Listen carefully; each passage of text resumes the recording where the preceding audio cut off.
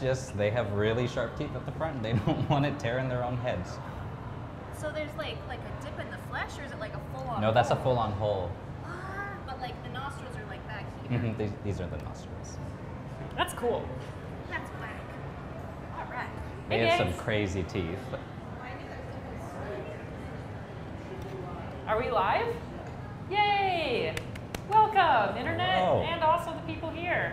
I'm. I never know how to start these things. Um, we're Josh. Yeah. A person. Hello, my name is Josh. I'm collections assistant of amphibians and reptiles here at the Field Museum. And this is a juvenile alligator that we'll be skinning today. Yes.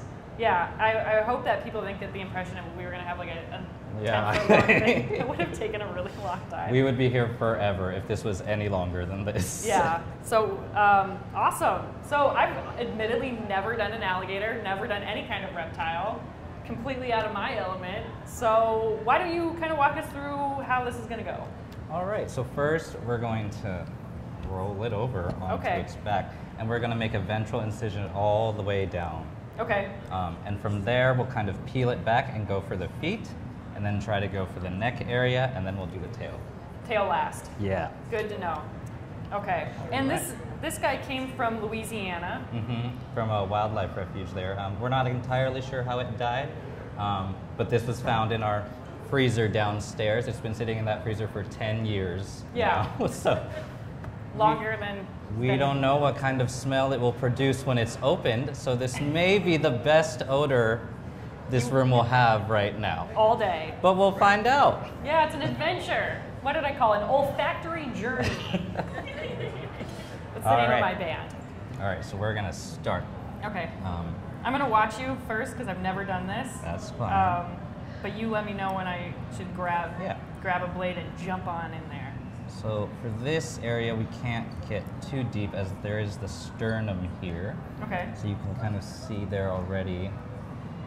You guys can come on in. Feel free. You it. can come all the way up to this blue stanchion if you want. Yeah.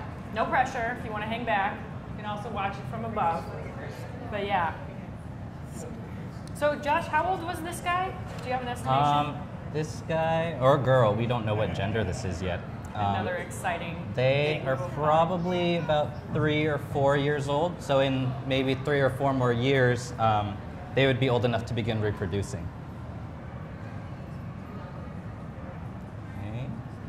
So this is this is really thick. This is really Yeah. not like mammals at all. I mean, it's not because it's a reptile. it's a very different kind of organism. Um, but I, I've you know no, never seen an alligator this close before. I think if you got this close to an alligator, you'd be kind of having a hard time. Um, provide you know circumstances Yeah. depending, but. I'm just amazed by all of these these scales here. Yeah, and then if you feel around the different parts, you can feel the ventral side is a lot smoother and softer than the dorsal side. So, do, so does this smoothness help them when they're kind of belly crawling? Kind of, um, but it's mostly for protection. So they need more protection on the upper half of their bodies rather than the lower. Half. Gotcha. Gotcha. Hi everyone, welcome. I will be repeating myself a lot today as like new people come in and explaining what we're doing. So excuse me if we're a little redundant.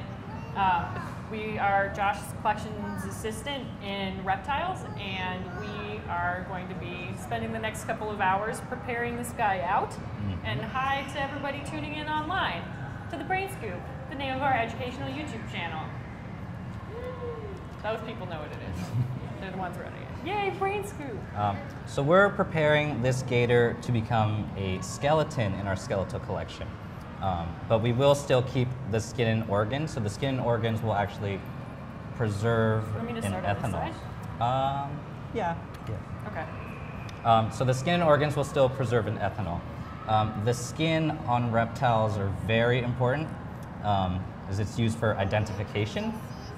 Crocodiles and alligators, not so much. Most people can kind of tell what kind it is from where it's from or other features. Um, but who knows, maybe in the future, the number of scales the alligator has on its belly could be very important. So, so for like when you're identifying a snake, how do you do that? Um, so for snakes, you would have to count how many scales they have in certain areas, and that's how that is defined there. So the number of scales on its belly, the number of scales on its back in a row, um, the number of scales on its head or tail. But you can't do that when you're in the field, because if you like looking at a snake, you probably don't want to be really close, counting all of its scales. If, for instance, it's a venomous yeah, snake. yeah. Be like, there "Are- you can probably have a good guess. Most Yeah. herpetologists can tell from looking at them. Um, that's just for like super close things. Things that are closely Mhm. related to one Yeah. another evolutionarily. So looking good, guys. Brain scoop team. Okay. Um, so down here, I'm approaching the cloaca, um, and that's where the alligator's waste and reproductive um, organs come out of. Um, and so we're going to try and keep the skin intact. So we're going to go around it, and so then when we peel it back, it should be still intact on the other side. And we don't know what what the sex of this is No. yet, but once we begin exploring the cloaca, we will find out. Yes, hopefully Okay. it should be quite obvious. Enough. Cloaca Exploration is the name of the first track on my album. What was my band name? I had an olfactory journey.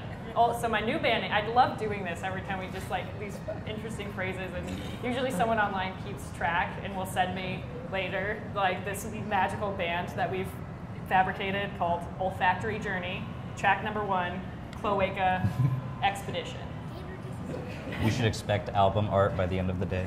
So last time someone made like a cover art and they even wrote out the lyrics for one of the songs when we were doing the beaver dissection.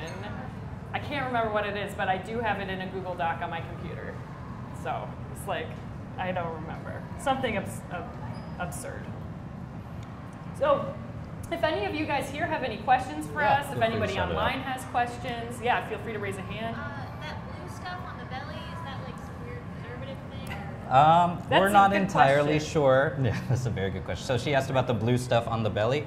Um, it could be a marking that they used at the place this guy came from, um, so they know which one is which.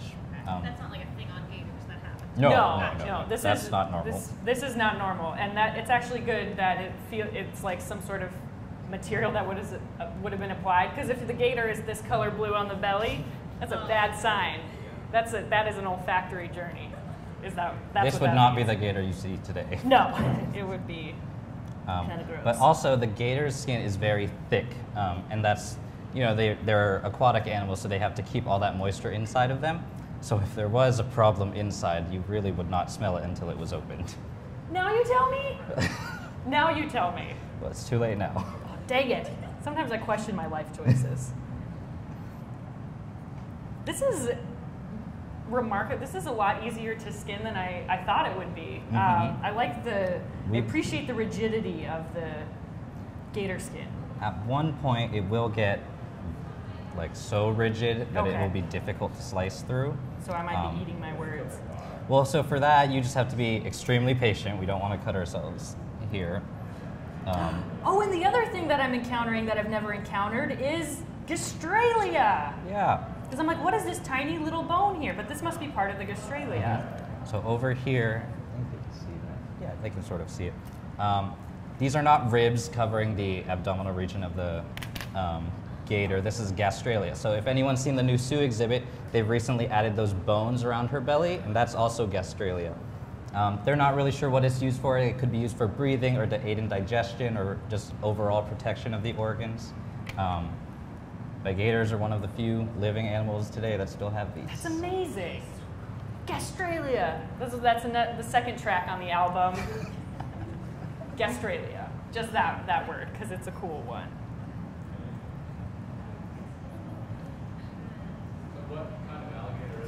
What kind of alligator is it? It's an American alligator. Um, and so we got this from Louisiana at a wildlife refuge there. Um, there are actually only two kinds of alligators living in the world today. So there's the American alligator, which you get here in Central America, and the Chinese alligator, which is endemic to China. So then in, in, in the United States, the American alligator is the one in um, Florida and Mhm. obviously Louisiana, but don't you get um, crocodiles too in the Yeah. very tip of, Yeah. of Florida. Um, and those are the American crocodiles. They are mainly in Central and South America, but they do get up to the tip of Florida. That's neat. Question from the internet. Yep. They want to know how to tell the difference between an alligator and a crocodile. That's a Oh. that's a great question. So the question was, how do you tell the difference between an alligator and a crocodile? Um, and it depends if it sees you later or in a while. That was a joke. So- sorry. um, but the main difference is their snout. Sorry, I'm going to flip it over for a second. Alright. So the alligator has a more U-shaped snout. Um, and here we have a crocodile skull. You can see the crocodile has a more V-shaped snout. Um, but sometimes some gators just have really thin snouts, so that's not a really good way to tell. Um, so you look on their teeth, and the alligators, you notice you can only see the top row of teeth. You can't see the bottom row. When the crocodiles, you can see most of the bottom row teeth. Even when their mouths are closed, you'll see the fourth lower tooth is still outside of the mouth. That was a great explanation. We also did a video about it like five years ago, which probably needs to be updated. so take Josh's word. Hi but everyone. don't get so close to the teeth that you have to check. Yeah, yeah, that's not a good identification technique. You're like, can I look at your mouth, Mr. Crocodile or Mr. Alligator? Again, not not probably what you want to do.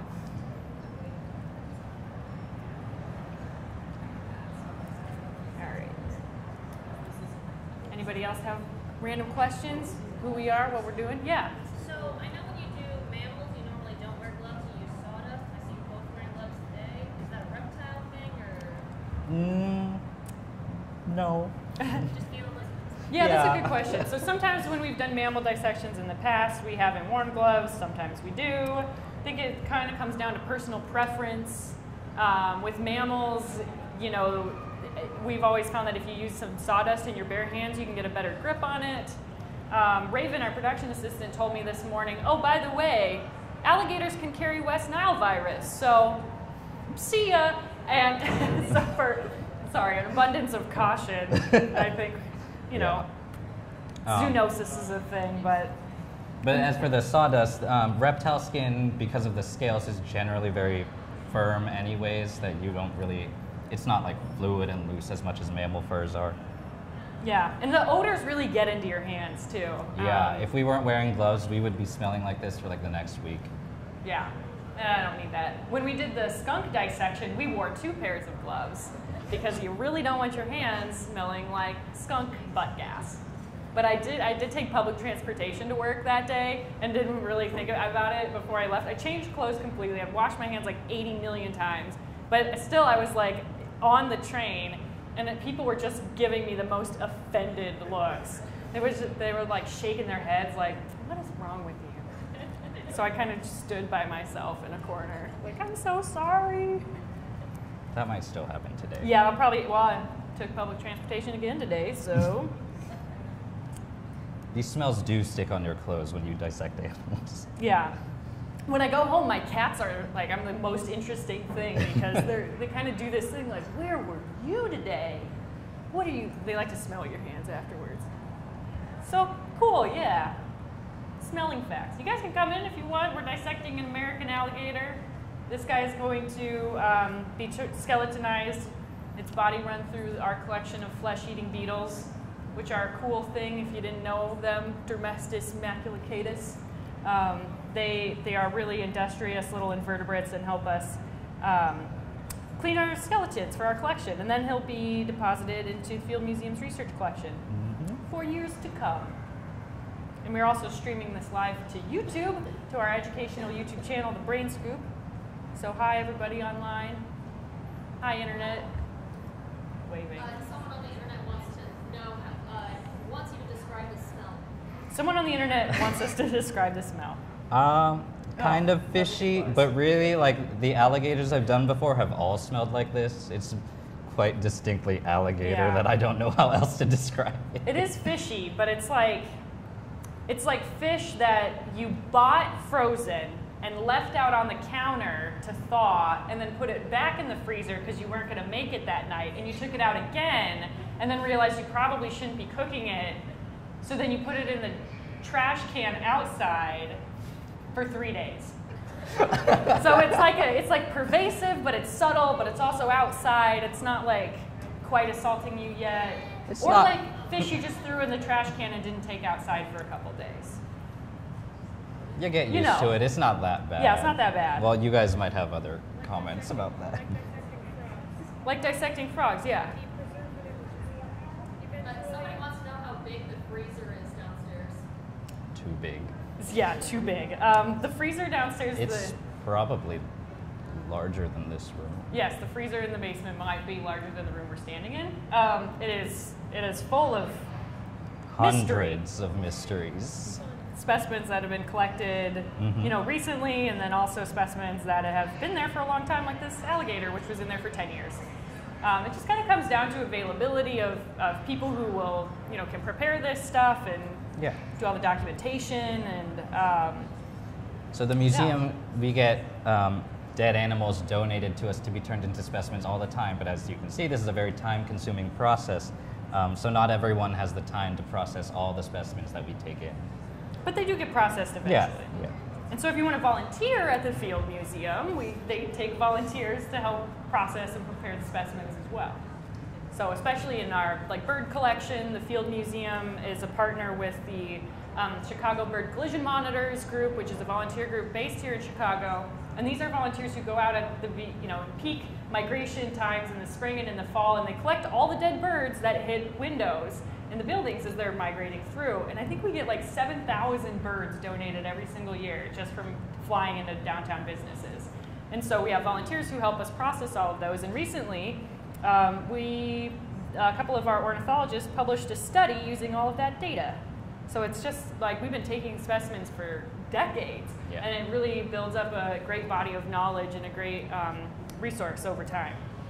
You can see what kind of birds are migrating through Chicago and at what time of year, and if that is changing, if they're coming sooner, and you know how climate change is impacting the migration routes as they search for new food sources, and all sorts of fun research.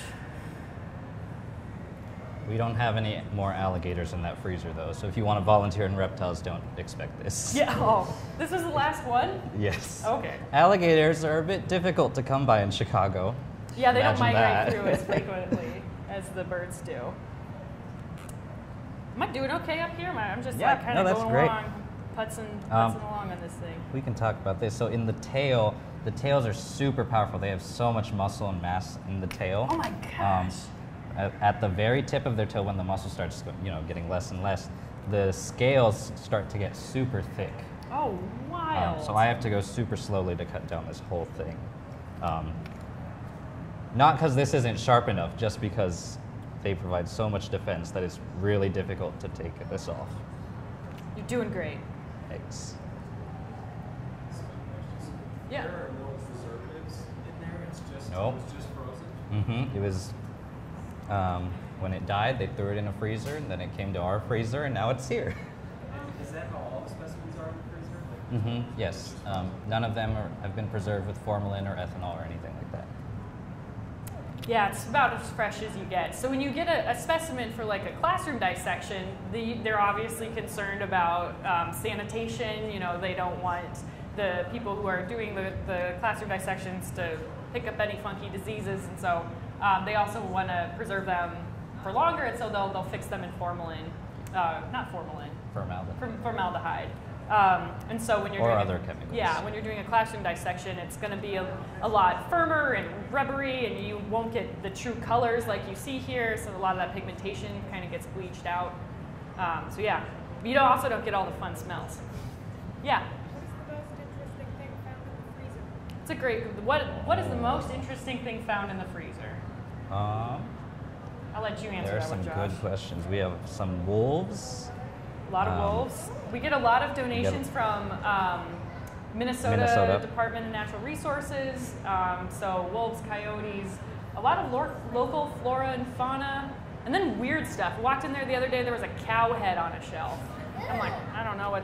Just like your regular farm cow. Cute. Yeah. Cool. Yes, you can study the brains. I have a question for Josh. Yes. Um, what, what sorts of things do collection assistants do, and how did you get the job? Oh, good question. Um, so the question was, what sort of things do collections assistants um, do, and how I got the job? Um, so we are like a library of these animals. Um, so this one is just one of the many books that we have at the Field Museum. Um, and so researchers from all over the world ask us for these animals, both skeletons and formalin preserved ones. Um, and I'm kind of like the librarian in the sense that I provide them with that. So we'll mail it to them, or I'll take photos of them of what they need, or give them measurements. Um, and they also come here um, and take uh, their own data from it. Um, and I got the job because I applied for it. And I you're saw it listed. qualified. yeah. Oh yeah, yeah.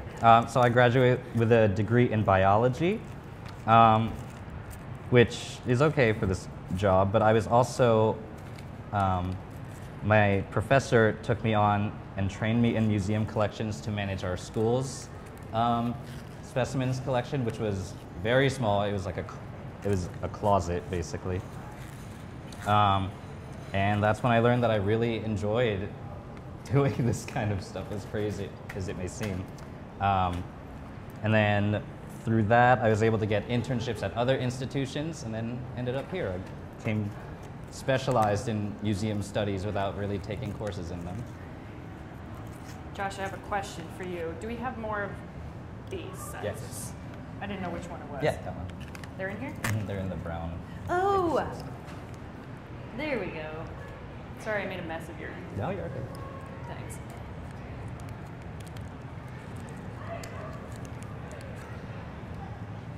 Blade Interlude. That's the third track on my album. Yes. Yeah.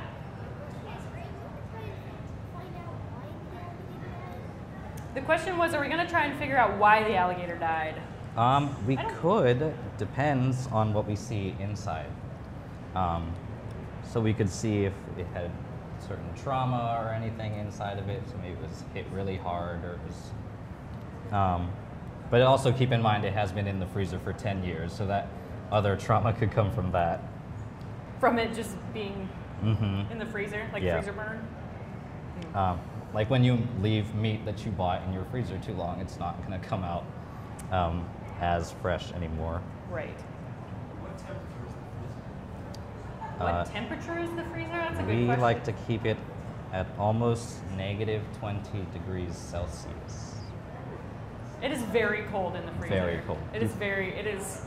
You cannot stand in there for that long. No, when when they have to do work in the freezer, you wear like a parka and snow pants because it is very very cold. So if this thing had I don't know picked up West Nile virus for instance, because apparently alligators can carry it, um, you'd hope that it would kill off anything like that.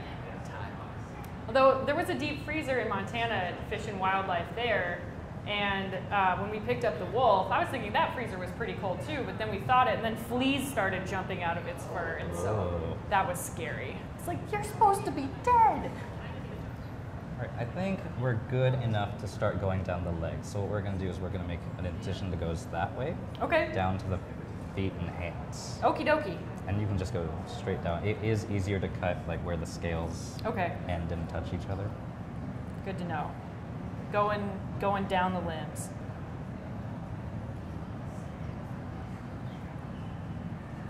Do we have any questions from the internet?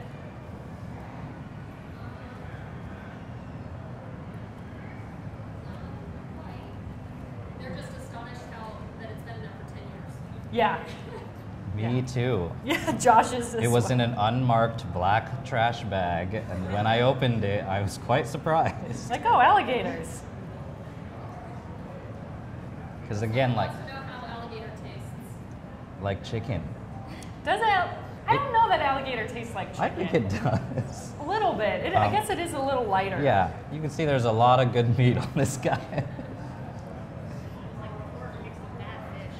Like bad pork chops mixed with bad fish. No, alligator's good. yeah, alligator's very good. I well, go to Louisiana Yeah. and get some get some barbecue gator. Um, I've done that. It was good. so most of you probably know this. Alligators are farmed for their hides and their meat. Um, So it's very common that people eat alligator.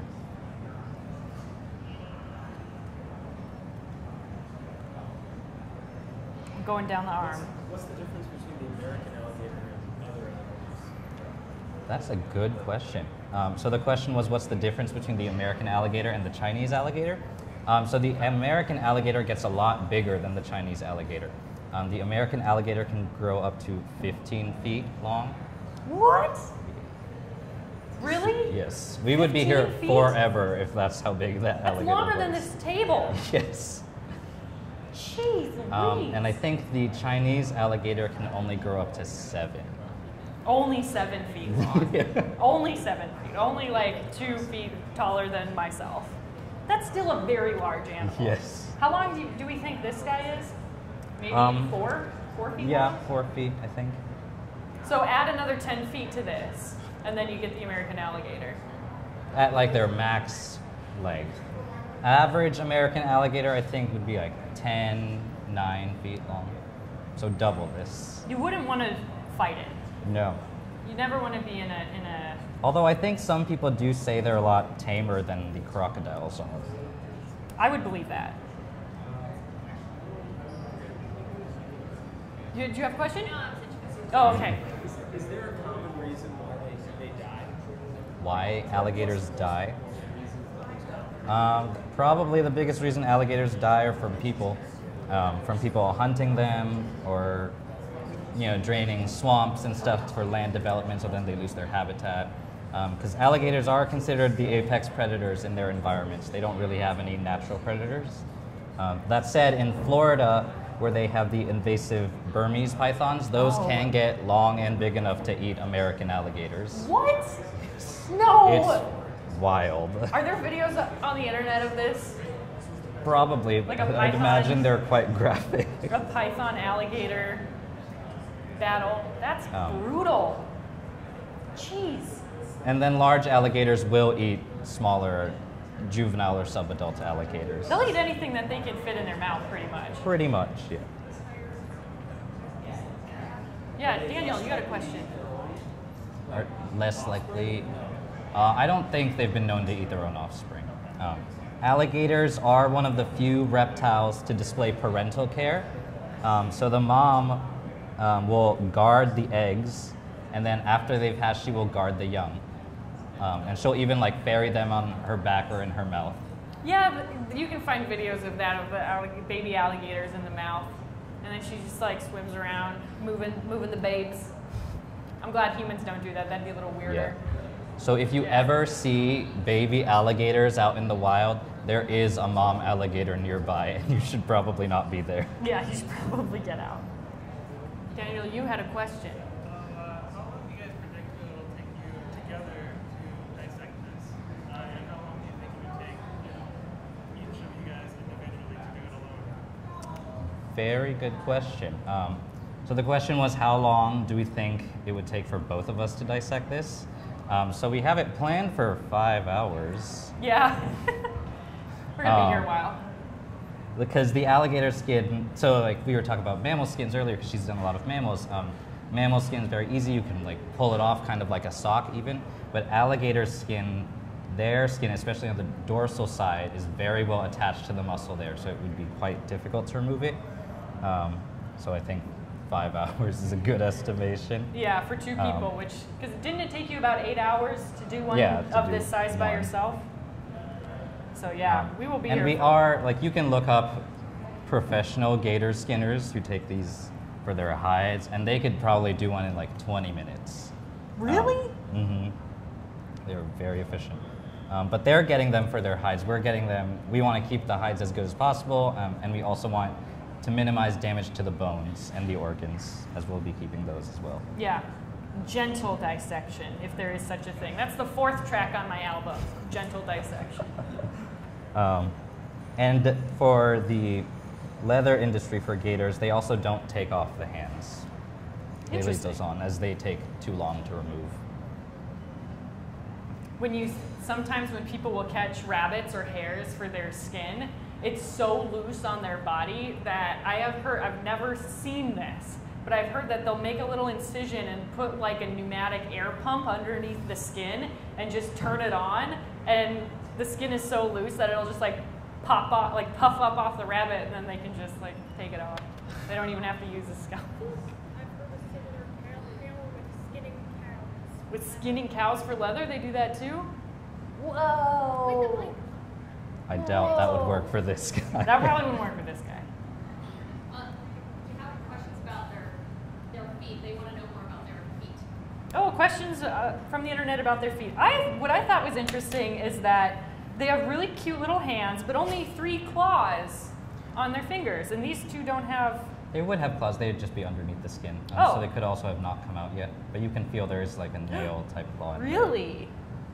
Um, So it is under. It's under the skin. Why would it grow like that? I'm not sure. Um, but another cool thing to point out. So on the front legs they have five fingers, and on the back they have four. Whoa! I didn't notice. I don't know why. Um, probably something to do with swimming, as the back legs are more webbed than the front legs are. They are great swimmers. They can Mhm. propel themselves through the water at tremendous speeds.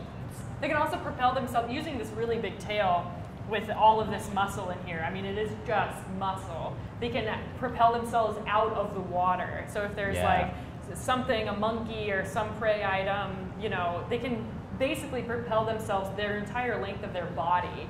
So they'll like get a, a I don't know, a swimming, swimming start, start. and then just launch themselves up. And you can see cool videos on the internet of, of them doing that, jumping all the There way are up. also really cool videos of them propelling themselves up fences on land. What? So these guys can actually climb, but not so much as like climbing up, more or less just pushing themselves up with these really big tails. I am increasingly concerned, Concerned. about alligators. You kind of see them and they look, you know, threatening but a little slow moving and innocuous, but they can also run pretty fast. Mhm. So if they want to, they can just have a burst of energy to chase something down. And so they're going to chase after you and then jump over a fence. And so you're kidding. They won't do that. No, they're pretty chill. Are the families of alligators and crocodiles as old? Or sorry. Are they equally like their age in terms of when Um, first arose?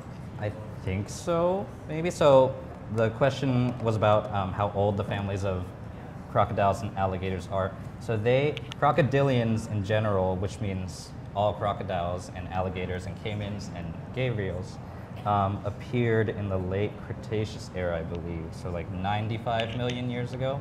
Wow. Um, but the alligators and the crocodiles have always been kind of separate from each other. Um, so they are in separate. Fam- they're in the crocodilian order, but they're in separate families. Um, with the alligators and Alligatoridae, and the crocodilians and um, Crocodilidae. Crocodilidae. Crocodilidae. That's the fifth That's the track fifth on my track. album. Crocodilidae. That that one's gonna have more of a folksy sort of. You know, that's like a band, a song you would write for a banjo. Crocodilidae. Dee dee dee dee beep.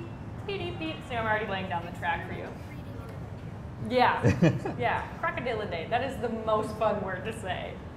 Crocodilidae. Um, But so the, the crocodiles, the crocodilidae, th- that includes all the crocodiles. Um, the alligatoridae contains the alligators, the two alligators I mentioned, the American and Chinese, as well as all the caimans.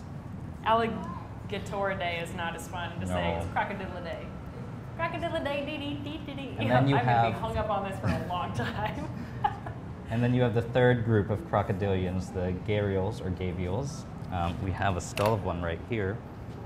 They are in the family Gavialidae. Um, and these guys, you can see why they're different from the crocodiles and alligators. They're super weird. Um, so their skulls are modified for fishing. Um, so they live in these murky waters, and the fish will be like swimming here, and they can use these to stun them and then just chomp them up. So they just like swat their head around. They'll be like, bam, hit a fish. And the Yep. fish is like, what hit me? And then it's like, oh no. Yep. It's in the mouth. Another interesting thing that, that I've learned recently is that apparently alligators can't chew. Like they No, can't. that's right. They're not like like a cow, you Yeah. know, that's breaking the food down. They just have to swallow things largely whole. So their stomach acid must be formidable. Yeah, um, and you'll see later their stomachs aren't actually that big. Oh, Um, interesting. Generally, they're smaller than their heads.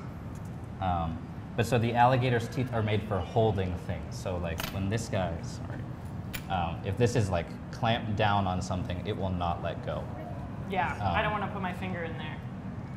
And so to kind of chew or tear their prey apart, like if one wanted to eat a deer, like they can't just swallow all of that. They do, they literally just hold the deer and start like banging it against a rock or a, the ground or a tree to rip it apart What? from into pieces that it can swallow. So that is a that is a brutal mental It image. is, I also want to add the sixth track on my album, which was um, "Formidable Stomach Acid."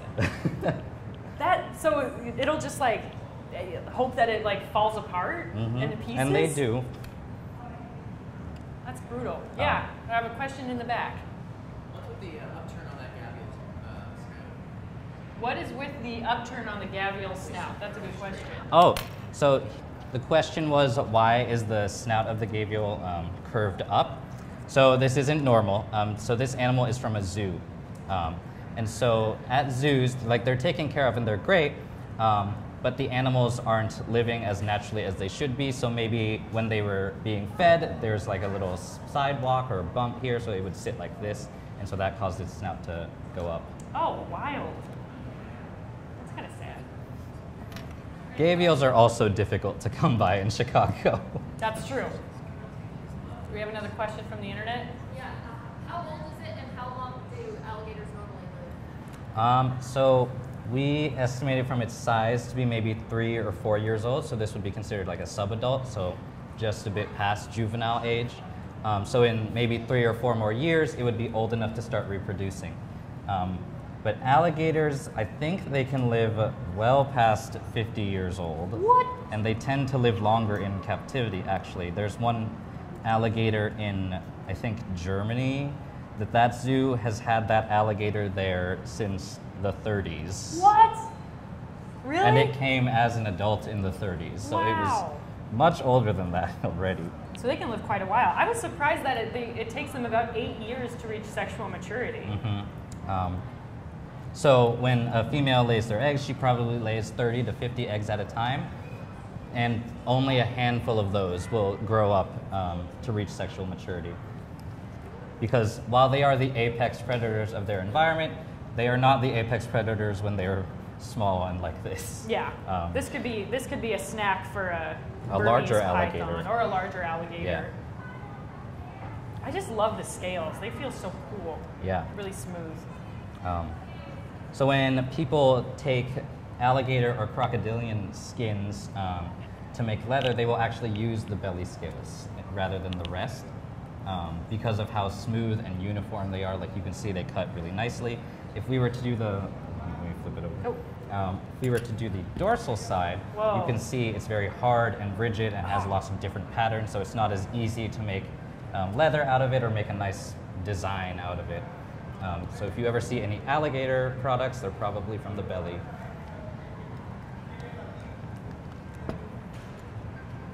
Yeah. Hi.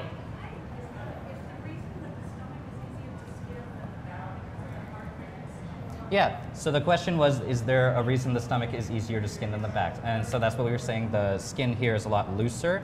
Um, and that's because alligators have this special thing called osteoderms. Um, so osteoderms are a bony structure that they have within their skin that makes it super tough. Um, and so all those osteoderms are on the upper half. Um, so for that part, we won't be cutting, we won't be able to cut through this at all. Wow. Osteoderm is another track on my album, but I think it needs a little bit more work. Can't just be called Osteoderm. This is coming right after Crocodilidae, so it's gotta be have like a high impact. Um, Because that song's gonna be a hit. The osteoderms are under specialized scales called scutes. We call it that. Scutes? Scutes. Um, so scutes are these. Can I flip it over Yep. one more time? Um, scutes are these big block-like scales you see here.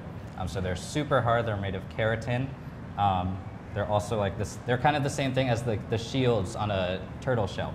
Oh, cool. Um, And so the scutes, along with the osteoderms, means these guys are super protected at, their very top. Flip it.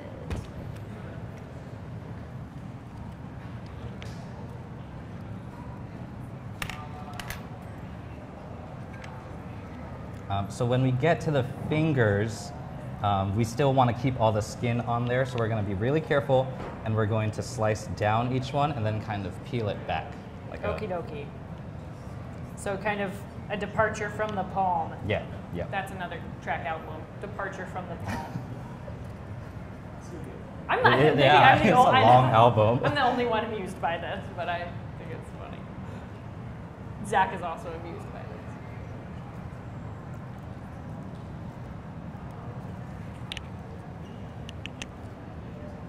So is there a reason why it would have this like little bit of I don't know, it's like a fattiness to the finger?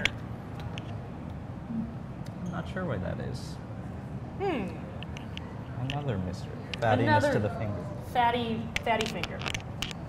On this guy. I don't think that's good enough to be a track. No, album. that's not a good enough to be a track title. So are the nails going to stay with the skin or with the skeleton? Uh, depends what happens. Um, so the question was, are the nails go- or the claws going to stay with the skin or the skeleton? Um, we could do either one. We will try to keep them with the skeleton. But if they come off with the skin, that's all right too.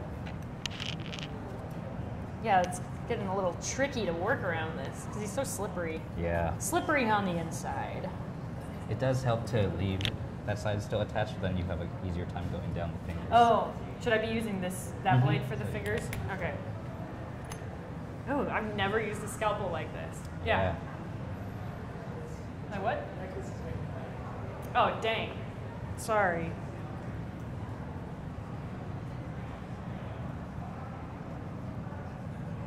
Somebody wants to know um, what their nails are used for. Um, so the question was what their nails are used for. Fighting each other, um, fighting other things, but obviously with their big mouths, that they don't really need that too much. Um, and generally just holding on to things. You see, they're not that big or they're not that sharp yet. Um, so they're kind of just there if they need it. Fighting. Yeah. You guys can come in further if you if you'd like. You don't need to hang out by the door. Feel free to come all the way up to the blue barrier. Yeah. If, if a gator were to get cut, does its skin heal like a human skin? Oh, that's a good question. Um, so the question was if a gator is to be cut in some way, would the skin heal over time? I don't know. I'd imagine it does, as since they can live so long. I imagine they have adaptations to be able to do that. But I'm not sure.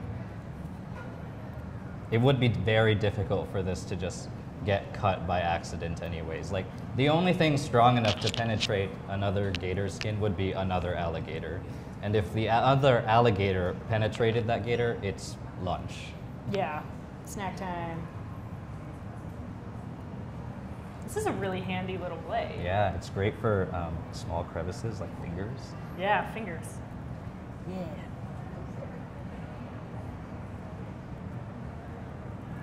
Where did you get this one? Sorry? Where did you get this? Um, this alligator came from a wildlife refuge in Louisiana. It was donated to us and then sat in the freezer for 10 years. So we're Finally dealing with it. finally getting around to it.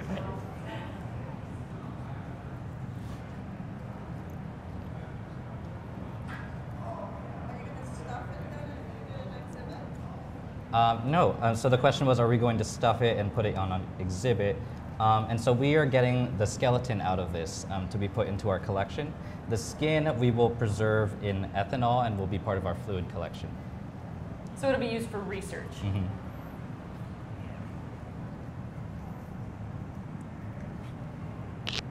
How old is Uh, we think it's about three or four years old. how long does the mother stay with the babies? Like how, how old will they grow? Um, so the question was, how long does the mother stay with the babies? Probably just past the juvenile age, so like when they're two feet, maybe. when she can't fit them in her mouth anymore. yeah. And they're too heavy for her back. That's an interesting thing to talk about too. Is sex determination Mhm. in in alligators and crocodiles. So when the mother goes and lays a bunch of eggs, and she can lay up to like 50 eggs at a time, I think Yep. you mentioned earlier. Um, they um, the sex of the of the offspring is determined by the temperature of the nest, and it's a really narrow window of time. So we had the um, I have the, the temperatures here because I couldn't remember them, but um, below 31 degrees Celsius produces all females. Between 31 and 32.5 degrees Celsius produces majority males, and anything above 32.5 degrees will produce all females. So, like you can imagine how like climate change might be having a big impact on the ratio of of uh, Males to males females. to females in alligators and crocodilians, Mhm. which is a really interesting thing to to explore and to look into. And not just alligators do that. Um, a lot of turtles, especially sea turtles, do that. Um, and some lizards, I think, which sex determinate on their temperature. Oh, really? That is interesting. So that, yeah, that would be a problem if all of your sea turtles are female and there's not enough males. Exactly. Come on, climate change. Jeez. Right, another question from the internet.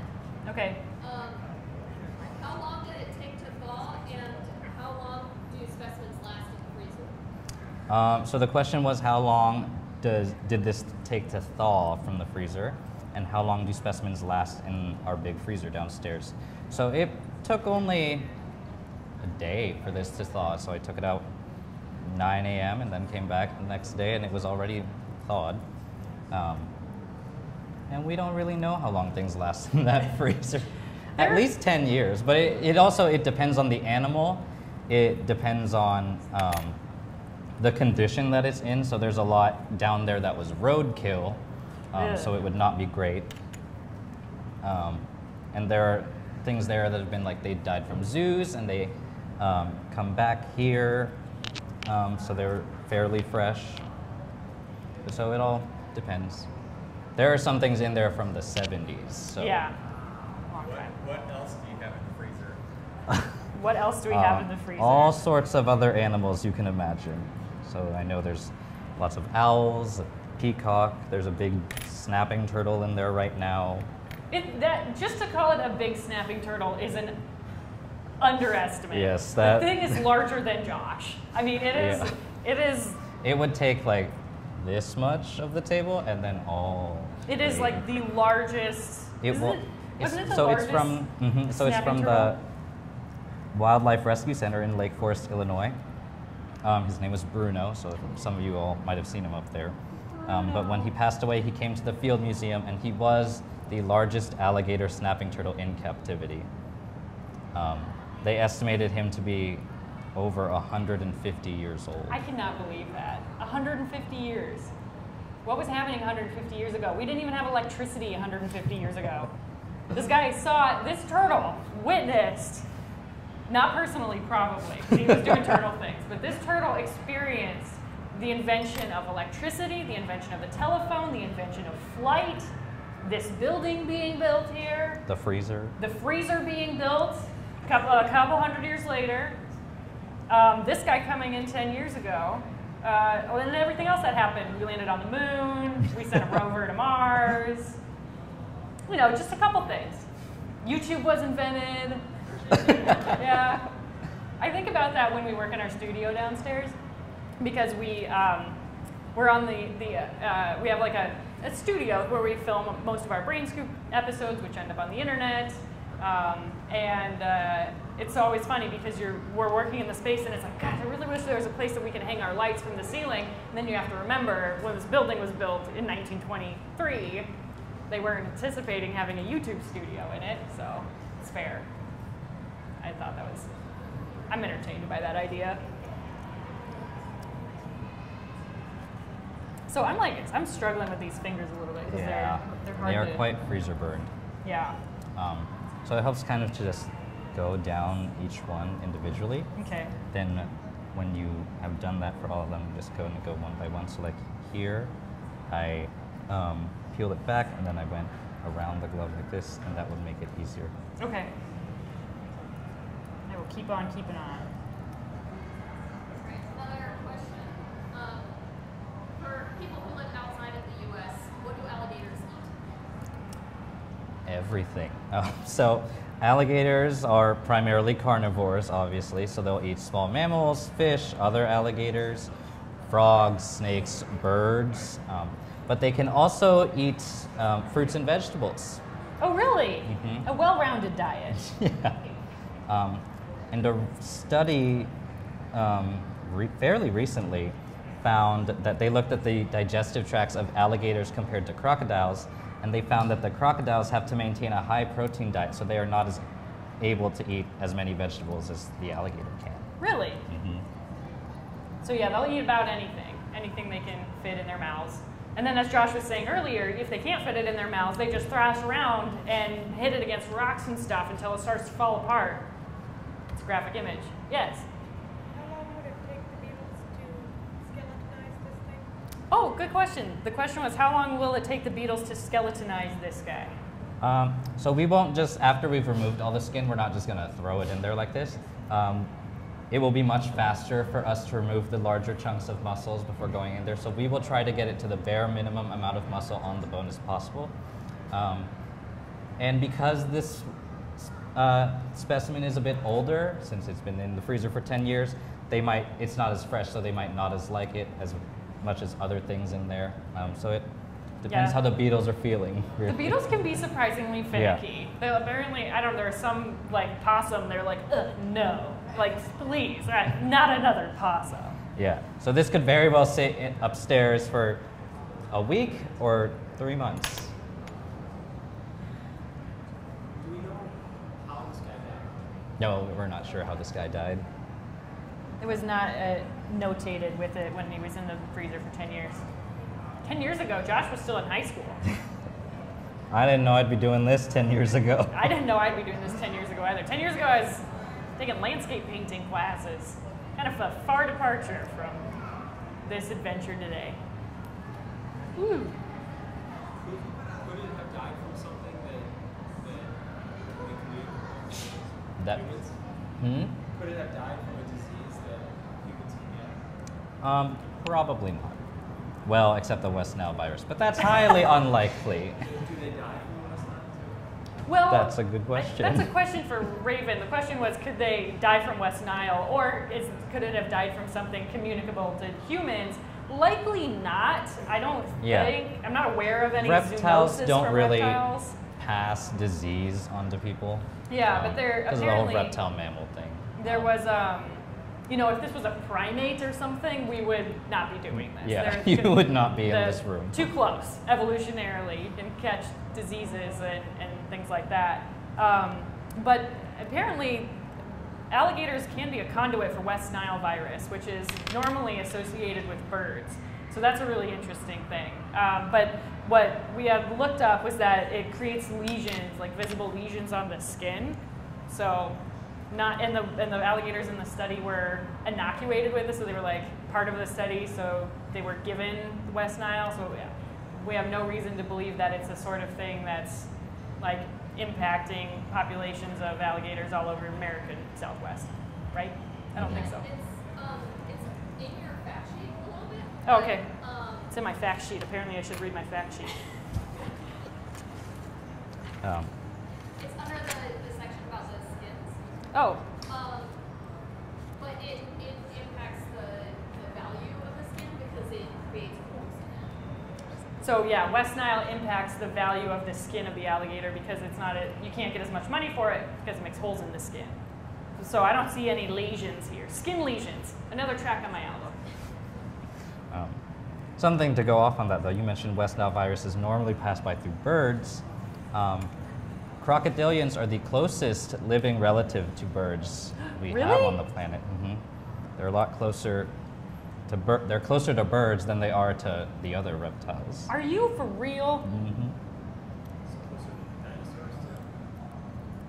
So are they closer to dinosaurs too? I don't know that part. Probably. Wow. This guy's got a freezer burned elbow. Yeah.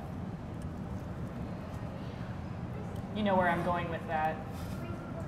Freezer burn elbow, another special on my album. Are we really up to 10? Goodness. Someone stop me. I need to make a discography at this point.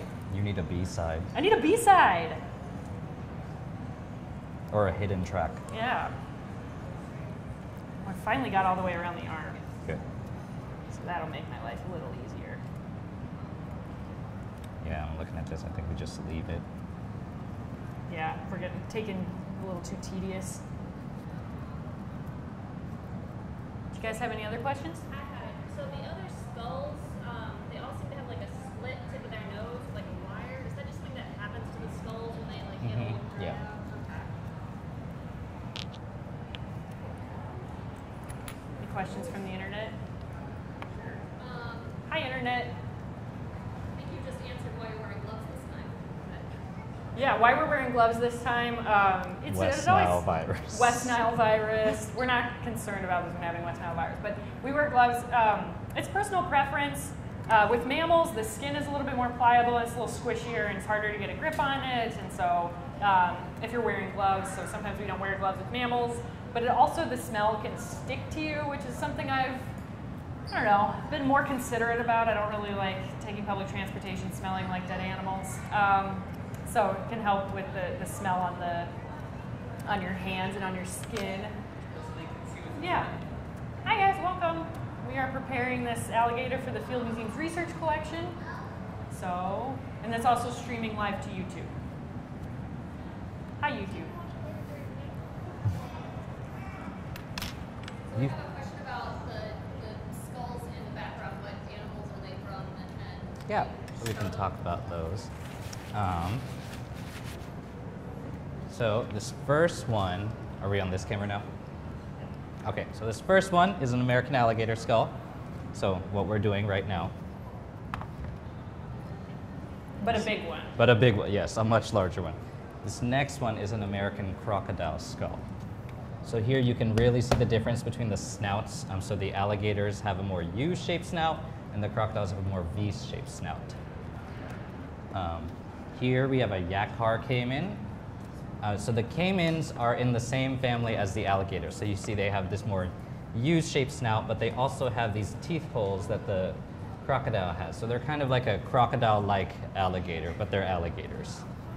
And then this last one So they can do things. is a false gharial, um, which is the last group of crocodilians. So these are specialized in fishing. Um, so they have this really long snout so that they can snap fish up from kind of far away. Any other questions about the four skulls here? So the American alligator and the American crocodile, do they have like territories that overlap or? Uh, yeah. So the question was, does the American alligator and the American crocodile have overlapping territories? So the American alligator takes up most of the southeast, and the American crocodile is mainly in Central and South America, but they do get to the end of Florida um, in the waters there. Um, so another key difference with that, so the uh, alligators are mainly freshwater, and the crocodiles are mainly saltwater. Um, and both can stay in brackish type water, um, but the alligator doesn't have salt glands, so they don't prefer staying in there for a long time. What's with the texture on the bones? I, I don't necessarily think of bones having quite as much texture as these. Yeah, good question. Uh, so the question was, what's with the texture on the bones? So they're very, they have a lot of holes and ridges and bumps on them. We don't really know. Um, it could be for skin attachment. So you'll see later, we will not be able to take a good chunk of the upper uh, skin from the head off, like at all. Um, that's why when you go to like the southeast or in Florida where they're selling those alligator heads, they always have the skin on because those are very difficult to take off. Um, and so it could be for holding that. We're just not sure.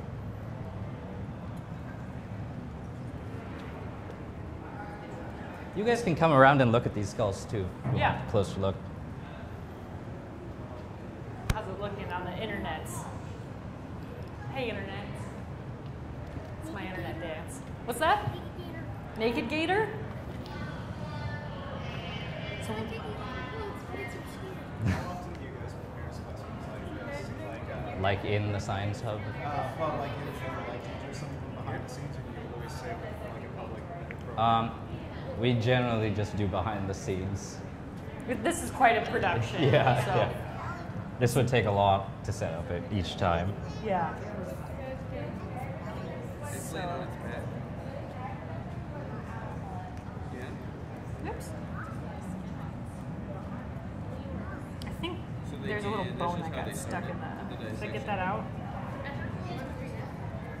I don't think they can. Well, that's all right. Okay. Um, Is for it- these, I'm expecting them to be as bad as this. Okay. So just cut the skin. Also, like take as much as you can, but like don't really bother. Okay. Just cut the skin off like horizontally, like that. Gotcha. You're kind of being a pain. Um, so the bad part about having this in the freezer for so long, it's been in the freezer for 10 years for anyone that's just coming in, um, is the animal gets freezer burned. So that's like when you leave beef or chicken in your freezer for too long. Um, and it looks great overall just because it has so much meat and muscle everywhere. But in places where there's not as much, so like the fingers, they can get really dry, and so that makes it difficult for us to be to remove the skin from that area. Um, and so if we leave it on there, when when this skeleton goes into the beetle colony, um, the beetles can go in there and pick away at it Yeah. if they want, and they are they do a much finer job than we do. Yes, I am leaving his little half gloved fingers on. Yes. Yeah.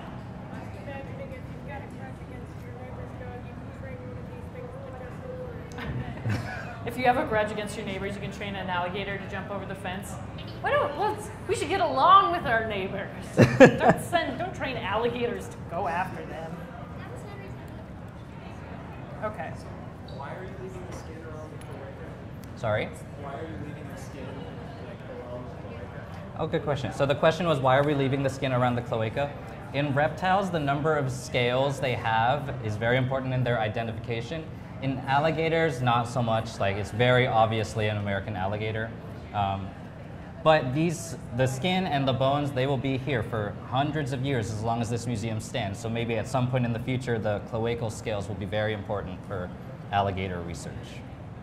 Oh, interesting. So are some reptiles identified by their cloaca scales? Yep. Wow. Um, so in snakes, especially, they have one big scale near there called the anal scale. Um, and you can tell one snake from another, depends if it's divided or whole. Wow. Anal scales. Another track on the album. You said, you said like mul- multiple organs like lead to the cloaca. Yeah. How does that work? Uh, they all kind of just have tubes going down there. And it all comes out of one spot. mm-hmm. Um, Everything, just a party. Oh, we got a question from the internet. Um, we have a lot of questions about their different senses, like their sense of smell, their vision, like how, how good are all of their senses? Very, very good. Um, so the alligators' um, sense of vision, some people say it's almost comparable to an owl's. What? Um, they have very good eyesight. Um, their photoreceptors in their eyes also allows them to see in the dark and in their murky waters that they're usually living in. Um, So they have great senses, like highly oh yeah, highly attuned senses. Now because, hold on, I'm gonna flip it over. So you can see the eyes are kind of aimed that way.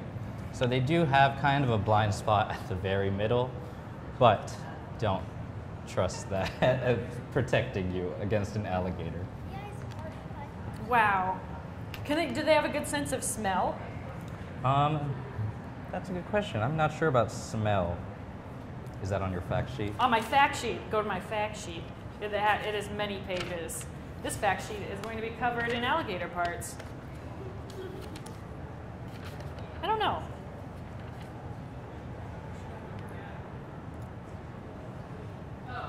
Um, their sense of hearing is also very good. They do communicate with each other. Um, alligators more so than crocodiles, actually. So alligators are able to make these bellowing noises. Oh, right. hmm Um, and you've probably heard it. If you've seen a Jurassic Park movie, that's how they get those like really low grumbling noises that the dinosaurs make. Those are alligator noises? Mhm. Um, they're quite scary if you look them up. Um, and they also make noises low enough that we can't hear them.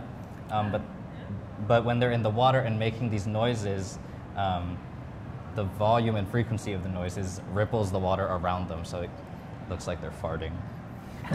So it looks like they're farting. Yeah. If you guys want to show a specific thing, I would say like kind of put it on this camera. Okay. So that like give it a sec so I can like switch over to that so we can see it. Okay. Yeah. Okay. Is there anything in particular we should show? Oh, Oh, gotcha. okay. Thanks, Internet. We'll try to show you better. We're streaming to the Internet. We're live on YouTube. Subscribe. Yay! Yeah, yeah, yeah. Like, comment, sub- subscribe. Uh, that's all I know how to say. um, so yeah, we'll make sure to, to say hi to, to that camera. That one instead. There's a lot going on when you're doing a, a live stream dissection because you're obviously concerned about what you're doing in front of you, and then there are live people here, and then there are people on the internet, and then there are smells. So it's just like so many things coming together. Do you want to finish up this leg? Sorry that I'm going slower. Oh, no, no And I can start on the head. Sure. Or should we? We want to start on this side. Actually, I can do the other side. Yeah. Okay. We'll we're gonna swap it around. Flip it over. So, how do you do this cloaca, or should I not bother? Um, you can just do the, if you're going to do this leg, you can do the same thing that you Okay. did from, the, from right around there. yeah, their skin is so thick. Yeah. Have you done a reptile before? I have never done a reptile before. This is my first reptile. A good one. Yeah. Um, reptiles are all different when it comes to skinning. Snakes are by far the easiest.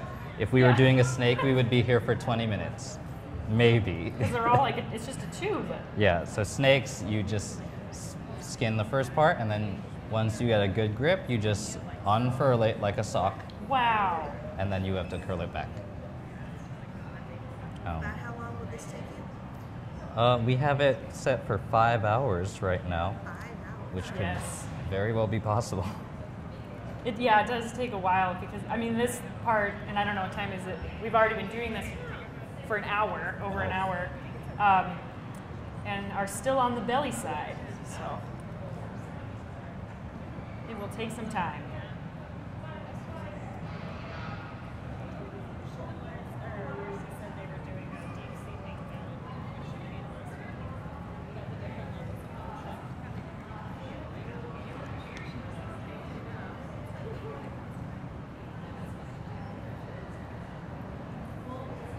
If anybody has any questions or anything, too, feel free to pipe up. We have some friends from the Shedd Aquarium here, it looks like. if you're in Chicago, hop on over there, too. Have you guys had American alligators before? We do have them. Yeah, we have them in our lab. Oh, that's right, yeah. Siblings, Is that four juveniles? Yeah, about the same size as these, right? Yeah, so if you want to see a live American alligator in Chicago, you can go to the Shedd. Yeah, really great views of different options. yeah, yeah, yeah. yeah. I mean, you wouldn't be able to see it this up this close if you went to the Shedd. You come to the field museum for that. Yeah. I'm not gonna lie. I think everyone who works at the field museum feels like a little bit like, oh, everyone goes to the Shedd and they come to the field if the line at the Shedd is too long. but no, we have cool things. We have dinosaurs. That's right. Yes, you have dinosaurs. Yes. And get, and get This is amazing what you're doing. Oh, thank you. Thank you. Brilliant. Thank you for coming by. Do you use the sawdust ever with reptiles? Um, not really. Um, the skin, because it's scaly, is normally pretty. You get a good grip on it, anyways. Oh, that's just why it's not. hmm Did you? Was there a question over here? Hi. The question is, what are we doing? Great question. Yeah. So this, so this is a, uh, an American alligator. Um, was found in our freezer downstairs. It'd been in there for about 10 years. So Josh is the collections assistant for reptiles, and I have an educational YouTube channel called The Brain Scoop. So we're streaming live to The Brain Scoop. Um, but we're just uh, preparing this so this specimen will be put into our research collection. So, uh, in order to prepare it, we need to remove all of the skin, and once we do that, we'll go through and remove the gastralia, the belly ribs here, all of the organs, and then we put it into our flesh eating beetle tank. So, we have a tank of, of beetles that will eat all of the muscle tissue, and then we get a nice clean skeleton that can be put into the research collection and um, be used by scientists. So, that's what we're doing. And it's kind of fun and it's kind of weird and um, so we like to share it with people because I, I don't think a lot of people Where get this else kind would of. you see this? Yeah, where else would you see this? So we like to, to share our, our research and our outreach with with the public. Yeah. So there were definitely some people that are very important, and there were definitely some people who are probably not been watching our library. So I think it might be a good time to explain what gastralia is. Oh, that's a good point. Oh, point. that's a good point. Um, so, uh, in alligators, these aren't ribs that you can see over here. This is the gastralia. Yeah. Can you see that on the camera? The These, gastralia? the gastralia. Um, so these are like not quite bones. They're like cartilaginous fibers that they have um, over their belly. They're not really sure what it's used for. If it's used for breathing or to aid in digestion or just other general protection of the organs. Um, but another group of animals that had gastralia are dinosaurs. So if you go up to the Sue exhibit, that's that new kind of rib cage looking thing they've added to her belly. Um, and alligators and crocodilians have them too. Sherry, did you get that on the camera, the second camera? The gastralia? You did? Yes. Okay, good. We're just trying to make sure we show everybody on the internet. Hi, internet. Oh, my badge fell off. How long will it take for the beetles to digest it? Um, it depends how the beetles are feeling. Yeah. Um, so this animal has been in our freezer for 10 years now. Uh, so it's not the freshest animal, so they may not like it as much. The beetles can be picky. Yeah. Um, so this could, the skeleton could be in there for two weeks or three months. It all depends. Josh, can I just like cut underneath the cloaca to remove it? Is this how you do it, or underneath Um, those yeah, scales? yeah, yeah. I also don't want to Do you want me to do? screw it up too much. Can they see me if I go like this? Hi. No. Okay. I'm just like being making a fool of myself now. So if you're interested in this kind of thing, and if you want to see more, you can check out our YouTube channel, The Brain Scoop. Yay! Got it, got there you you go. yeah. Thank you. This is awesome. I just subscribed. Oh, good. yes. This is how we do some like getting new subscribers for Brain Scoop, just one at a time. YouTube makes it real hard to grow your audience these days. so, we appreciate everybody who's watching. This kind of thing is is really good for our, our program. So, There you go. yay! These have been in the freezer for 10 years. Yes. So why now? Because we found it. we did, no one knew it was in that freezer for 10 years. Um, it was just in an unmarked plastic bag and said, well, it, it was marked. It said the scientist's name, but that was it. We had no idea. And that scientist hasn't been here for 10 years. yeah, that scientist hasn't been here for 10 years. The freezer is very large. The freezer is about the size of this room. Um, and we have been adding to it for a long time. Since it Um, has been here. Yeah, and which is, you know, not to say that like this stuff is not being used. It just this is very time intensive. So Yeah. we can get through little birds pretty pretty quickly, but if you've got things in there like wolves, um, I mean, I I've dissected a wolf by myself before, and it took about six hours. And that's like a 93 pound individual. And there are more efficient ways of, of doing this, but when you're really trying to be considerate of keeping the scales, like the cloaca, intact, and wanting to preserve all of the anatomy for research, then you just you can't go through it as fast as you would if you were doing this for like commercial purposes, for instance. How do you get the thing? How do the things come to your freezer? Um, they are donated through various means from various people. So we get stuff from zoos, um, we get stuff that um, were birds that fly into buildings, um, researchers that want that they may not have a beetle colony to get the skeleton out, so we would get those and they would become field specimens, so they would use it. We also, we, the Field Museum still goes out and conducts research expeditions too for very Mhm. targeted things. So, um, you know, back in the 1930s, it, it would be if you worked in a museum, you would go out with shotgun and then just kill everything indiscriminately and then put it in your museum for displays or research. We don't do it like that anymore. It's a very highly regulated process, requires a lot of permits, a lot of permissions, a lot of legal paperwork. You have to be very deliberate about what you're going to go out and collect and why. The justification has to be there. Um, but we do still have research questions that we need to ask um, across not just zoology with reptiles, birds, and mammals, but also fish, um, insects, um, and then we have paleontologists who go out and do similar things when they're collecting fossils. So they've got to go out and get permissions and permits for um, everywhere they're going to be digging and that kind of thing. Legal paperwork. it's not the most exciting thing, but it is very necessary. So.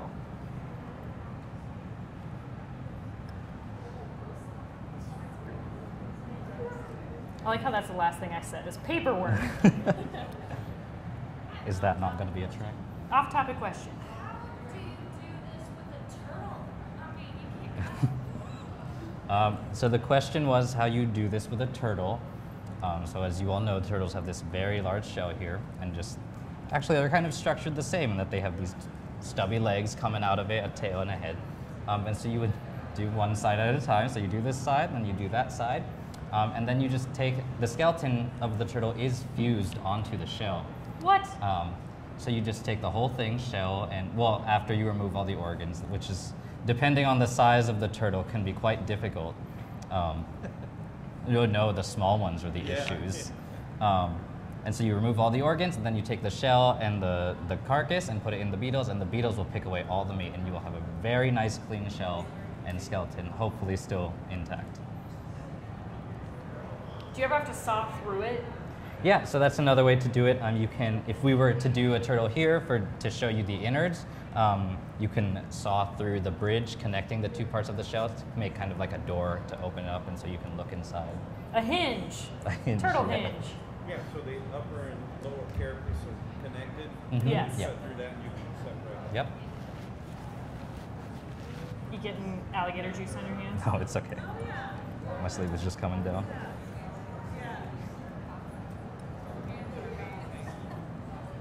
Um, for those people just coming in, this is an American alligator that we're skinning. Um, it's going to be prepped to be turned into a skeleton um, for our museum's research collection. How are you doing, Josh? Good. How are you good. feeling? Kind of pumped. Kind of what?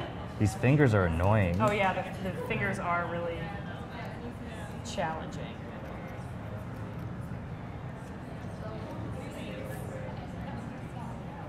This is slowly really good. I'm starting to smell it and it smells like a cow that was fed on it. A cow that was fed. The smell. The, we had a comment that uh, a live audience member thinks that this smells like a cow that was fed rotting fish. so that's a good description. I would agree with that. Kind of composty, kind of earthy, kind of fishy, aquatic. But believe us when we say that this smell is not the worst. Like, No, this is not There are some absolutely horrible smells in the freezer. Josh, what is the smelliest thing you've ever done? Oh, that's a good question. There was this snake I did that was half rotten, Oh no. which we did not real again. So because of the scales and how tight the skin is, you won't know until you've opened it if it's rotten or not. You can kind of like feel it, but if it's like decomposing in there, the smell will really hit you once you open it. Unlike mammals, which if they are decomposing and rotten, they're like bloated and you're like, or green, and you're like, I'm not touching that. Yeah. I guess the smelliest thing I've done is kind of a no-brainer. It was the, the striped skunk. Oh yes. But it was bad. It was so bad. It was so smelly that like you could taste it. It It was it was in the air. So you know when you walk into a kitchen and a bunch of people just walked out. Um, when you're when you're like frying hot onions or hot peppers or something, and you walk into the kitchen and your eyes kind of burn. That's what it was like skinning a striped skunk. It was foul.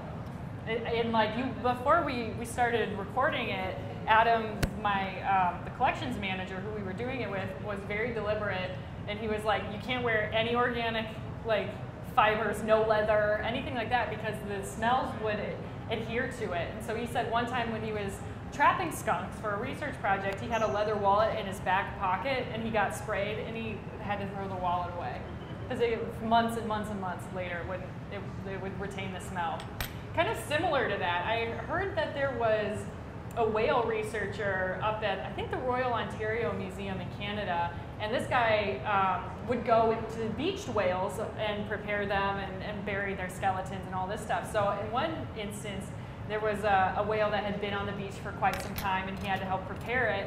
And he had been wearing a watch. And so in the exhibit, when they're talking about this whale, they had the watch he had been wearing underneath the little plexiglass box, and it would say like lift for the smell. And so visitors could come and lift up the box and Ooh. smell what the whale smelled like.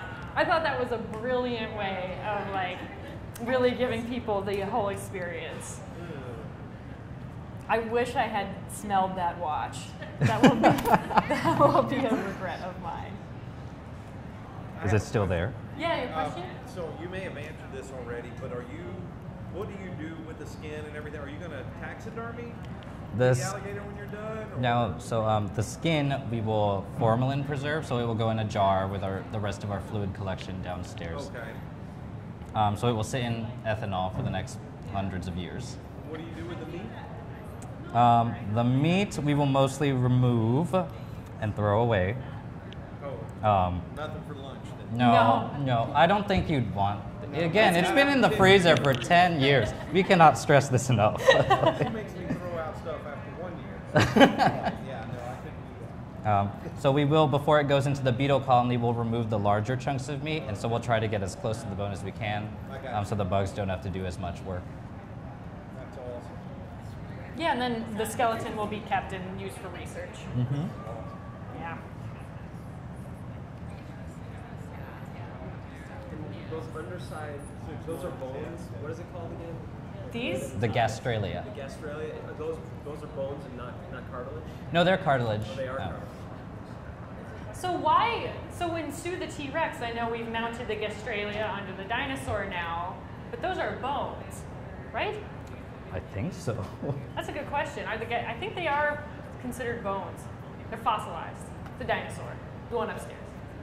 Does, does cartilage fossilize? That's now, now that's, That's my question. another is good Does question. cartilage fossilize? That's a question that I'm going to ask the internet Yeah. viewers to Google.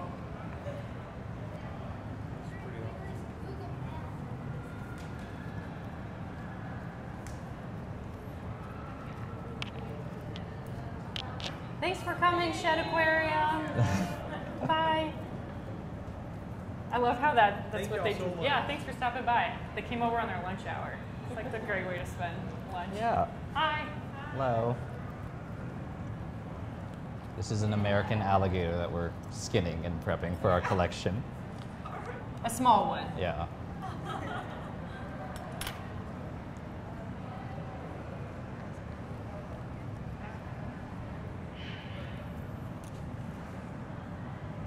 So why, Josh? Maybe you know this. Why is there so much of this fluvial liquid in the legs? Um, that's a good Is question. what I don't know why. I don't know if that's what it's called either. I think I, I might have made it up. The, I don't know if it's called fluvial liquid, but it's like, why is that word sticking in my brain? It's like the, Interstitial. yeah, it's like the interstitial fluids. Um, they do have just so many muscles, um, and their skin is so tight that it could be just they have so many um, connective tissue between the skin and the muscle that they have a lot of the fluid. Okay. It's kind of wet.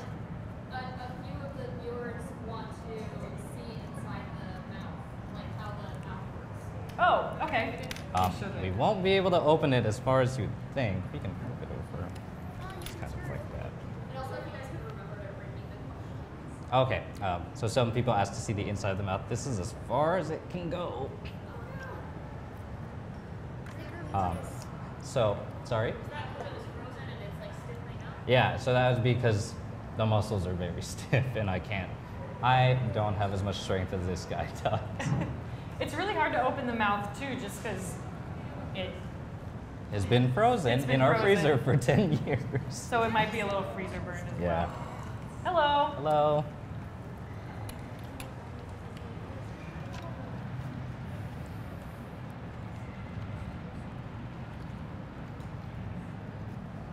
So for everyone coming in, we just had a big school group question mark We got a school group in here. This is an American alligator that we are skinning for the Field Museum's research collection. Um, its skeleton will be will be put into the reptile collection. We're streaming this live to YouTube. Guys like YouTube? Yeah. Yeah. You should watch. You should watch our channel. It's called The Brain Scoop. I was gonna make a comment about PewDiePie, but then I decided I shouldn't go there. I need to stop talking. so yeah, our channel is called The Brain Scoop, and if you like this kind of thing, you should like and subscribe. This is where we post museum stuff. Should we smash that like button? Yeah, you should.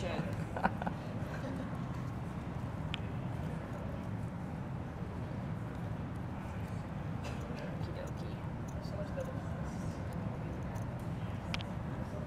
If you guys have any questions too, feel free to, Yeah, to shout, shout them out. out. Is it dead? Yeah, Yes, it is dead. Yes, every, everything is dead.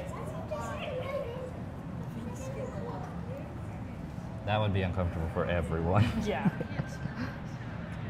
Especially the critter. yes.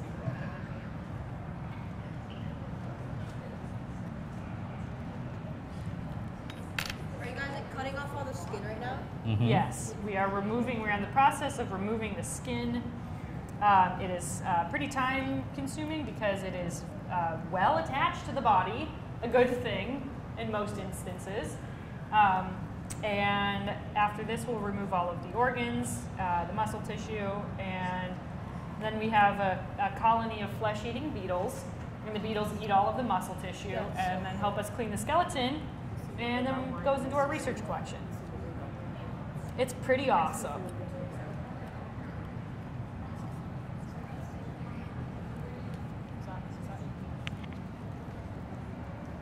And you guys can come around and take a look at the other skulls that we have around the table um, of various other crocodilians. Is its brain still in there? hmm Everything is still in there. Are you still gonna uh, open up cranium to get to the skull, get into the brain?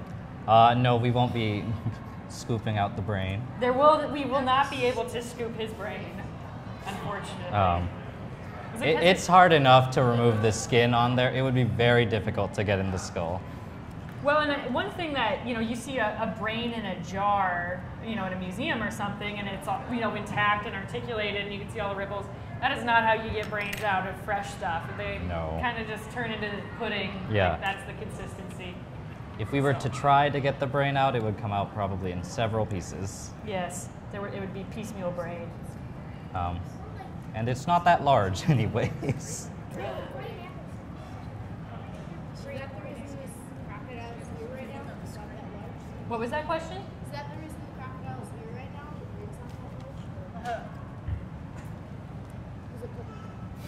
it You well, I mean, they just in general don't have very large brains. But they are fairly smart animals. Yeah. Um, alligators have been recorded to be able to use tools. What? Yeah, so, so the, um, some researchers have seen alligators put sticks on their heads, so like when they're resting on the water, to try and lure birds to come down, whether as a perch or for nesting material, and they'll just snap up the bird when it gets What? close. That's amazing. What's your YouTube channel called again? The brain scoop. How old is this alligator? Um, this alligator is probably three to four years old. Yeah, the one with that. Subscribe. Yeah, their feet are really hard to work Yes. around. Sorry? Um, so the question was, why do we dissect all these animals? So this animal will be turned into a skeleton. Um, and so that's so researchers um, from all over the world now and in the future can come use this animal and its body and skeleton to study um, how it worked when it was alive. Yeah. Oh, that's a good question. The question was, how has skinning this reptile been different than skinning a mammal? My background and experience has been in mammals and birds, primarily mammals. Um, never done a, a reptile before, so this is new and exciting for me. Um, you know, that's a good. It's it's not as smelly as mammals. Mammals have a lot of. Um, they use a lot of um, glands and hormones in order to communicate with one another, and uh, they it tends to be pretty odoriferous. Um, and then mammals also just kind of kind of stink, um, depending on what they are. So it's not as smelly as a mammal, which I'm kind of grateful for. Um, it also is, uh, in some ways, easier to skin because you can get like a, a good grip on the skin. It's quite a bit thicker. Um, it's also uh, more challenging in some ways because of the scales and because the skin is so thick. Um, but in general, yeah, a learning experience for me too. I think you flipped the scale. Oh, what did I do? This? Oh, that was a part of his finger. Do you want to keep that? Yeah, we'll keep it. Do you guys just throw out all the things that you don't need, like the skin? No, so the skin and the organs we will keep. Um, we're going to preserve them in ethanol. Yeah, the only thing that really gets thrown out is the is the extra muscle tissue. It doesn't have a. Would, would you take a sample for your DNA? Uh, yeah, we would. Um, but for reptiles, I don't know how they do it in mammals. Um, we mainly take uh, liver samples for DNA. Oh, okay. And this guy's liver is quite large, Oh, really? or should be.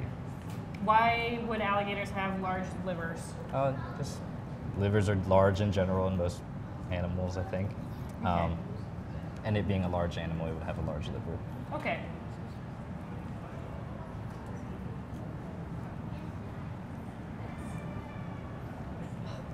For some reason, this side is a lot easier than the other side. Oh, really? Maybe it was frozen on that side.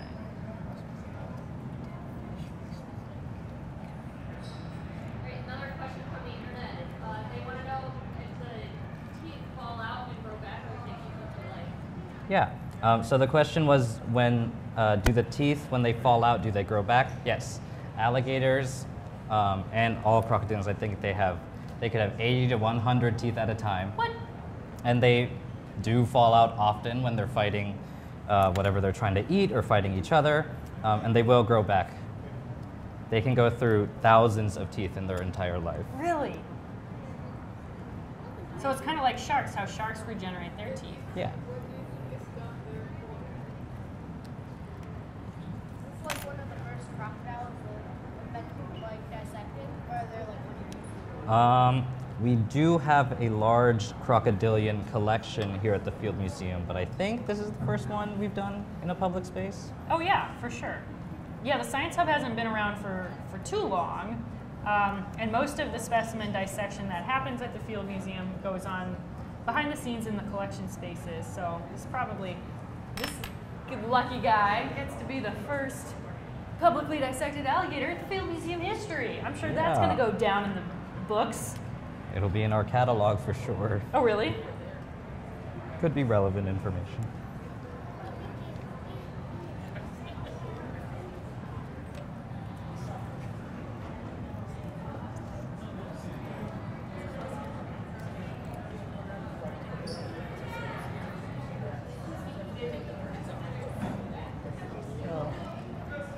For everyone just coming in, we are skinning and dissecting an American alligator um, to be put into our research collection. We've been doing this for an hour and a half. What do you think? We're making pretty good progress. Oh yeah, that's excellent progress. Going a lot faster than I thought it would. Oh good. Yeah. Hi, everybody. Welcome. Does anyone have any other questions about this alligator, what we're doing?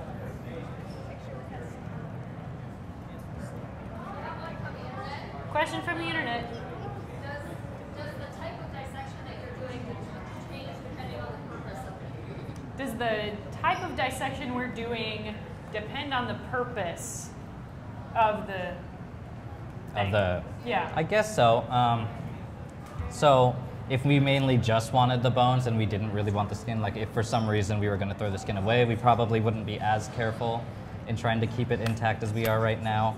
Um, generally, we do try to keep as much as we can of the animal as possible to be used for the collection. Yeah, and when you're doing mammals, the way you skin it kind of depends on the size of the animal as well. So for smaller mammals, like a mouse-sized thing, you're probably going to make a small incision right down the chest and then kind of turn the animal inside out. And so when you go to prepare it as a study skin, you'll have um, just a small incision, and then the rest of the, the body is um, can be filled with stuffing, and it'll dry that way. Yeah. But when you're, you're doing a larger mammal, like something the size of a coyote or a wolf, um, in my experience, it's a lot easier to do it if you can start to get the animal, if you get the animal started and you make a, what's called a case skin. So you start by skinning around the face and you don't go down the chest. Um, and then you sort of peel the, the fur back from the head. And then you'll take the animal and they have really strong uh, ankle bones um, and connections. Your, so the Achilles tendon on an animal is that tendon that, that you can feel on your heel that attaches the back of your heel to the back of your leg, and that tendon is super strong. So you'll take that animal and you'll hang it from the ceiling by putting a hook between the Achilles tendon and the muscle tissue, and then let the animal hang so the you can start skinning it from the back end, and the gravity sort of helps pull the skin down as you're working, rather than having to navigate the body parts of a 90-pound animal. So it's a little bit different in mammals. Yeah. Taxidermists will also make case skins oftentimes so they don't have any more, so they don't have obvious incisions. Because they're working to keep the, make the animal look like it's still alive. Um, for reptiles, um, it depends on what kind of reptile it would be. So the scales on the reptiles are very important in identifying them. So if this was a gecko, for example, so you can see for the hand, we were able to just like cut down the palm and go down each finger as much as we could. Um, but for lizards and geckos especially, the number of scales they have in their palm is very important. So you would have to go around that whole thing so that scientists in the future will still be able to count and see those scales. So I kind of did that. Is that fine? Oh yeah, that's fine. Is it a girl or a boy? We don't know. So the alligators, like most reptiles, all of their um, all their uh, business is in a, a package kind of called is that a right word for it? Like a pouch called a cloaca. So that's what this is right here. You can kind of see the opening right there. So that's where the urea, the urine, the feces, and all the reproductive organs, um, everything comes out that one space. Yep. So in order to, to sex determine the, the alligator, we would have to dissect into the cloaca see what we find. Is that part of what you're doing today? Uh, the question is, is that part of what we're doing today? That's a good question. Yeah, we can, we'll probably get to that. But probably not for a while. Yeah, we're, You may not want to stand here that long. So alligators don't chew their food; they just eat big chunks. Mhm. Can an alligator choke to death? Uh, so the question was, can an alligator choke to death? Probably. Um, but they are, so even though I said they have small brains, they're kind of, they're fairly smart. So they are able to regurgitate things out.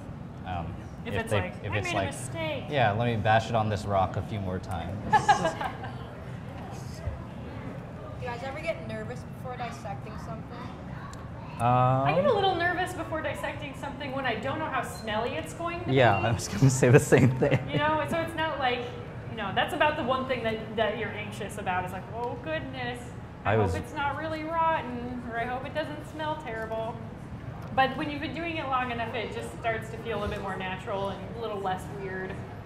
Uh, I like, I look forward to doing dissections because I think I find it to be like the best way for me to learn as a person.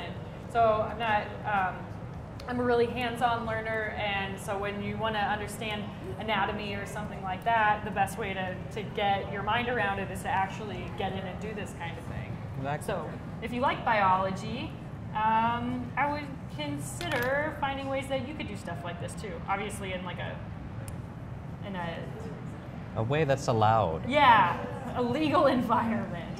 So don't go out clubbing alligators just to hack them apart in your garage. That- That's not that's not endorsed. But when you get to be high school or college age, you can volunteer at places like museums, and sometimes they'll let you do stuff like this. Yeah. So this hand, I was able to get all of the skin off, so we Oh, can dang. take a look at that. Look at that. there. Um, so it's not too badly freezer burned on this hand. How do you preserve an animal like this? Um, so the question was, how do we preserve an animal like this? So when it becomes a skeleton after um, everything has been removed and put in our beetle colony, it will just stay as that skeleton. That's preserved like that. Um, the organs and the skin, we will put those in formalin, and the formalin will preserve them, and then we'll switch them out and leave them in ethanol.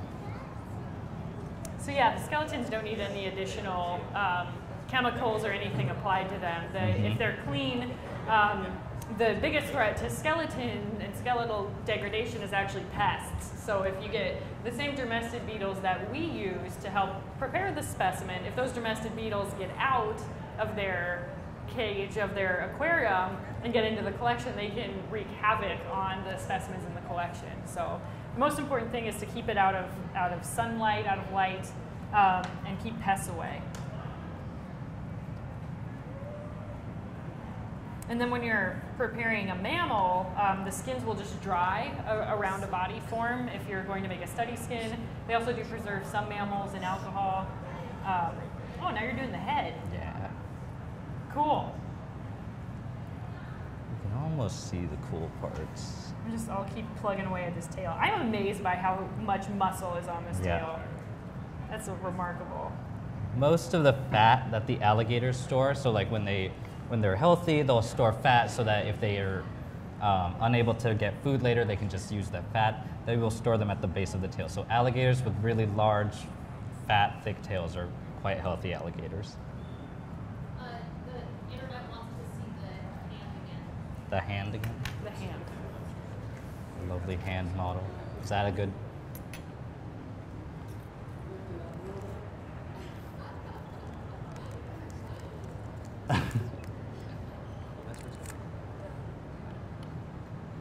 Their reaction was poor Peter.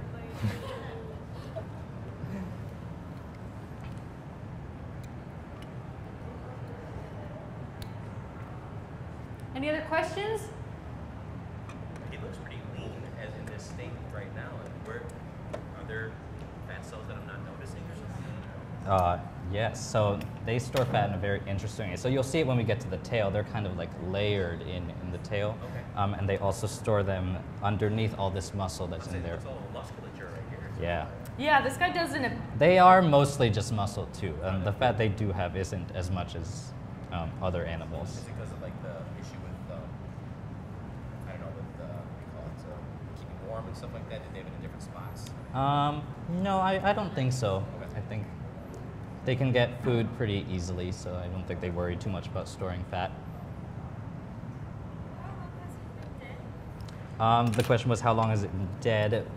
We are not sure. Um, we found this alligator in our freezer downstairs, and it has been in our freezer for 10 years. So at least 10 years. Yeah, we aren't sure how it died. I mean, it came here while Josh was still in high school. There wasn't a note with it. So. Wasn't my problem, but it is now. So. Yeah. You're right. Okay, somebody wants to know um, about alligators being protected species and how we're doing this with the protected species. Um, I don't think so. Alligators were on the Endangered Species Act. They were hunted quite heavily, um, but I'm pretty sure they are no longer a protected species through various programs and means they were able to come back. Um, I, again, I could be wrong, but I'm pretty sure IUCN doesn't list them as protected anymore, as endangered anymore. Um, but also, alligators are farmed. They're farmed for their meat and their hides pretty commonly. Yeah, Um, and we, we did not collect this specimen ourselves. Um, it was donated to the Field Museum by, um, by other researchers in um, Louisiana. yeah. I think we put the note in the um, video's description online.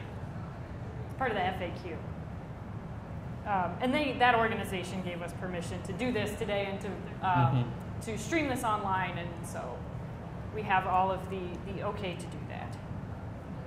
How often do you do these? The question was, how often do we do these? And do you mean like live dissections like this? It really depends. Um, we, this is the first one that we have done uh, as a live stream for our YouTube channel um, since in about a year and a half. They are quite a production to put together, as you can tell. Um, but if you check the Field Museum's event page, event calendar, um, they do a program in this space, the Science Hub, called Meet a Scientist. And oftentimes they will have um, some people from our mammals collection who will come and do specimen dissections. So uh, I'm trying to think when they did the last one. No, I'm not sure. I don't know, but um, but fairly regularly. I just don't know off the top of my head. But if you can check the follow the Field Museum's event calendar, and they'll advertise when they're doing specimen prep in here. Do you ever do um, herp prep in here? No. No. Uh, no, this is my first prep here in the Science Hub. Oh, fun. Right, another question from the internet. Um, hmm What research might be done on this particular alligator? On this particular alligator, The um, question was, what research could Oh, yeah. be done with this particular alligator? So a lot of we have one of the largest collections of uh, allig- of crocodilian skeletons in, in the entire world here at the Field Museum, and a lot of the people that come look at the skeletons are actually paleontologists, not herpetologists. Um, so alligators, they've been around for millions of years. So paleontologists, when they're studying other dinosaurs and how their bones work, they like to use um, alligators as a comparison to that. Um, to see, because I mean, they're still around today. How do they work, and how did they get it to work today? Well, and two, so every specimen, every single um, specimen in the Field Museum's collection is unique and different Yeah. in its own way. They're just like people Yeah. um, in the way that we are all unique and different. We're all born at different times. We all grew up in different places. We all ate different things. We're different races. We're different genders. And um, so if you were an alien coming to Earth and you wanted to find the best example of a human, I mean, that would be an impossible thing to do. Like, how would you pick? Um, and so when researchers uh, are doing science, they want to have a big data set of a lot of specimens to compare uh, them to. So for instance, we may have a lot of crocodiles and alligators in the collection, but we probably don't have one from this location, from this year, that is of this age and of this sex. Exactly. So if you're trying to recreate, um, or you're trying to make a, a snapshot of change over time, for instance, if you want to know how the populations of alligators in the United States have changed um, in the last hundred years, you're going to need samples from every year or from certain years or certain times of years in order to be able to make those comparisons. So by having large comparative research collections, like the one at the Field Museum, we can study directly how things like climate change are impacting species. Um, we know that migration patterns for birds, for instance, um, changes because of food availability, because of temperature changes, because of other climatic events. And we know that, and we know we have a baseline for that because the Field Museum has been collecting birds for over 125 years. So, in that way, natural history museums are incredible um, repositories for this kind of information and these collections that you, you don't find outside of natural history museums. We are kind of like creating time machines in a way.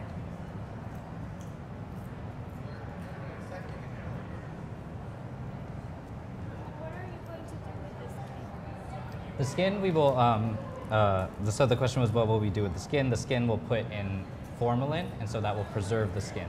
Um, and then we'll remove it from the formalin and put it in ethanol, and it will stay in the fluid collection of the research center here.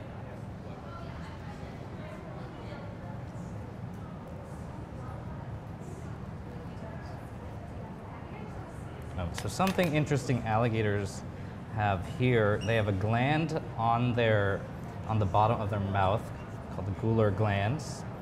Um, so you can see it here. I don't know. Hold on. Oh, Can they see that very well, Sherry R?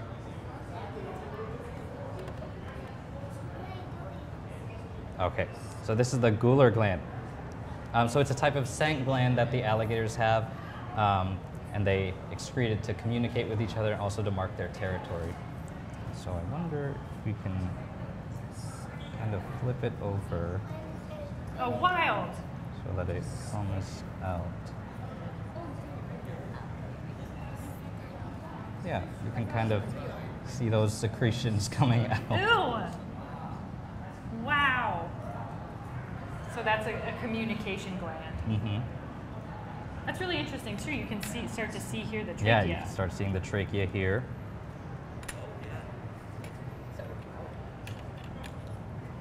I'm still working on this tail. That's the hardest part. Oh, is it really? Oh, great. You gave me the hard part. We can flip it over if you want. No, it's okay.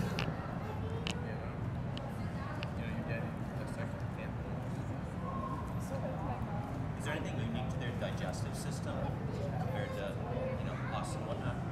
Um, so the question was, is there anything unique to their digestive systems? So alligator stomachs aren't that large um, compared to their size. So when they end, but they need to eat large things. So their stomach acid is very acidic, um, a lot more than ours, I think. Um, so to digest things quickly.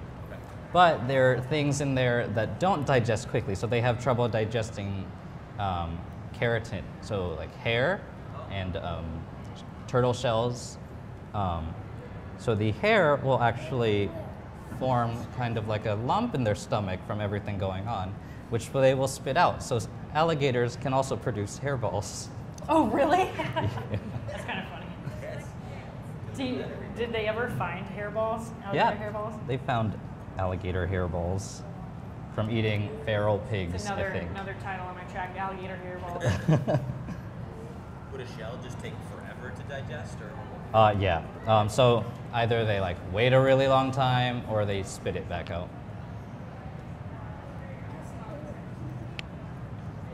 Um, and another thing that they have in their stomachs are rocks. Oh. So alligators will purposely swallow stones to put in their stomach. These are called gastroliths. Um, they're not entirely sure what their purpose is, whether it's to aid in digestion, to like kind of crunch things up in there, or if it's to like help clean the stomach area. Um, some people also think it's useful for diving, so it makes the alligator heavier, so it helps them in their balance going down. Um, A lot of other like dinosaurs would um, would swallow rocks too. So you Yeah. can find gastroliths from like giant sauropods, like the Titanosaur that we've got out in Stanley Field Hall. So like a lot of those long-necked sauropod dinosaurs would also swallow rocks. So you can find fossilized gastroliths. mhm. It's kind of neat.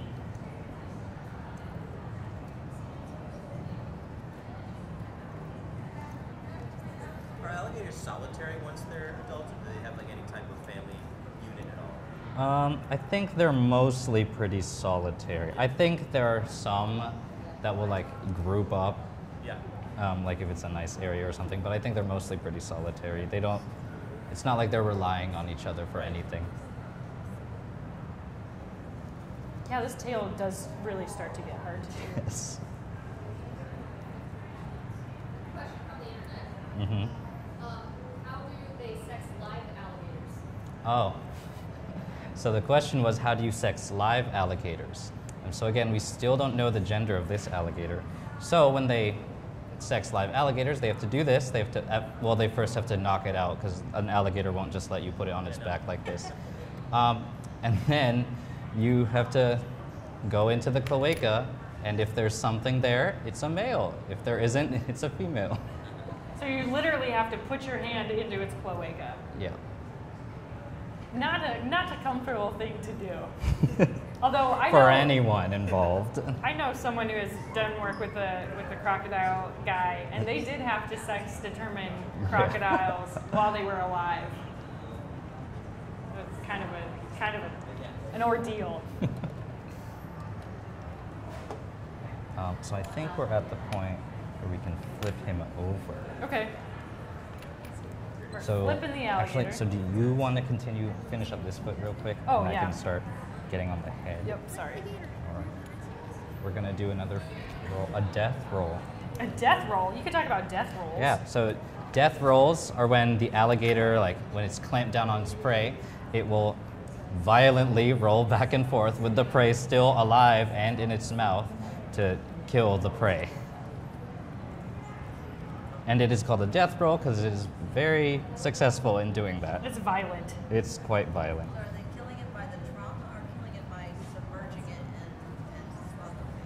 Oh, good question. So the question was, are they killing it by the trauma of the death roll or by submerging it?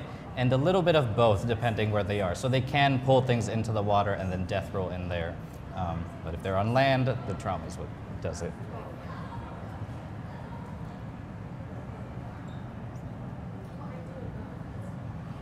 It's like a lot of muscle tissue. Yeah. Overall, it still looks perfectly normal. Yeah.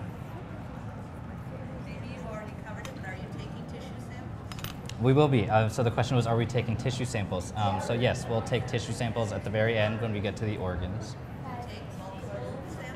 Yes, we will take multiple samples.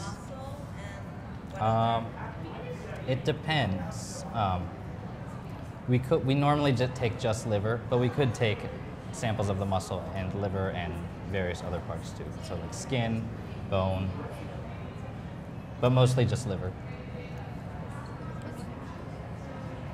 will you keep any of the internal organs? Uh, so the question was, will we keep any of the internal organs? Yes, we will keep all of them. Um, we're going to preserve them with formalin and then put them in ethanol in our fluid collection. And that's a really interesting point too. So by saving all of the organs and that kind of thing, we can sequence, um, uh, or taking tissue samples, we- we're able to sequence DNA from this. So that's kind of an amazing thing that a lot of the specimens that were collected by the Field Museum or donated by the Field Museum prior to the 1980s and the 1990s, we didn't even know what DNA was. Mhm. Uh, but now the technology is becoming so good that we have geneticists who can come and try to extract DNA from specimens that were collected over 100 years ago. Um, so this research is, they call it ancient DNA, and they can um, get some of these samples by like drilling deep into teeth or by um, um, going into other parts of the body that may not have been uh, um, affected by certain preservation chemicals that, that were used at the time. So that's really cool. So we'll take DNA samples for this guy because who knows what other questions could be answered using DNA or other technology that doesn't exist yet. Uh, the question is why are we dissecting this? And the answer is because it is going to go into our research collection and be studied by scientists. It was donated to the Field Museum uh, probably over 10 years ago and had been sitting in a freezer for a long time. We decided we would take it out and prepare it and invite people to come watch and learn about alligators. Uh, that research is done on it when it's complete, like, hasn't been dissected at all? Uh, sorry. Like, is any research done on a full specimen without any dissection? Oh yeah. Uh, so the question was, is any research done on a full specimen without any dissections? Um, so all the time. Uh, so our fluid collection, the specimens are whole mostly. Um, so they're all still closed and intact in the fluid collection. So scientists can open their stomachs and see what they ate. They can uh, look at their muscles and see how they're doing. And eventually, they could also take the skeleton out of there if they want to. Um, We also have like um, scientists now can take whole specimens that are um, articulated that haven't been preserved like this, like um, birds and mammals, and actually CT scan Mhm. them. So everything is still in situ. Uh, everything is, you can see the, how everything is related to one another. Um, we just filmed a video a couple weeks ago with an ornithologist, a guy who studies birds, about how he would take CT scan birds and, and use these 3D models to take measurements of their bills and their beaks and in order to study sort of like form and function of diving birds like kingfishers. And a lot of those measurements and a lot of those design elements can actually be used in things like engineering. So in Japan, they were um, they had built a high-speed train, and the problem was every time the high-speed train would leave the station, it would create a sonic boom from the vacuum of it leaving the tunnel. And so this was a problem because it was causing a lot of issues. So they hired this engineer who also happened to be a birder, and he was inspired by the way that kingfishers dive when they hit the water because they don't lose any speed, and obviously it's a very efficient way of like gaining momentum. And so he redesigned the front of the train to mimic the shape of a diving kingfisher, and not only did it eliminate the problem of the um, of the sonic boom, but it also made the train run 10% faster. So there are some like really interesting ways that we can apply science by, by studying things like bio or using biomimicry. So making buildings or designing things um, inspired by nature. And you can do that by CT scanning specimens and taking measurements from that way. True that there's some special like crocodiles or alligators' blood, like they have more resistance to cuts and things. Oh, the question was, um, do alligators and crocodiles are they more resistant to things because of their blood? And I'm not sure. I think they are. I think I've read that before. Um, how even so, alligators live in swamps and all these murky water. So if they get a cut somewhere, they have to worry about it getting infected. But I think because of their blood, they are well resistant to that type of bacterial infection. That's a good question.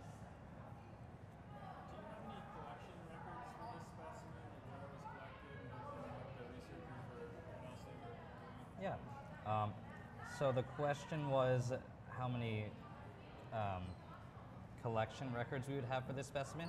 Um, so that means when the specimen was collected, where it came from, who collected it, um, what it was going to be used for, all those things. Uh, we do have where, and I think someone has when it came from and who collected it. Um, as for what it was supposed to be used at this museum for, we're not sure. It was brought to this museum over 10 years ago and just kind of put in the freezer and forgotten about until we rediscovered it a few months ago. Um, so we're not really sure, and the person who brought it in is no longer at the museum, so we're not really sure what the original purpose was. But we do have permission from the Yes. people who donated it to be doing this dissection today, streaming it onto our educational YouTube channel called The Brain Scoop. You should like and subscribe. Um, and yeah, just making this um, this available to the public. Yeah, you have a question? Um, so how is it to cut through ligaments and muscles on gators? Say that. Speak up a little bit. How hard is it to cut through muscles and ligaments on gators? The question is, how hard is it to cut through muscles and ligaments on gators? And the answer is, I honestly think it's harder to cut the skin off of the muscles and ligaments than it is to cut through the, the muscles. So, like on the tail, you know, you see like little parts of muscle tissue still in the skin because the skin is super, super thick. And so it's actually harder to like cut this skin away from that tissue. Yeah. He's starting to smell a little bit now. Really? I Maybe- don't smell anything. um, okay, we can flip him back over. So I mentioned earlier that scale counts are very important in reptiles, um, which is why we keep the. Oh, dude, you gotta come. You just gotta come get friendly. I can't Um, do it. So the scale counts in reptiles and amphibians are very important, or in reptiles, sorry, uh, are very important in their identification. Not so much in uh, gators and crocs, but these scales back here are called the nuchal scales, which means neck scales, and they are very important in identifying the different types of caiman around. on the back. Um, Thanks. and caiman are types of alligators. They're in the same family as alligators.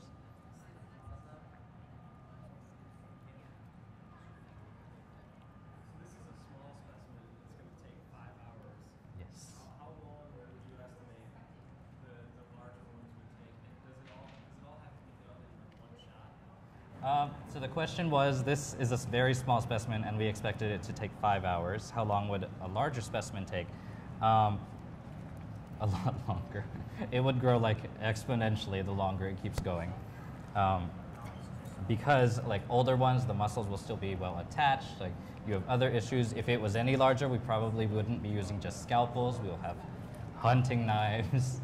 Um, and the other part of the question was, does it all have to be done in one go? No. Um, we can put it back in the freezer, take it out and thaw it out the next day, and then start again from where we left off. But it has to go back. Yes, yes. Yeah. Otherwise, I mean. Otherwise, it, it's it's not. meat like any meat. You yeah, know, it's not starts to go preserved in any way. It will begin rotting at some point. Yeah, so that's bad when someone has started preparing something and put it back in the freezer or waited because they're like, I'll get back to it tomorrow, and then they don't. Yeah. And then you end up taking something out of the freezer and it's like, someone started this and then it rotted. Dang it, now I gotta do it. It's also why, you know, if we do accept roadkill, but only like if it's in really decent condition, we don't wanna go picking up something that's been sitting on the side of the road for three, four days. It uh, starts to have a, an unfriendly smell to it. Like you don't want to pick up a flat raccoon. No, we will not go out and pick up any flat raccoons. Please don't bring us any flat raccoons Yes. either.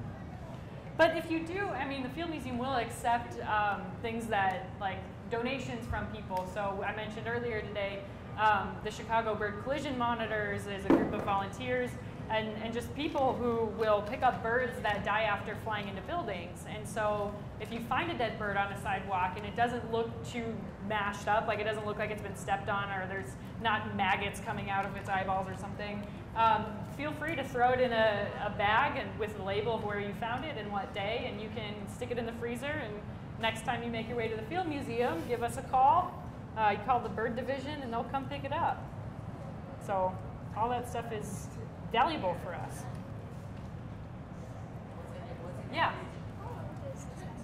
The question is, how old is the specimen? And So- Josh thinks So it's it's probably three to four years old, um, but it has been here for well over 10 years now.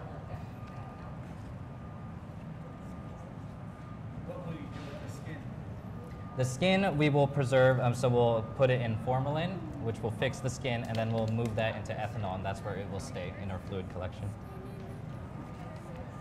Um, so an interesting thing to note, so this is as much skin from the head as we will be able to remove. wow. Um, the skin on the head is very, very well attached to the muscle and bone underneath. Um, so the way they get skulls like these, where they, where the skin is perfectly off, they would boil it um, or it, basically kind of like rot it um, away. Or if you leave it into our beetle colony long enough, the beetles will come in and eat it off. Um, but that would take a very long time. Yeah, you can still see how there's still Yeah, tissue on yeah. that guy. But sometimes that's important. So you can see on this guy, there's still like skin on there. Because this skin was not treated with any formalin or other chemicals, you can still possibly get DNA from any meat still hanging off of these. That's neat. It may not be the best DNA sample, but it will be DNA. But- yes. What are you gonna do with the Sorry? Its head? Um, the question was, what are we going to do with its head? Its head will stay on, so it'll be part of the complete skeleton um, when we put it in the beetle colony. Why are you guys dissecting it? Um, we're dissecting it to turn it into a specimen for our research collection.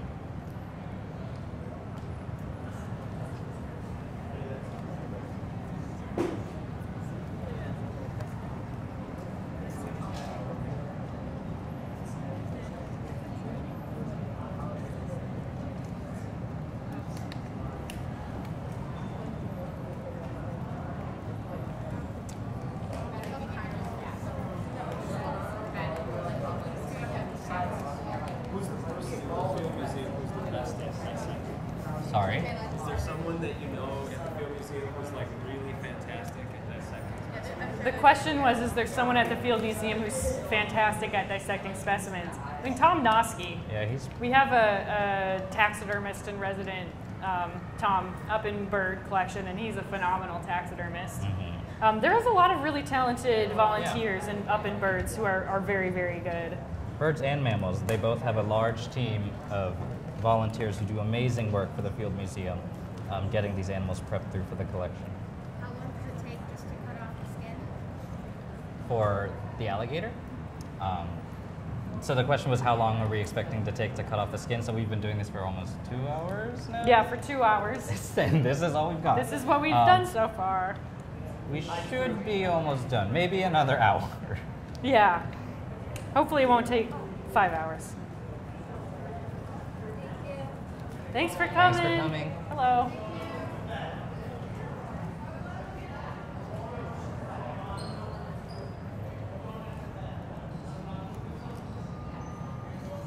Okay, at we may be at the point where we can quickly remove this from the Doing what? skin. Oh, Sometimes, I hope this works, you're able to just pull the skin away. oh, dang. But again, the skin is very well attached to the muscle underneath, especially in the top part. So in the top, in the dorsal section of the animal, um, the skin is a lot harder and rougher than the underbelly. Um, and that's because of these osteoderms, which are bony structures within the skin itself. So there are osteoderms um, in the skin up here, and there are also very hard scales on top of those osteoderms called scutes that will um, add more protection, make it more difficult to remove. I love the little shoulder blades. Can we show those off to the camera? These, these. No, the shoulder blades. Oh. Sherry, is that good? Tiny little shoulder blades. Nice and sharp. Mm-hmm. Maybe not very sharp. No, maybe not. Well, it was.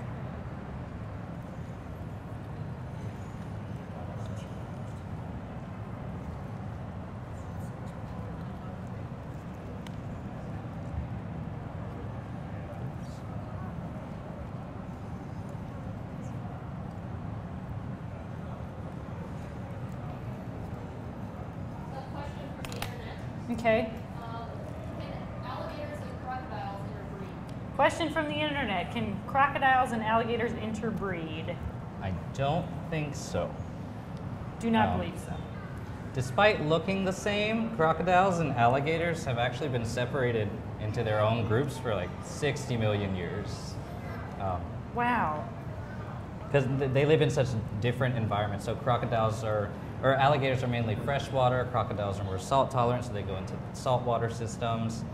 Um, as I said earlier- um, alligators can have more um, vegetables and fruits in their diet or other non-meats. Um, crocodiles need more of just meat. Um, and they also, in their environments that they live in, so crocodiles are, tend to be found more in tropical climates, um, whereas alligators, like they can go all the way up to South Carolina, and where the winters there can get cold, and so they're able to resist that, whereas crocodiles would not be able to.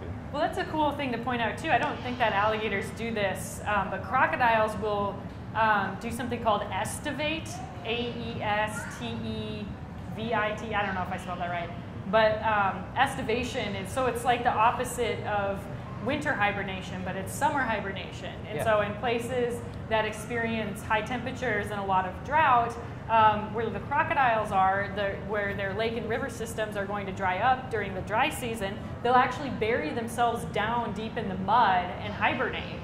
And they'll just hang out there, sort of in a dormant state, until the rainy season um, thaws them out again, Mhm. which I think Um, is super cool. Alligators do something very similar, but it's not. Uh, they do go into kind of this torpor or deep sleep when the winters come um, in the U.S., but not to the point that it's considered a hibernation or estivation. So they will kind of dig holes in banks of rivers and ponds um, and just wait there for the cold to leave. Um, I but, think but they are still awake, so don't bother them. Yeah. I think that's just really cool to think about when you consider that these animals and animals like crocodiles and alligators have been on this planet for so long. Yep. Um, just like, you know, tens of millions of years. And when you think about the animals that survived the extinction event that wiped out the dinosaurs, for instance, you know, dinosaurs were really big apex predators like T Rex or, or large bodied animals that require a lot of food and nutrition and sustenance. And so when an asteroid hits the planet and throws up a giant dust cloud that blocks out the sun for a couple thousand years, um, food doesn't grow, and then the herbivores can't grow, the apex predators don't have enough to eat. Um, but animals like crocodiles and alligators, because they have this adaptation of being able to go dormant during periods of high stress or no food, I think really is an evolutionary um, advantage that they had. Mhm. Super cool. And it's important to note they've kind of maintained this look for the millions of years they've been around. Yeah, the fossil record for these guys, is you can Like find almost exactly the same. Yeah, it's pretty amazing. Um, but back to the hibernation thing, in the winters, there are actually some really cool videos you can see of um, alligators in the water still when it's frozen over, but they know to come up right before it freezes over. So their eyes and nose are still sticking out in the ice, and you can see them breathing.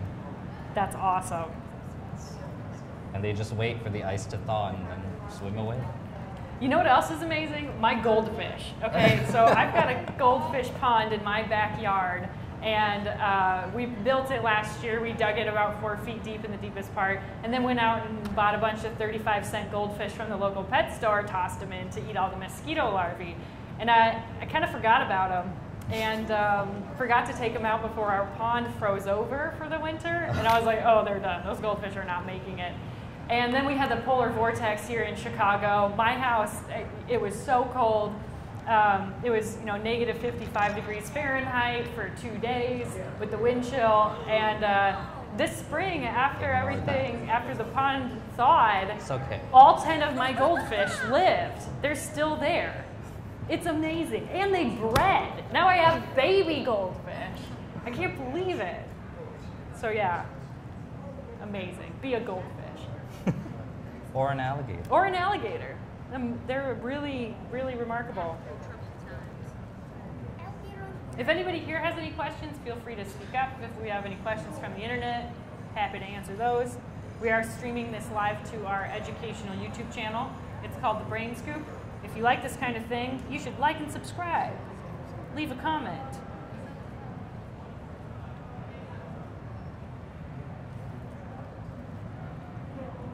You don't have to go all the way to the top. Oh, really? But I'm like all the way over the. Well, we can pull that. Okay. We should be able to. When do the when do alligators start developing their scales? So the question was when do alligators start developing their scales? And that is at some point when they're in the egg. They come out looking like a tiny adult alligator. They look like really just a very tiny adult. They are very cute. I got to see an alligator hatch once. Oh, I, um, I'm friends with a researcher from Tennessee Tech who um, is a crocodile. He does physiology, and um, he had some research questions, and so he had a bunch of baby alligators that he had permission to hatch and raise, and he was going to, to um, use for some of his research. And we stopped by his lab one afternoon to go and, and check on them, and it was hatching. And I got to see this little baby alligator come right out of, out of the egg, and they make these little baby alligator noises, and it was adorable. And then you have to dump them in a thing of water, and they can just like swim right away. Immediately. It's a, it's incredible. It's just like it's out in the world, and then it's like, hey, I'm ready to eat. But you have to keep this little yolk sac attached to it, and that's what it it feeds off of for a few days. It's pretty cool. Baby alligators. Right, another one. Um, do alligators have organs that humans don't? Ooh, do alligators have organs that humans don't? Not That is a good that question. I know of. Trying to. I think they have they have sensory organs on Yeah. the top of their face. So, so crocodilians have sensory organs on the top of their face. The alligators mainly have it along their jaws, and that's the, they use that to be able to sense what's going on in the waters around them. Um, but I think that's about it. I'm not really sure. So they got all the same bits. I'm pretty sure they have all the same bits.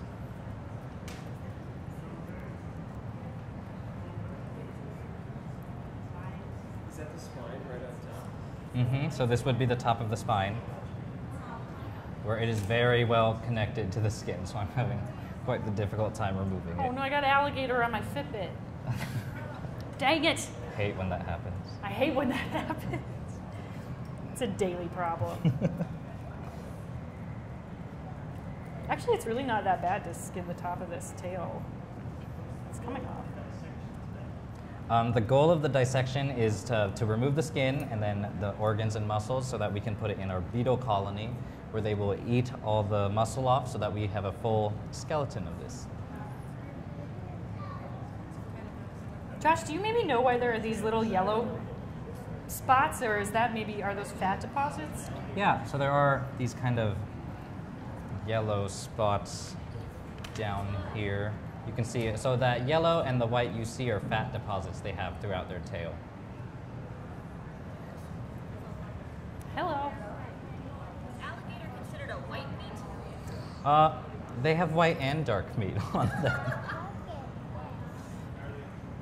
I think that's how you would classify it. Gator face.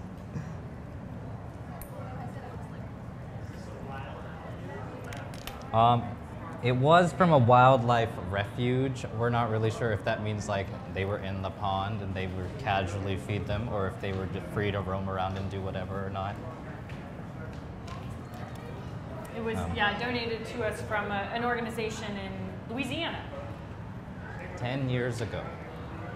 Yeah, it'd been sitting in the freezer a long time. How long did it take to thaw? Uh, just a day. Yeah, the question was how long did it take to thaw? It only took a day to thaw. I took it out at nine, came back the next day, and it was already pretty flexible.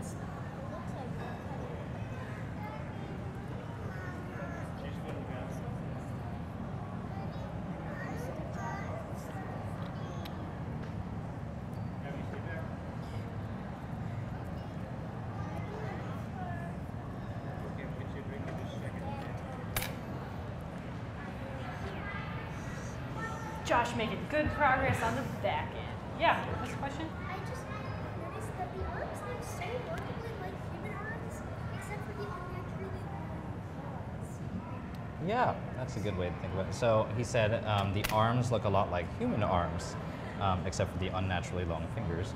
Um, and yeah, they, they maintain all the same muscle groups and structures that human arms do. So they have the one bone here, the two bones, the finger bones. They just have much longer claws than we do.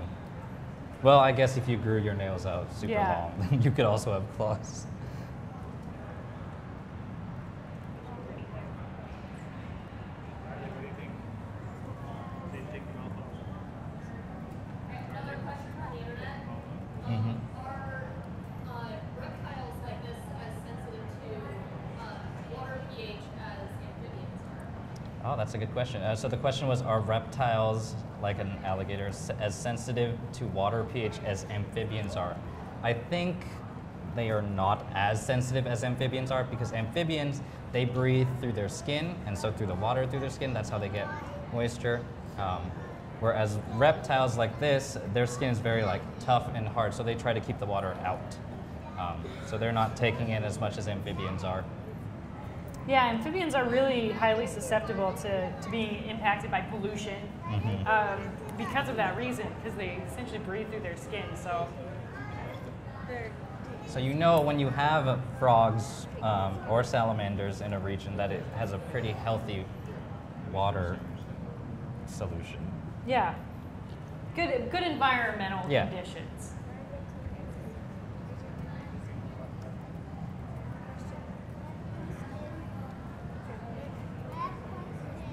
Yes.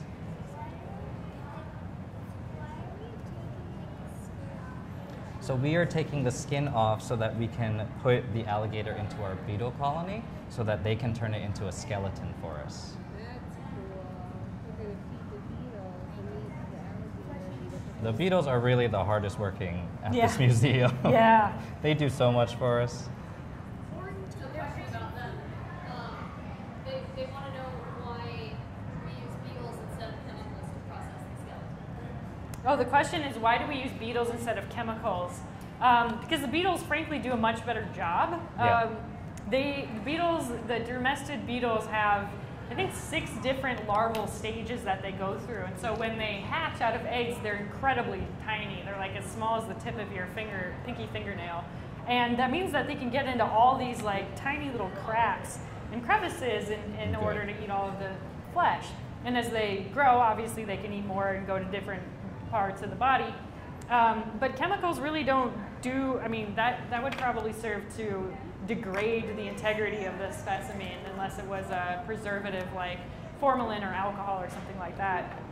So we, we use beetles because they're efficient. It's free labor, you know, you just pay them in food. Uh, and museums have been using and relying on dermestid beetles for I don't know how long, for Yeah.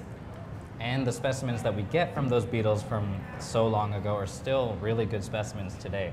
Um, so if we use any chemicals, museums have to think in terms of centuries because these uh, specimens will last a lot longer than we will. So we don't know if like a new chemical that degrades all the meat, maybe in 50 years or so, all the bones will start falling apart because of that chemical. We don't know that. Um, so the beetles are the safest and most efficient way to get good specimens.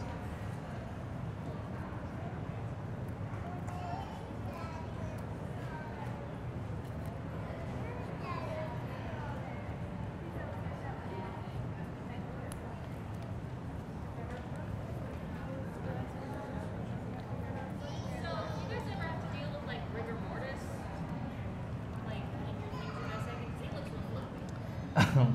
So the question was, do we ever have to deal with rigor mortis? Um, which is when the animals like tense up, and so they're not as flexible, um, making them difficult to skin. Um, maybe sometimes I haven't really encountered that too much in the animals I've done before. Um, maybe you can.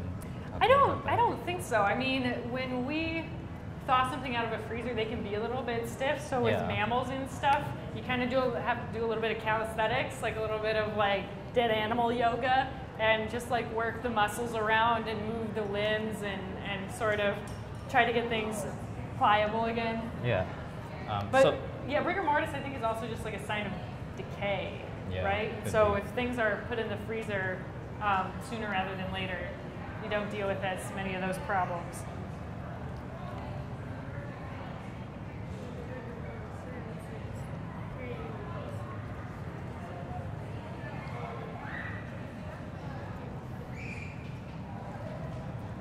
All the way around on one side. There we go. Look Oh, at that. good. Nice. should make pulling the rest easy.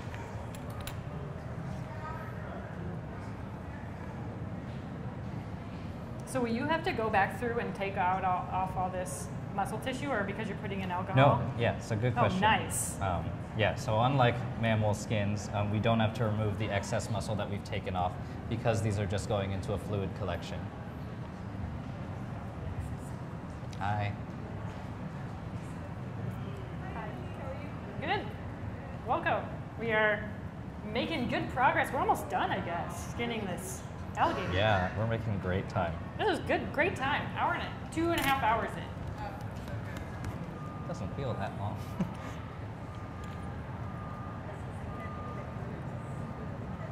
It's much more efficient with two people. oh yeah. Nearly tur- finished turning the Gatorade into a pink egg. A pink gator.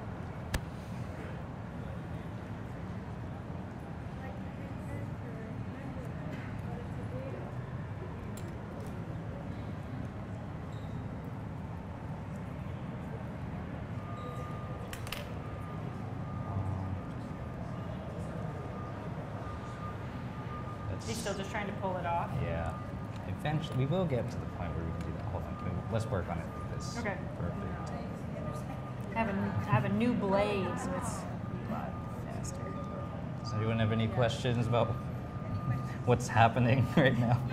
Where's- You probably answered this a while ago. Where did the alligator come from? Um, so the alligator was donated to the museum from a wildlife refuge in Louisiana 10 years ago. Oh, And it was sitting in our freezer, and we found it a few months ago. Um, Decided to do something with it. yeah, so it's not the freshest, but it does still look very fresh. This part I'm a bit concerned about Uh-oh. because that's not necessarily a good sign. Oh no, that is not a good sign. Oh no, I thought we were fine. I thought this was going to be without incident. Are you cutting it open to see inside as well? hmm So we are preparing this to be turned into a skeletal specimen. So that involves removing the skin and the organs, and most of the muscle. That does make me nervous. Yeah. I know. Yeah, we've got. There's It like a, reminds me a of the lab drugs they gave me for school, a school dissection. Ooh, that's great. I'm gonna get out of the pull zone. The pulse.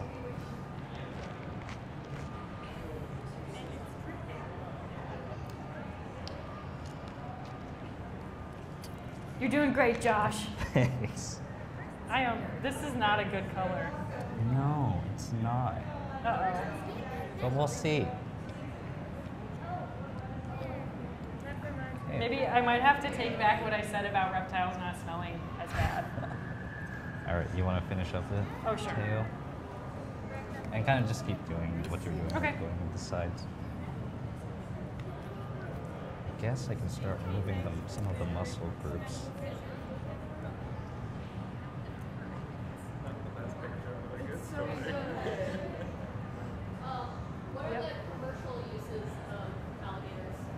So the question was, what are the commercial uses of alligators? Um, so they are mainly farmed for their hides um, that can be turned into leather, so like wallets, purses, keychains, I guess, uh, shoes, and their meat for eating. Yeah, people people eat alligator. regularly. Yeah, I've eaten alligator and it was enjoyable. Yeah. It was good. In grocery stores down south. Oh, you, oh yeah, you will see alligators in grocery stores. Like whole alligators? No, no, Oh. like, Like- just like like, packaged meat. Oh, gotcha, gotcha. Yeah. I was gonna say, man. Because as you can see, there's a lot of good meat on Yeah.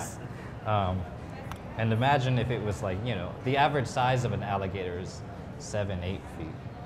And this is four feet. So this is a little guy. Mm-hmm. So it's, uh, it would be considered a subadult, so maybe in three or, or so years, um, it would be large enough to start reproducing. Just barely begun to live. So another question,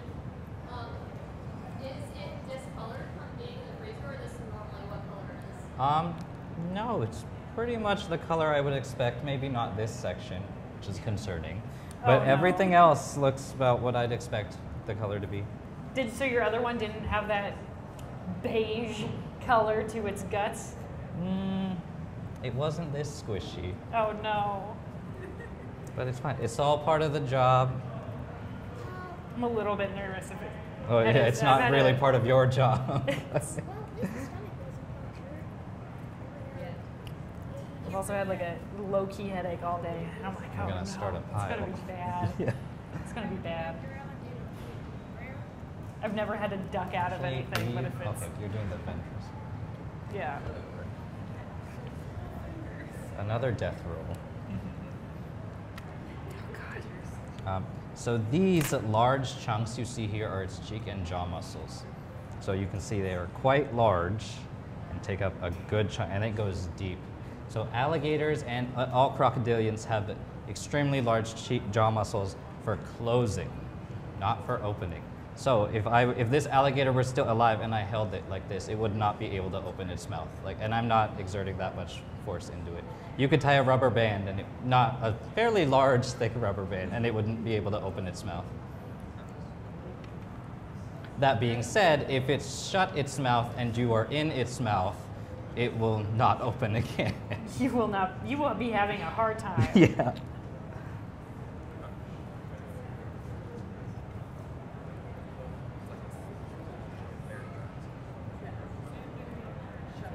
So this is really crazy that you can see the spines. Yeah, yeah. Did you have a question? Because with the three chamber heart in this position, it would be pretty sluggish already. Um, so he mentioned a three-chambered heart for alligators. Alligators are actually different from the rest of reptiles. They have a four-chambered heart, um, like mammals and birds. Like us. hmm Um, so reptiles, like snakes and lizards, have that three-chambered heart. They have a combined ventricle, which is the lower portion of the heart. Um, it's partially divided, but not all the way. So blood with oxygen and blood without oxygen mixes together in there. Um, and so alligators don't have that, but they do still have the blood mixing.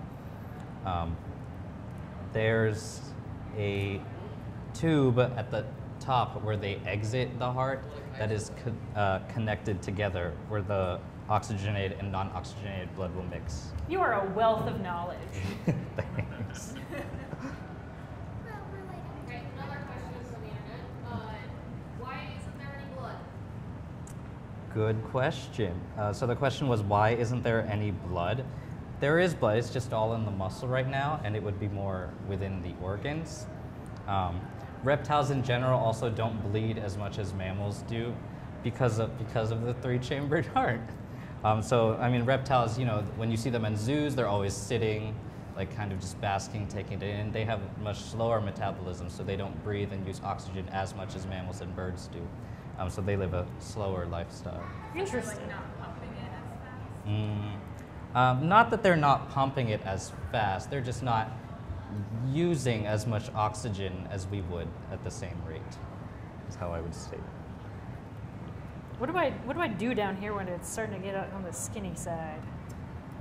Um, that's when we try to peel it off, and hopefully it comes out.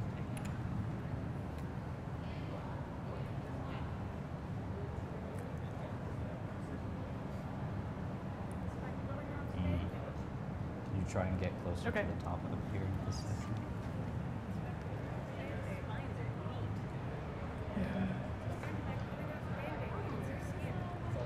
I'll get the tail off and then we'll show off those tail spines. Yeah.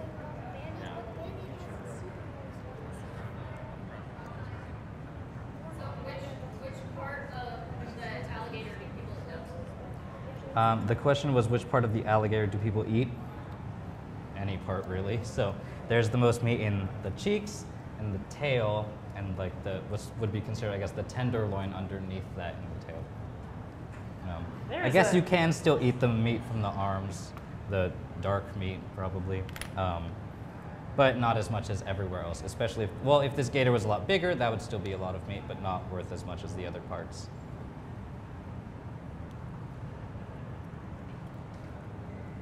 This thing is wacky. it's like I've just. So, it looks like a dragon. People think the, the Chinese alligator, which is the only other kind of alligator in the world besides the American, um, is what inspired the Chinese dragon legends. Really?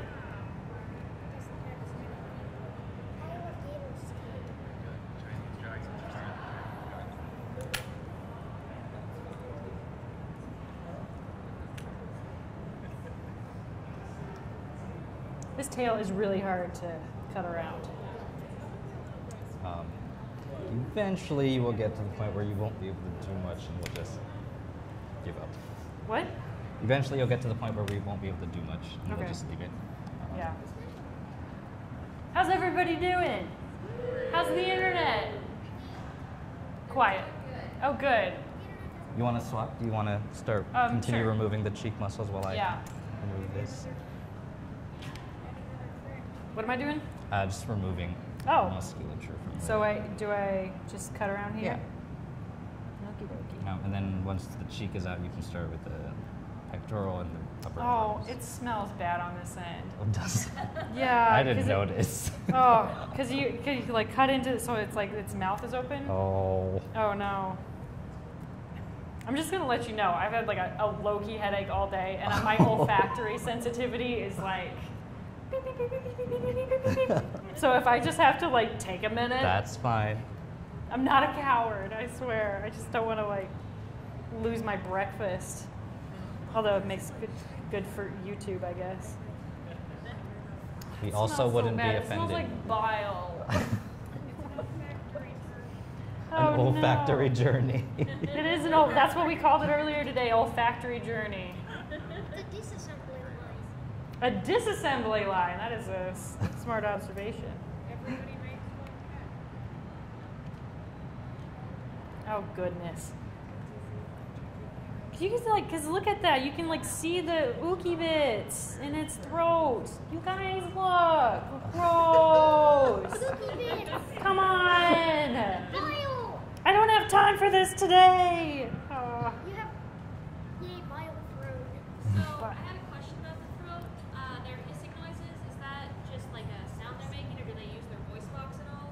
Uh, so they use their vocal cords for that.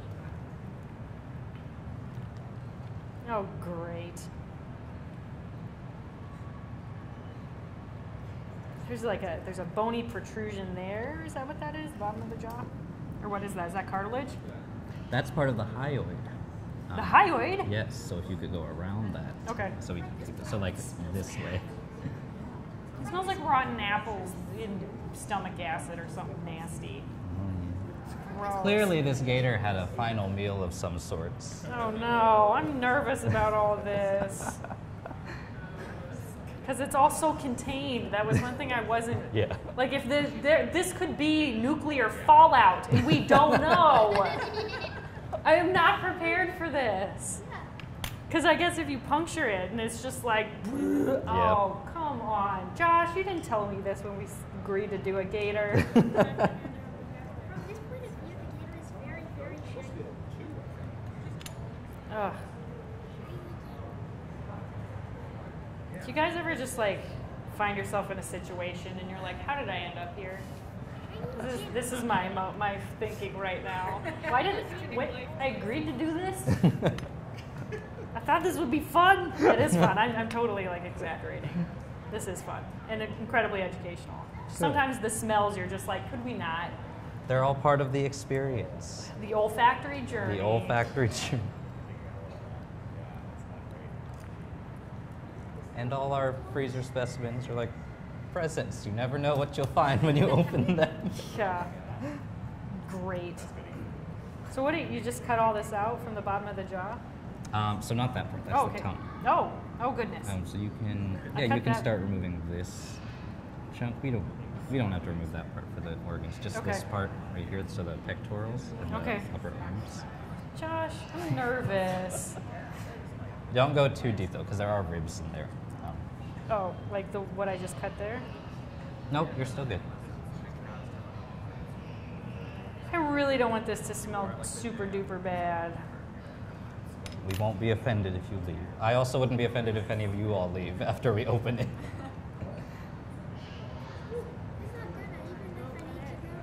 Can you open it and then just tell me if it's bad and I'll just stay in the hallway? Well, I thought the mouth smell was fine, so. Oh, no! You may want a third opinion.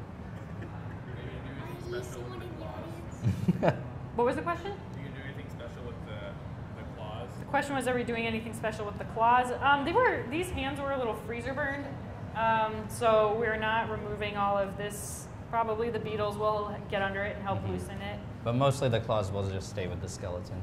Yeah. I'm gonna cut cut his little arms off. Well, I won't not off, but just trim down the muscles. Hey Raven, how are we doing? Questions from the internet? Uh, we just got one. Um, if, uh, like, what, what all is inside of the cloaca, basically? Oh, the question was what all is inside of the cloaca, and the answer is party time. yeah. So the reproductive organs exit through the cloaca. The um, the the digestive tract ends at the cloaca. And so where they poop, pee, and reproduce all come out of there. Like like I said, party time. Just everything. It's all happening there.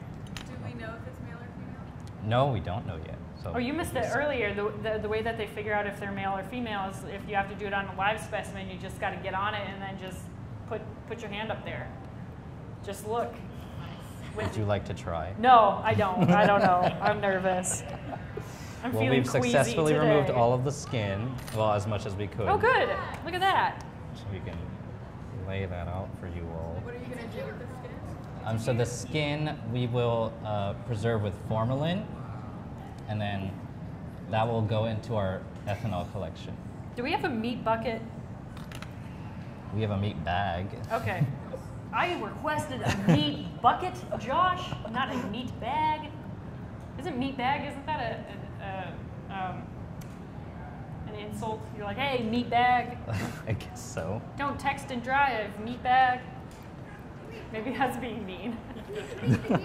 but you really shouldn't text and drive. Have another question? We can Okay. Start, well, you can just make a pile, and then when there gets too much, you can put them. How do the shoulder blades differ from mammals? That's a good question. and flip them. Turn it over.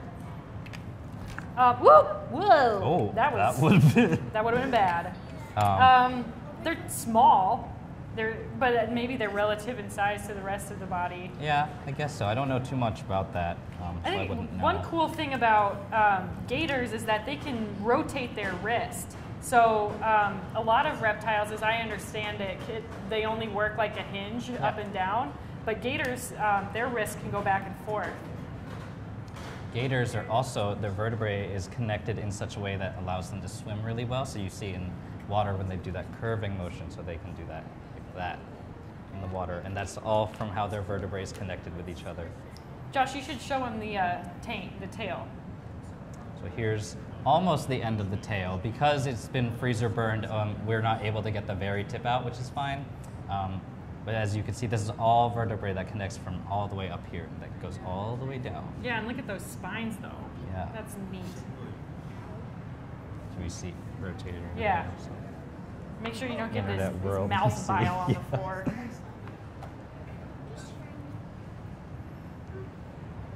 Cool. Right.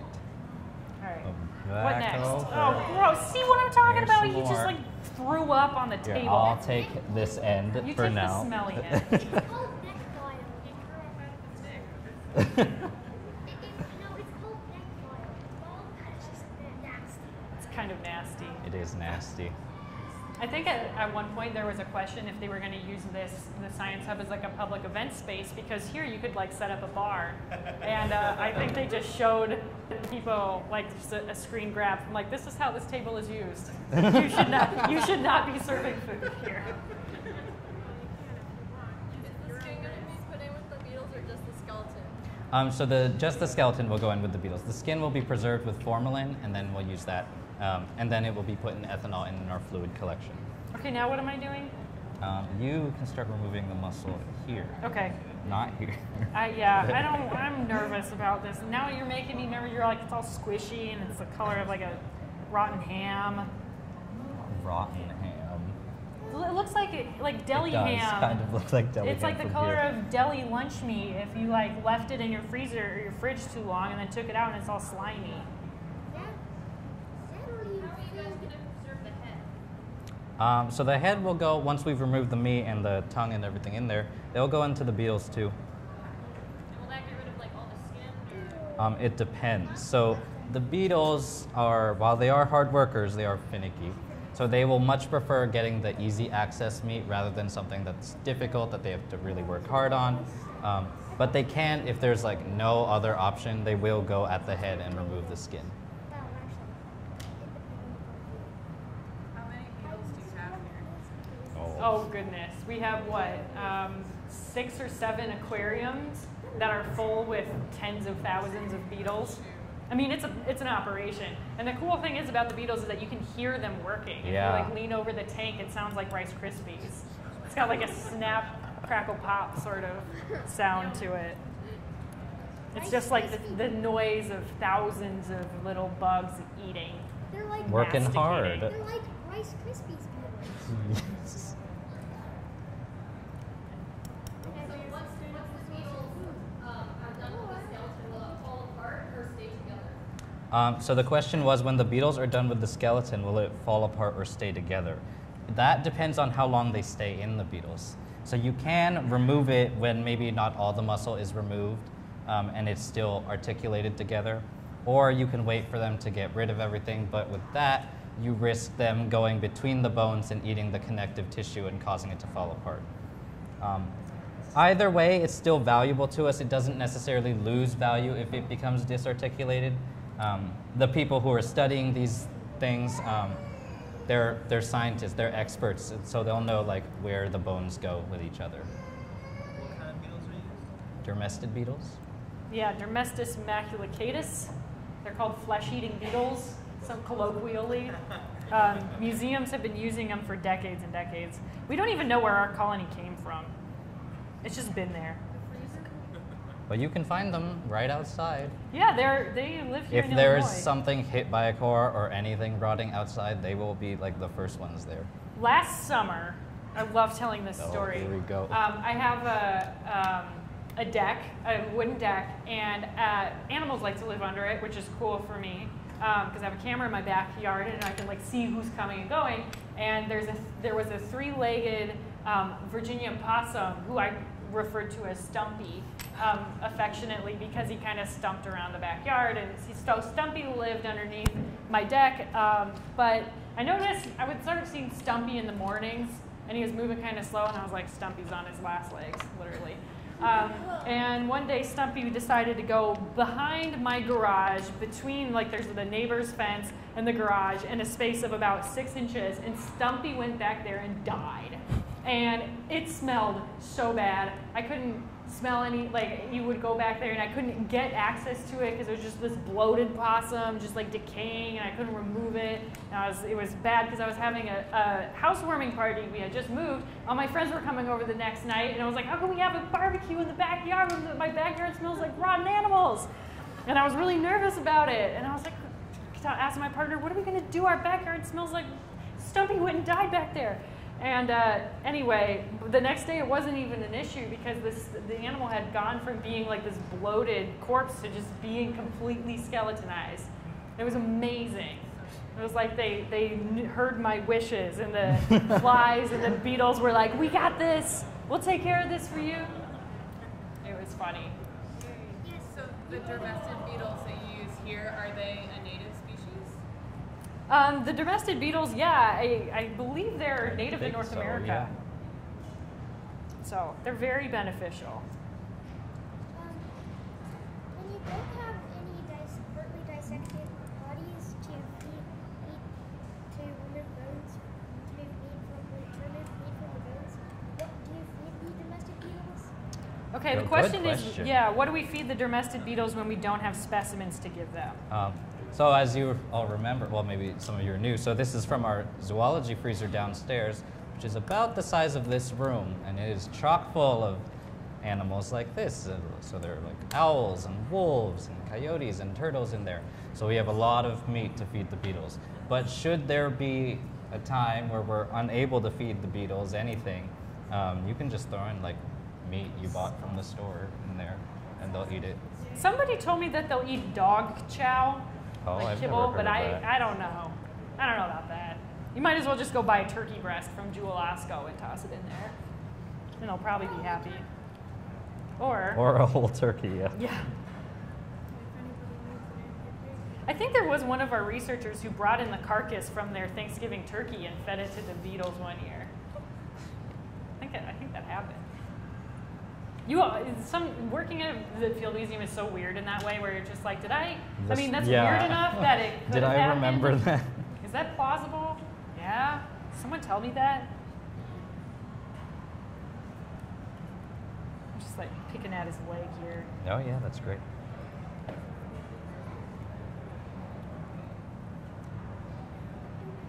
I'm so nervous about this thing smelling terrible. Will we be able to Or, It like, depends what the- distinguishable Stomach contents? It if this depends. thing smells what- like an, a war zone, then we probably will not open up the stomach. The stomach is the worst. Oh, it's the worst. Uh, I used to do it just because it's really fun because you can figure out what they're eating. But my God, it's like it's bad. The stomachs are just foul.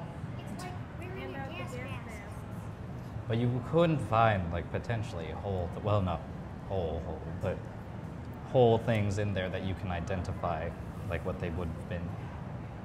Is that windpipe here? Mm-hmm. So this is its trachea. Do you know how close are to getting towards like organs? I'll be there excited. Um, how close are we to getting to organs? That's kind of the last thing that we do Yeah. after we've removed all of the muscle tissue. So we'll have to go around the tail and the limbs and Yeah. yeah, sorry. We probably wouldn't remove all of the muscles today, um, just the relevant ones that we would need to get to the organs.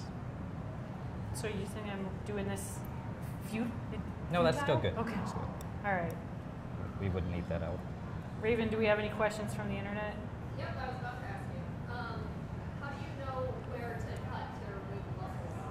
Oh, the question was how do you know where to cut to remove the muscles? Well, uh, just kind of do it indiscriminately. Yeah. Um, Um, I one time did a we did a video um, Harvard dissection where we did a fisher, which is a large kind of weasel, and the woman who was I was doing it with um, is an anatomist, and so she went and removed it muscle by muscle. It was amazing because she was like, and this is the abductor, and it was just like so cool. Um, it took a very long time, but every muscle was Yeah. just like laid out. Um, Perfectly. we don't need to do that because we're not saving them or using them for. We're also not alligator muscle specialists, so we also Right. have like no idea where these muscles end or begin.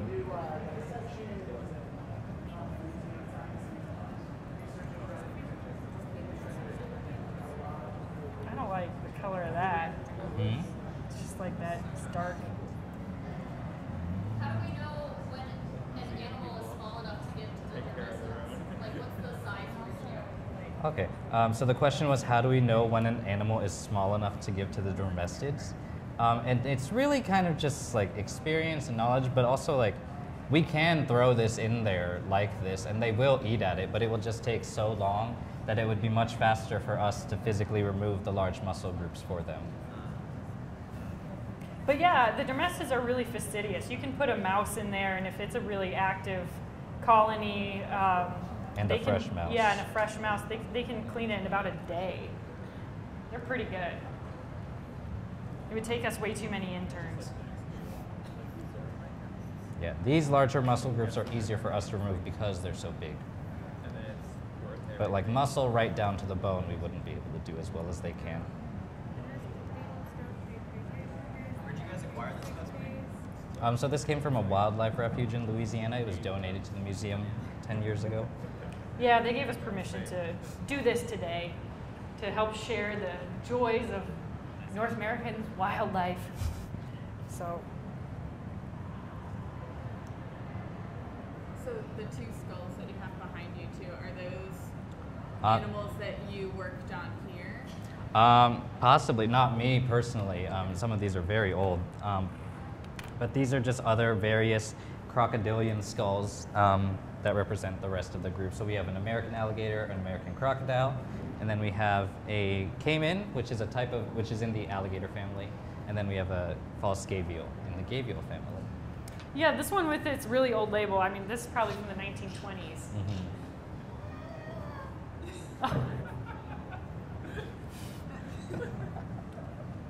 So where was there a request to describe the smell now?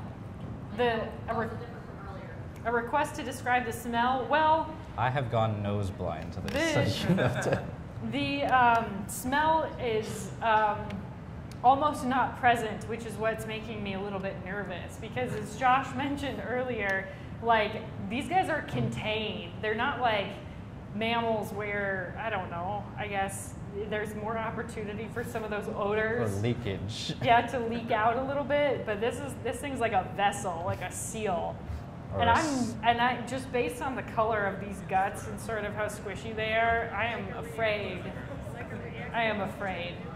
Because it's like I don't smell anything, which I think is the problem. At this stage of a mammal, you would start to get a pretty good sense of like once you get around the um, the southern end of the animals, you you on a mammal you know that those are the smelly bits oftentimes, unless you're gonna go right into the stomach and like open that up.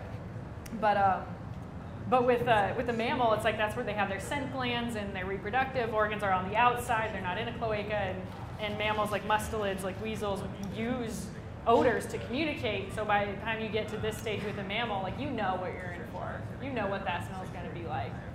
I have no idea what to expect. It's making me really anxious. 'Cause, like, normally I wouldn't, but like like I said, I had a headache all day, and so it's like I um, I'm really sensitive to smells. And we and have been just here a while. Yeah. It's like, oh no. So where along the trachea would the larynx be? on this Um, I'm not sure. I think it would be this portion right here. So this is areas where the hyoid would be. Yeah, makes sense.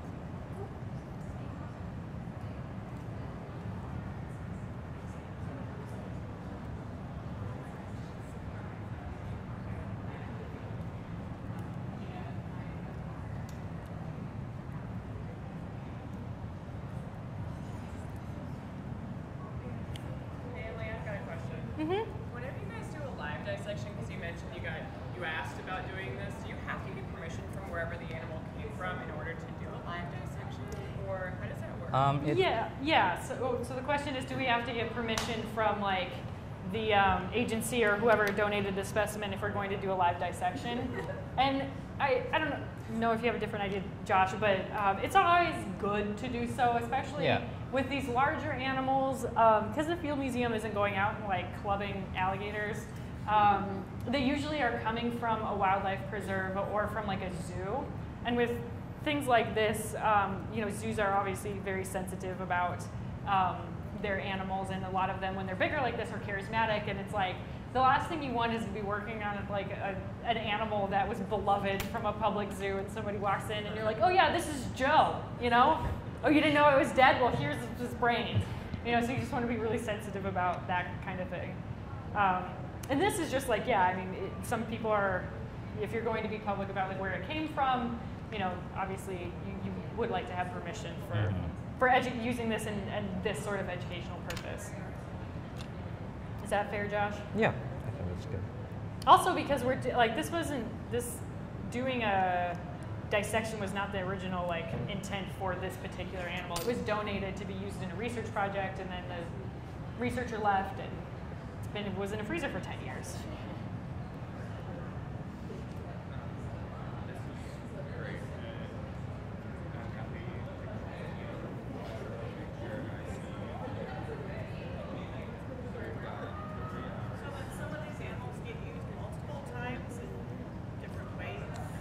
Um, studied before they get to this point? Yeah, yeah. So it, specimens are used in many, many different ways at the museum. Um, this one, like I said, this is sort of dual purpose. So we're doing the preparation publicly so that this part of it could be an educational um, purpose.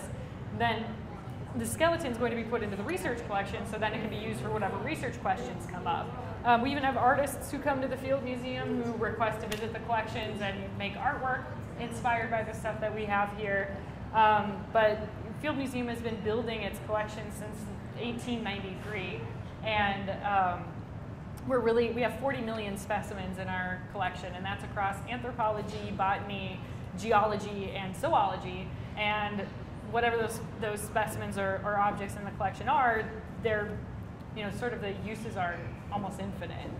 Um, the collection only it, it continues to gain value over time as environments change, as human development spread, as animals become extinct, as you know all sorts of different um, different reasons. So we can go consult with museum collections, look at what we have collected from the past, and use that to help us figure out what ha- the changes the world has gone through and the changes the world will continue to go through if we keep at the rate at which we are doing things to the environment.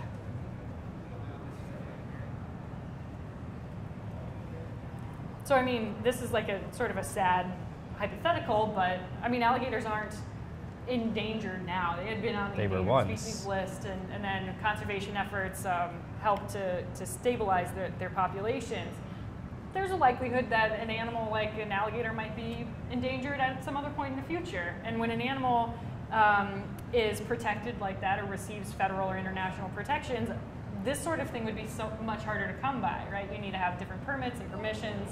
Um, it'd be harder to collect a specimen. Logistically, is also like if there aren't as many, you know, might be harder to find them. Um, and so this is just one small way in which this animal, this member of its species, of this age, uh, from where it was found, um, can help contribute to this body of knowledge. So the Field Museum has specimens in its collection of animals that are extinct now, um, increasingly so. Hopefully not. Hopefully not the American alligator anytime soon. I think their populations are pretty healthy. yeah, their populations are pretty good. So, Josh, since you're working on the throat, um, people want to know if they have tonsils. Tonsils? Hmm, That's a good question. I don't know. If someone wants to find out, let us know. Or if I've removed them already. I already. mean, aren't tonsils used for vocalization? I didn't think they had a function. Or maybe, yeah, maybe they don't, they're vestigial limb sort of thing. they have vocal cords. They're not exactly like a full-on vocal box, but they have vocal cords just on their throat that I've removed at this point.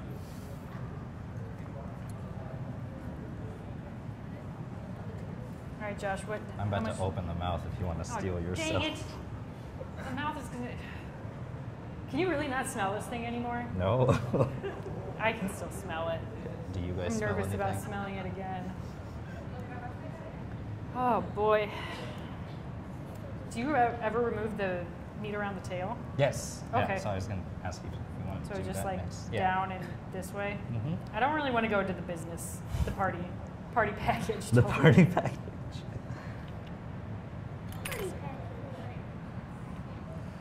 There is a ton of muscle on this thing. Yeah. This is all muscle. And so these white lines you see her cutting through right here, that's where they store their fat. That's fat. hmm Oh, interesting. Yeah. So they're, it's kind of like in a layer between the muscles.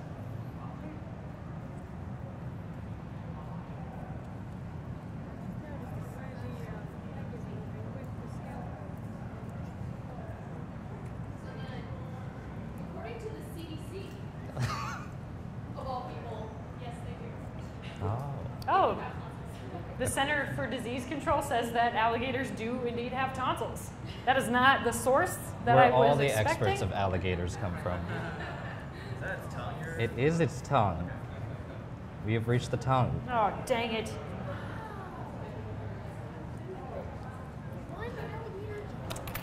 So there's its tongue. Uh, why is it white? I'm not sure. It is very It feels healthy. You want to? That's not a good sign, right? What would it be a sign of? I don't No, know. I think I think this is fine. Looks fine. Um, Oh, jeez, Louise. yeah, you Ugh. want to dab in Josh, there a I'm not bit. feeling good about this. About this con- contained body vessel and the secrets that it will that it will express once we open it. The olfactory journey continues.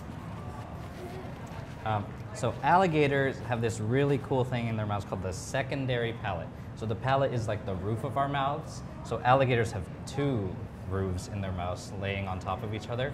And so that separates the cavity that the trachea sits in and the cavity that the esophagus sits in. And so that allows them to breathe while they're underwater. What? Cool. yes. And while they're swallowing large chunks of meat. I see other alligators. So do they have the two palates and then also nasal passages or no? So the nasal passages, it's kind of, it forms like a, I'll show you on this.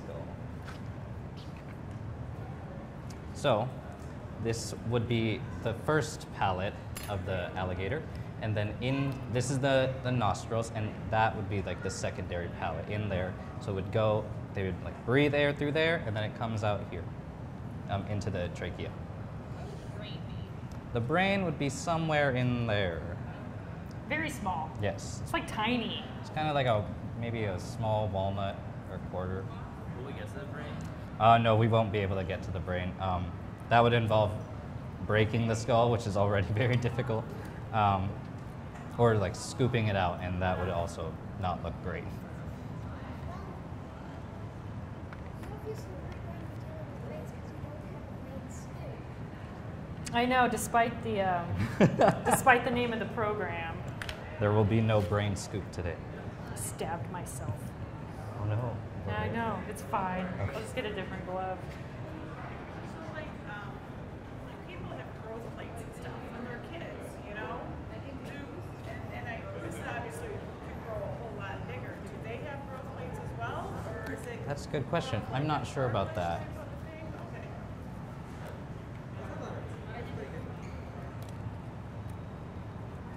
Um, gators also have this thing in the first, um, the oral cavity, um, where the esophagus is called the palatal valve, and that's something that can close up that cavity to make sure that water does not get into the esophagus when they're underwater.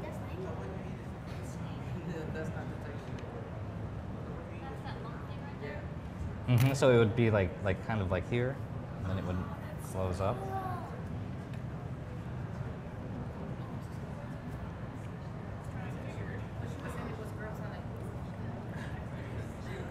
Hi.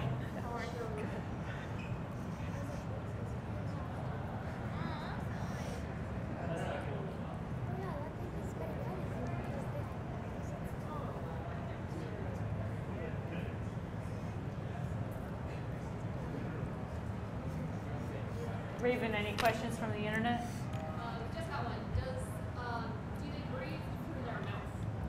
They can. Um, they can breathe through their mouth.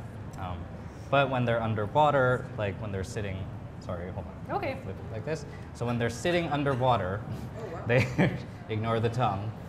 They will be on the water surface in a way that only the nose and the eyes will be revealed. So you won't see this part, and you won't see the rest of this at all. Um, they'll just be sitting like that. And you know, that's a way for them to sneak up on their prey, and so the prey have a hard time determining the size of the predator that's about to pounce on them. Um, but in there's a way we can tell. So if you like, if at night, which you should never really hunt for gators or crocs at night. That sounds like a bad idea. Um, you go around, you know, in the water and you shine a flashlight. Your light will reflect on their eyes, so you can tell how large the gator or croc will be by how far apart the eyes are. Oh no. What, There are you, there will be like a concerning length at some point. Yeah, I'm So like like you know an inch or so. That's probably should not be there anyways. But like any larger than that, you should probably leave. What if you just see one large eye and you don't see One the eye. second one? Yes. Are you going to preserve the tongue? Uh, yeah, the tongue will be preserved with the rest of the organs. Oh, really? Yes, Why? because I cut it that way. Oh, okay. Um, it could be useful to scientists sometime in the future. I lost We my don't really tweezers. Oh no, they're in this hand. Okay. I was like-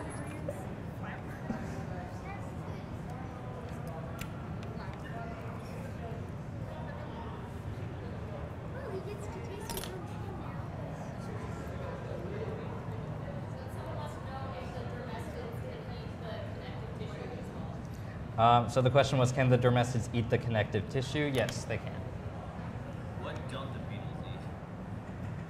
Uh, well, the beetles will pretty much eat anything, anything. if you leave so it in there long enough. if Like what do they avoid? avoid, they don't like rotten stuff. yeah, they don't like rotten stuff. They don't. Um, uh, well, I at least find that they don't like things that have already been preserved in formalin. They will eat them if they have no other option, but they'll go for other things first. Um, but like if we had left this full skeleton in there after all the meat and connective tissue has been removed, if they get desperate enough, they can like try to bite the bone. Yes. It was, uh, off topic. Would it be possible to, for some, someone say recently amputated, the recently amputated limb in? The question was, would it be possible to put like a recently amputated limb in from like a human? Yeah, my friends.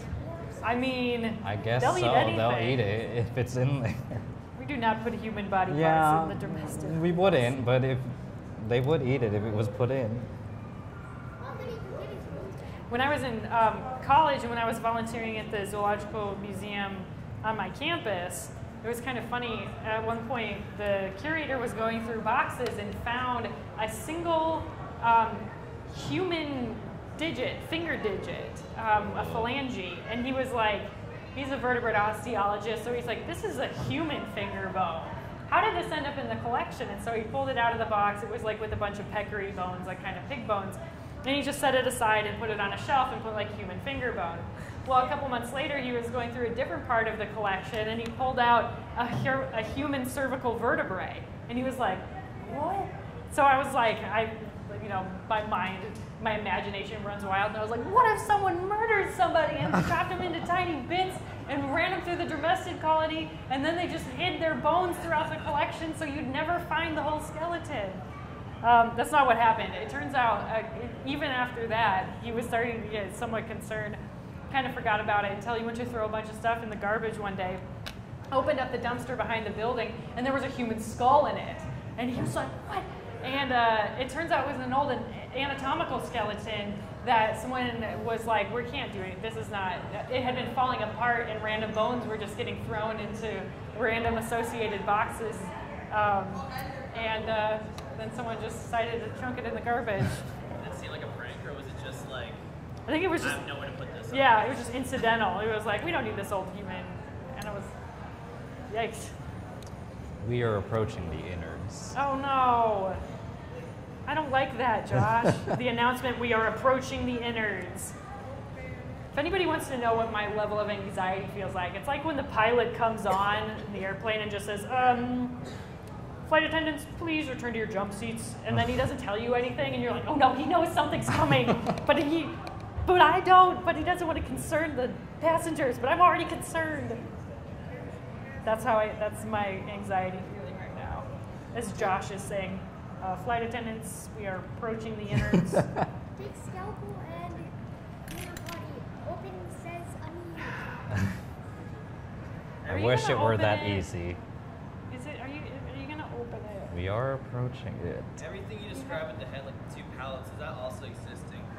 I guess in context of what you guys are doing, what differences are there between an alligator and a crocodile? Um, so the main difference between the alligators and the crocodiles would be their head shape. So alligators are more the U, crocodiles are more of a V-like shape. Um, and the alligators, their lower jaw is smaller than their upper jaw. So when their mouths are closed, all the teeth are not exposed. Whereas the crocodile, you will see the teeth when their mouths are closed. Um, But organs and muscle like this would be about the same thing you would Pretty much. Now there are like uh, habitat differences. So crocodiles prefer tropical climates. Um, alligators can live in tropical climates, but they would prefer like warm, or like temperate climates. Like they live in South Carolina where there's winters. So, um, and crocodiles, alligators also can have a wider uh, diet than crocodiles have. Josh, is there a way to mitigate the foul gut smell? Um, Febreze it. Oh no! Does anybody have any Febreze? Can can you just? Yeah, do you just like make a like put a little line underneath my nose?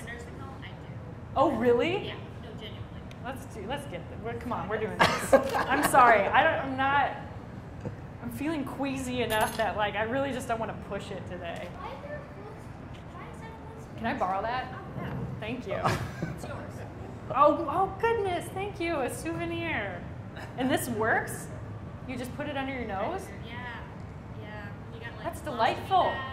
Oh, that's wonderful. Oh my goodness. How did I never know this technique? This is amazing. Yeah, you gotta spring for the good stuff though. It has to be Bath and Body Works. Do you want some of this? I'm good. Okay. Does- Does anybody else want to try it? It really is delightful. Here, put it. Yeah, it smells wonderful. Bath and Body Works.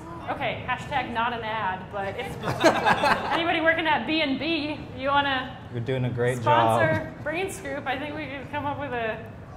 I'm just like a. Di- okay, this is awesome. I'm back in it, guys. I'm back in the game. What is the reapplication like timeline? Like, do I need to be doing this every 30 minutes, or it's like? On the level of stink.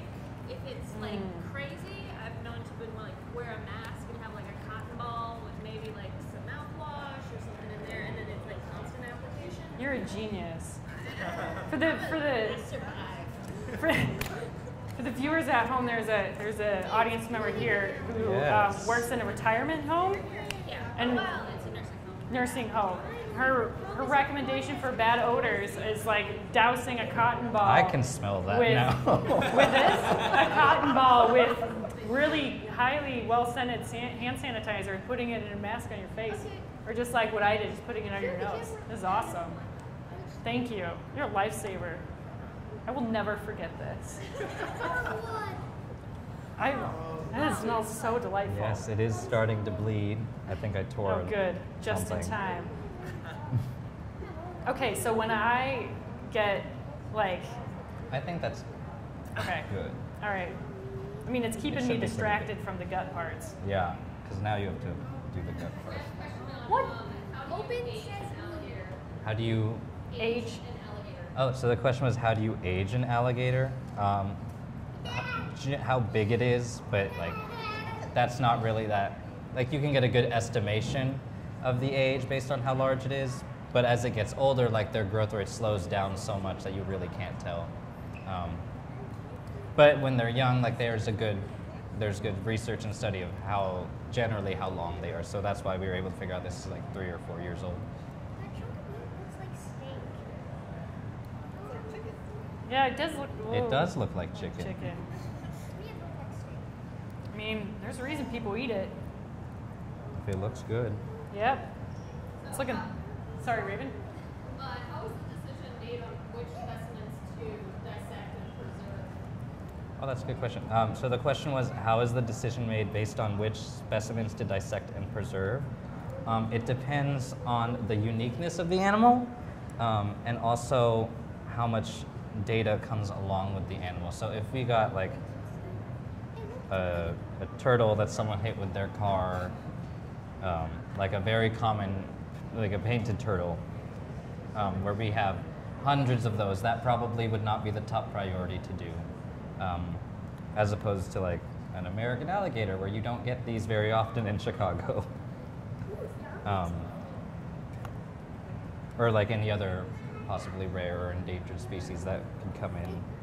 Yeah, and you can still do dissections on specimens that have been preserved in Yeah. formalin or formaldehyde. And so, you know, sometimes we'll have specimens that, like from our fish collection, for instance, which were collected, you know, 100 or 80 or 50 years ago, and someone, um, we have a searchable database where if you're a researcher, you can go online and be like, does the Field Museum have this tetra from South America?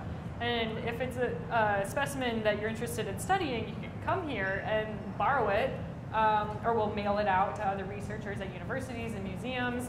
And you can still do dissections on pickled specimens in order to look at their gut contents. So there's a, a researcher at Loyola who um, Oh, you're making me nervous, Josh. There's a researcher at Loyola University who is going through our fish collection and dissecting the gut contents out and looking for microplastics and um, looking through all these specimens and is able to, to see when uh, microplastics start to show up in the gut contents of a lot of these fish and comparing them to the rate of microplastics in the guts today. And uh, bad news is that there are microplastics in the guts of almost every fish in Chicago or from uh, Lake Michigan as of recent years. And they're even finding microplastics in gut contents from deep sea fish. So we, for a long time, thought that there was only plastic uh, sort of on the surface of the ocean in these big garbage mats. And it turns out as it breaks down, it filters down through the water column and can be found in deep sea animals, which is like kind of sad. But also, we wouldn't know that baseline without museum collections. So yeah. Speaking about gut contents, um, I actually noticed that the lining, the muscle wall lining of the gut seems to be brown on that side. Yes. Yes. Yes, the, the observation was made that the muscle wall lining of the gut contents does appear indeed to be brown in color. And if the observation is an astute one, because I would say, under no circumstances is that normal. No. That's my concern. Although my um, bed, my Bath and Body Works Nectarine hand sanitizer mask is still holding up. Would you like to reapply before we? I mean, kind of, but like now I'm like, I got I got gator back on my hands. Can I just like tilt back and not let me go on my nose? That'd be a bad idea. All right. Shotgun Just, hand just sanitizer. let me just let me reload one more time, and then we'll, I'm just gonna bite the bullet, and we're just gonna. Sorry, I'm going through all sorts of gloves No, today. that's fine. That's what they're for. See if I can um, do both gloves. Dang it! All right. This is a great. This is it is genius. I'm just gonna. I'm just like gonna all up in here, my whole face. I'm gonna have like a just big shiny thing on my nose. It's a good look. Fine, Josh. Just get it over with. So we are going to be removing the gastralia now. Oh, this also has an alcohol smell to it, so I'm like, ooh. hey. Who wants to know how many alligators we have at the Museum? Um, how many alligators do we have at the Field Museum? I don't know that Doesn't number. it? It does smell. I know a lot. a whole cabinet full of them. Um, but I'm not sure how many we have. Could researchers dissect a preserved animal that's extinct, like is it extinct? Um, that's a good question. So the question, doesn't bring out yeah, yeah, yeah. going extinct, did you- Um, so the question was, could researchers dissect an animal that has gone extinct? And the answer is it depends what you're doing, and it depends on the museum.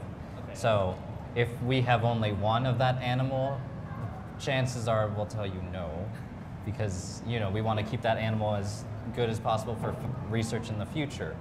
Um, but For, like, the maybe next 100 years. Yeah. Um, but if we feel like you know you're, the scientist is doing good research and it will really contribute a lot um, to the to our knowledge of that animal and our knowledge of um, that group in general, then then maybe. Uh,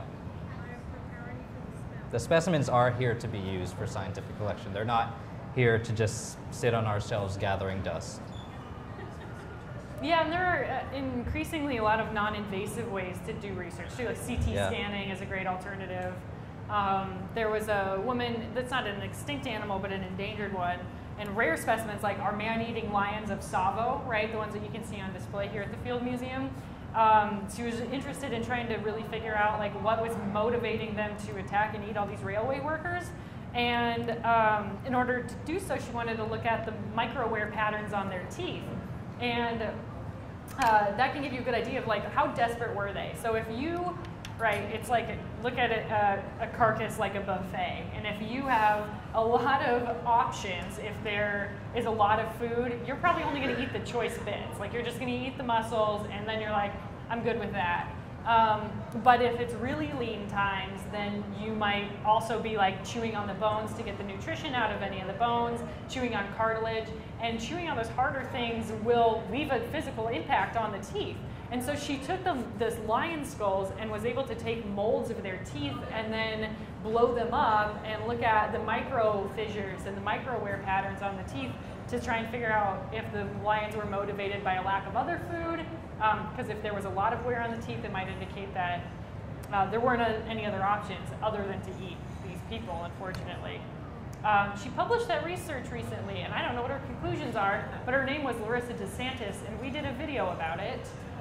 Um, so anyway, yeah, so there are a lot of research questions you can ask that are considered non-destructive. Have you opened it yet, Josh? Yes, it's looking not God. not bad. Okay, good. It's looking But pretty But you didn't normal. put your face down there yet. No.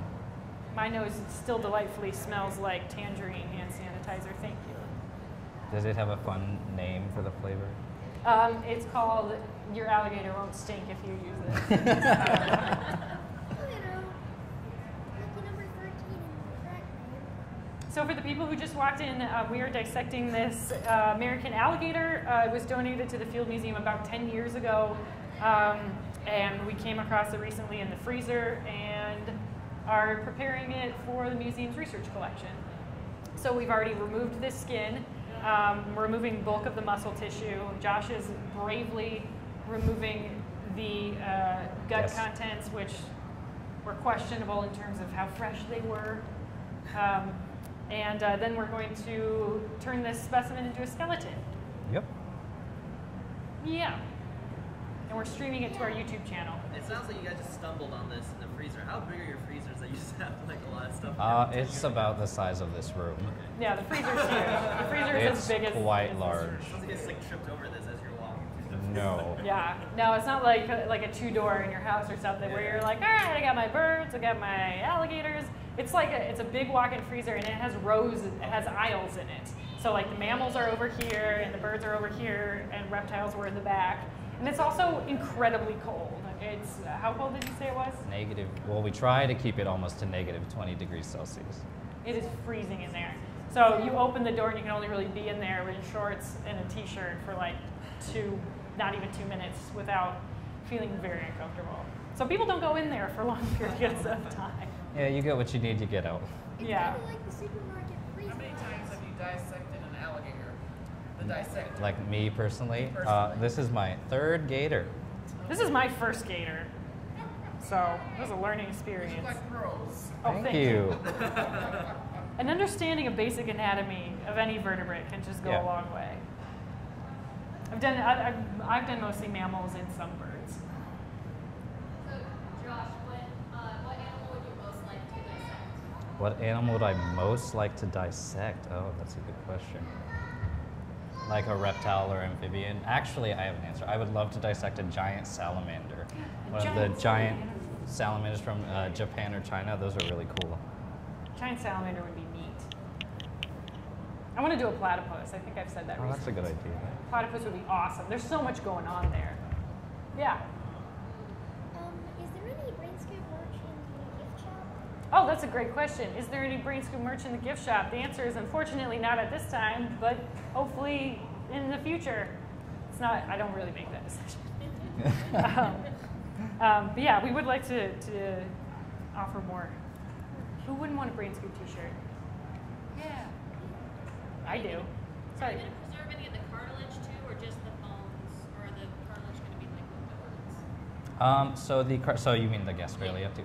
So the gastralia, but they they will go in with the beetles. Um, the beetles can eat cartilage, so that's why we gotta watch that. Um, ideally, we want them out mm, before they get to that. Um, so the Freezer question. Uh, people love the freezer. Uh, how, um, what happens if the power goes out? Oh, Excellent boy. That is a- question. yeah, what happens if the power goes out? I bet that has never happened recently in the last few months. No, not at all. Uh, um, so if the power goes out, there are like backups so that it stays cold. But ideally, you need that back up and running again. Um, And it does happen in a lot of other institutions and zoos and other museums. Like when their freezer fails, like they lose everything in there. Like once everything starts rotting, like you could try to save it, but probably it's probably not worth it. Um, Basically, you got to act fast. yeah. It'll stay cold in there for a while, but Yeah. um, when I was uh, volunteering at the University of Montana, there was a freezer with bird and raptor specimens in the back of the uh, one of the laboratories. And um, despite having a bunch of labels on the outlet saying "Do not unplug this," someone on a Friday had a Friday lab and they unplugged the freezer to plug their phone in, and then Oh, didn't plug the freezer back in. And then so I think it was a three day weekend. By Tuesday, man, it was not a big freezer either. It was just like your average chest freezer. And uh, I was volunteering in the museum, and you, I, something smelled bad on the second floor, but I thought it was just like the women's bathroom had backed up. Until like this researcher, this professor comes like running into my lab or into our preparation lab with just like handfuls of these um, room temperature raptors that are like oozing fluids all over the floor. And he's like, I need freezer space. And I was like, "Ah, we don't have any freezer space. So it was kind of like a kerfuffle, and he, we tried to salvage them, but they were all rotten. So yeah, I mean, his his 20 years of collecting and um, um, of raptor specimens that were donated by Fish and Wildlife was just like he couldn't use any of them. They were absolutely rotten. It was awful. So it's just like it's a it's a problem. You got to make sure your freezer maintains its power supply. Yeah, read the signs in labs. Follow instructions. Yeah, I'm like, I don't know what happened to that person. but How long do you take this out? How you know, to thaw? Um, it only took a day to thaw. No, we just left it out in our hood. Um, again, alli- uh, reptiles in general are very contained because of their scales. Um, I'll put that away. Oh, stay. Um, because of their scales, everything is pretty contained inside, so they don't really smell too much. Which is what she was saying. Like we wouldn't know about the smells coming out of it until we really got to it, and here we are. it's not so bad. But I, maybe I'm just like Team Tangerine hand sanitizer right now. When did you guys start? How long is this process? we went live at 11, so we're at two and a half, three and a half hours. How long is it normally? This long. About this long. About this long. I have alligator juice all over my Fitbit. This was a, why didn't I take this off? it's a bad idea. What can I do, Josh? Um, you want to help get that side of the gastralia up? So Okay. actually, you can do this side since I've already kind of. All right. So the gastralia is connected to the pubis bone via other cartilaginous membranes if you want to Okay. go around. So it makes kind of like a rib shape right there. Okay. I think you can see. Yeah. where it kind of- Okay. It's time to open the containment Attention vessel. passengers, it is time to open the, the containment vessel for wastes. It is recommended that you try to hold your breath as long as Um, the gastralia being cartilaginous, they're not exactly like uniform like ribs are. So they make interesting shapes sometimes. You just cut this off? Oh no, right here. Okay. Just keep going. Oh, around like dang. that. Okay. I don't want to cut you.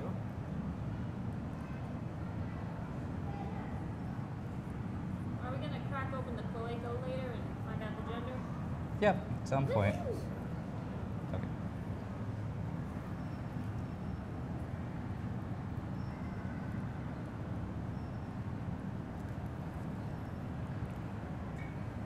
The last door of the containment vessel has been removed. Yes. Yes. Do you guys ever get specimens from the Shedd Aquarium right next door? Yeah, we do. Yeah. The question is, do we get specimens from the Shedd next door? And the answer is yes. Actually, recently, and I don't know why they had these, but the Shedd had like two coelacanths that were pickled. They hadn't been on display. I think they acquired them at some point for like educational purposes, but they'd had them for a long time, and then we're like, we don't really need these, and so so we got them. How But long, yeah, How long ago was it? um, that they donated them. Yeah. I think in the last Couple- couple months. Yeah, but the Field Museum already had like three coelacanths, and I think now we're up to five or Five, six. yeah. So I think That's Field Museum lot. has one of the Yeah. largest coelacanth collections in the world. Um, but anyways, here's the gastralia. This is what it looks like.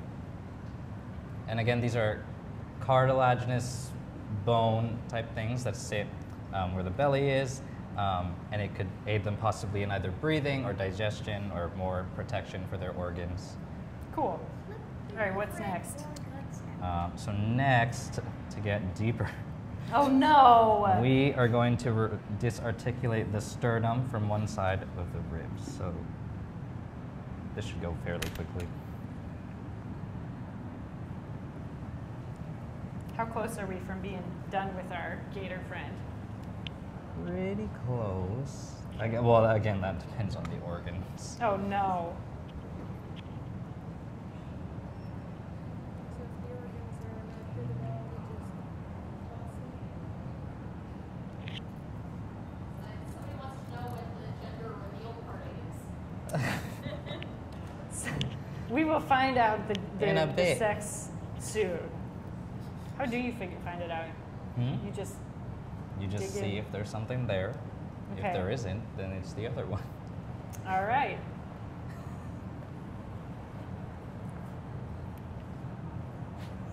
So is this? I, mean, suspect male. The other alligator it came with was male, so. Okay. So you still have to like the stomach and all that is still in this body sack. Yes. Oh no! I thought the danger of the smell was already No. Come on. Is that Y-shaped below his sternum? Mm-hmm. Oh.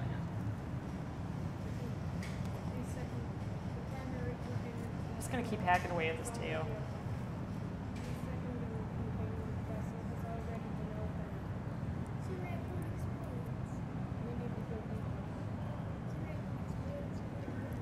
There we go.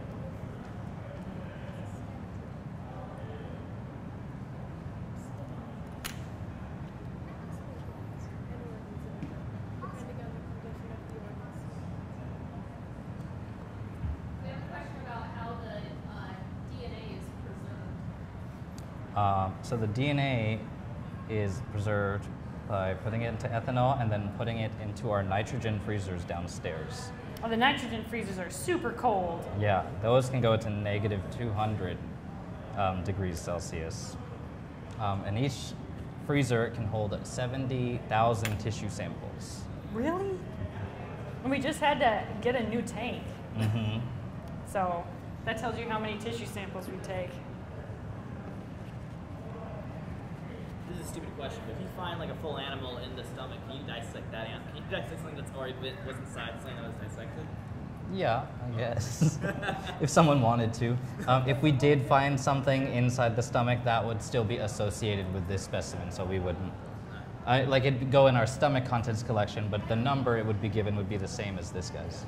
Kind of be like I said, rat that died after this thing did, and then got because it couldn't figure out a way out of the stomach. And we probably took one yesterday. But what if it had Yes, I can still do it. And died from if there was a little rat in the stomach? You know, rats Yeah. mice to eat it. And see this one. Maybe that's why the why the innards are all bloated. There was a live rat living in there for a little while, and then it Well, rats also were the ready to suffocating. eat organs. Then of course it Oh, that's good. I wouldn't t- cut too close or Okay. anything. I s- why do you guys use uh, scalpels? Like I see sections where like a bigger knife, like it looks like a bigger knife would help. So Uh, yeah, yeah. There are some parts where a bigger knife would be handy. why the preference on the scalpel? Um, They're sharp. yeah, they're easier to use. We, and you go through a lot of blades. This is my, I don't Yeah. know, my scalpel blades. This is the third one on this one, and I went through another one on a different size. Um, so you guys can see more of these here. These are more fatty bodies um, along the lines right between the ribs and where the organs lie. Um, probably also for like insulation and more protection for the organs. Um, do you want to? We can flip this over. You can. What, what are we doing?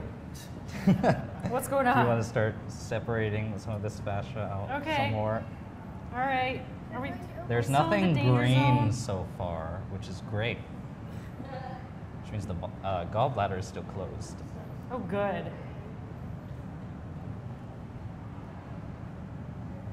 Because you're gonna remove the organs as a whole unit. Yep. Okay.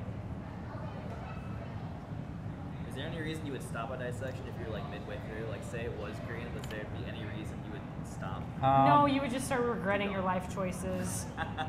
Yeah, I mean, sometimes like I've done a snake before. It was like half rotten, and I got to that point where I'm like, no, I can't save these organs. There's no point in me preserving them. I'm just gonna throw them away. Like, um, but it's like I did all that work for the skeleton, you know, so I might as well get the skeleton out. Yeah. I'm gonna get a new blade, I think. Yeah. Somebody asked why don't take the guts out first. Like, why don't you start taking the guts out? um, like at the very beginning. Uh, that would be, well, for an animal like this, it would be quite difficult because there are lots of things in the way. Like you saw, I had to remove the gastralia and I had to break the sternum or um, disarticulate the ribs from the sternum. Um, and so it's like, we're opening it anyways. We might as well go in that order. Yeah, I mean, it's there's a there is a certain order of operations. Um, he's bloody. It is bloody. That's also not like a great sign. Soaks that up. Really though, everything still looks fine. Oh, good. I'm very impressed. Good job. Way to go, Gator buddy. What would you say the uh, weirdest or most interesting thing you've dissected has been? Weirdest or most interesting thing? Um, I've done a, a calf that had two heads on it, which was really weird. Oh, yeah, that we'd made a video about that Oh. one. I actually watched that video. Two faces. Yeah. Oh. What about you, Josh? I should have gone first. Oh. um, the the first thing I ever dissected was a, a Gila monster. I think that's Oh, that's um, that's cool. a lizard from Southwest United States that lives in the desert. So its skin, it also has osteoderms in its skin. So its skin is like kind of ossified onto the bone, like it is bone. And so there are some parts of it you can't remove. I don't know why they gave that to me as the first specimen to ever start skinning on. They they told me it would take me three hours. It took me three days. Oh no. And it was like this long. I mean, that's kind of green though. Yeah, it's kind of green. That is green. That is, I studied colors. I have an art degree. I know what color that is. But it's not as green as it could be. Always looking on the bright side. Looks orange to me.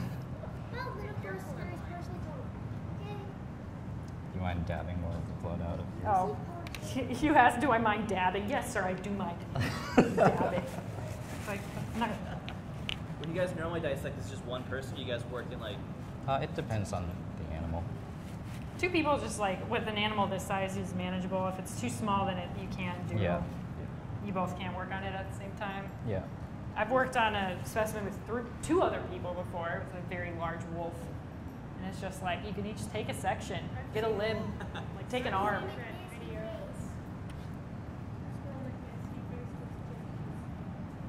Well, no, scroll my nasty face, and now it's got these Does have a lot of organs. Josh, do the um, number of ribs differ in male and females? That's a good question. So, do the number of ribs differ in male or females? I'm not. I don't know. I guess so far I've only done males, so. But also, I'm not paying attention to that.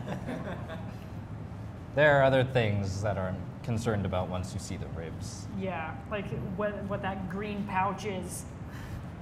And if it's going to smell terribly. Oh, goodness. Before you that, I don't smell apply anything. a bit of Yeah. All right. Okay, so we. I want to reapply the hand sanitizer before opening. This would be the time for you to reapply. God, gosh dang it. Oh, man. Fine. We're almost out of gloves, maybe, too. I've been going through a. There's enough. All right. What is this, my third or fourth application of Tangerine hand sanitizer?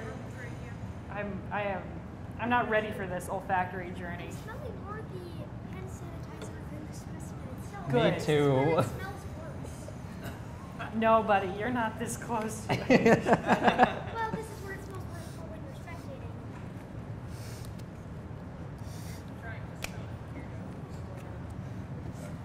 Can any? I'm really just curious about this. Can anyone else smell anything going on? Yeah, you can. I mean, try. All right. So we are going to try to remove all the organs out in one go. Let's do it. Like a zipper, you just I'm ready. No, we're not going to do it by the rib cage and just flip it over and shake it until all the guts fall out. No, we're not gonna do that.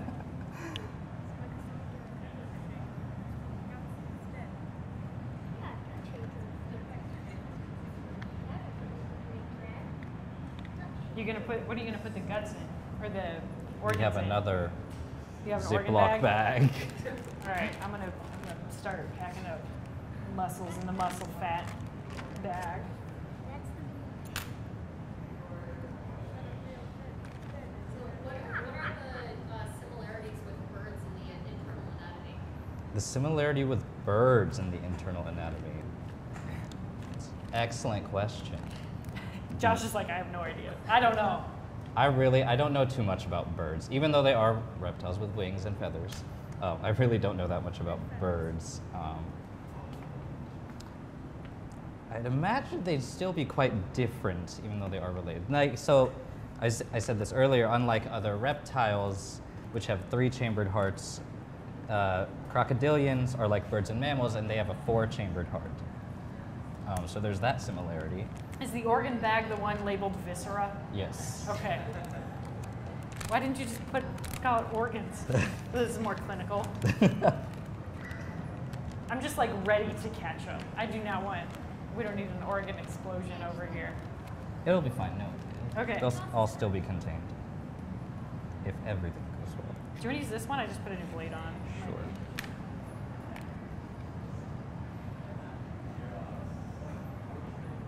I get the smell like dog. Dog food? We are so close. How's the internet?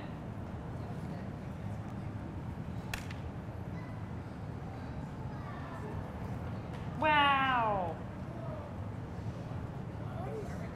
What are those called?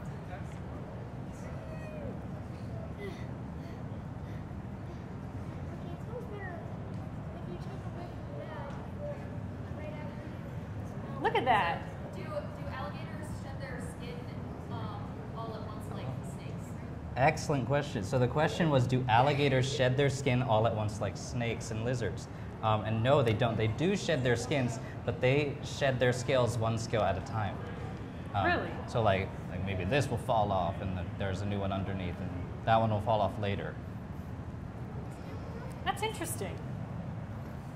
Why why are snakes and and oh, the, but it is shedding. So some of these do come off. Mhm. So these are what I was saying earlier. Um, you, on the skin, so you can see it coming off right here. These are the scutes, which are the uh, specialized um, scales that, that sit on top of the alligator's skin.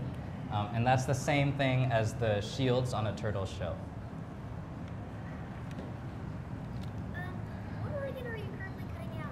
Or are you just cutting the whole out? All of them. All the organs are coming out in one organ bag. A bag of organs. Organ bag? Yep.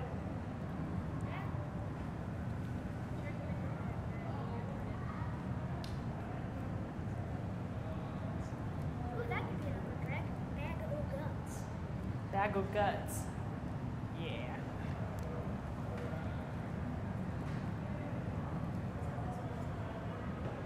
Right.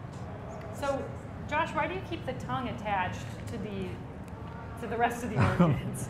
It's just an easier way to do it. I mean, it's already connected to the trachea and esophagus, which we're taking anyway. Oh, so gotcha. we're like, we might as well. keep it keep it together. So how, how is the, the sac that all of the organs are in? Like how sturdy? The question Quite is sturdy. how yeah how sturdy is the sac the organs are in? Um, yeah, I mean it's got it's the same sort of thing that's holding all your organs in place. And think Yeah. about all the running and jumping that you're doing. I mean everything's got to got to keep things in their place. Yep. Um, at the same time, it's deceptively easy to puncture with a sharp scalpel. So You could let, let all the goopy bits out.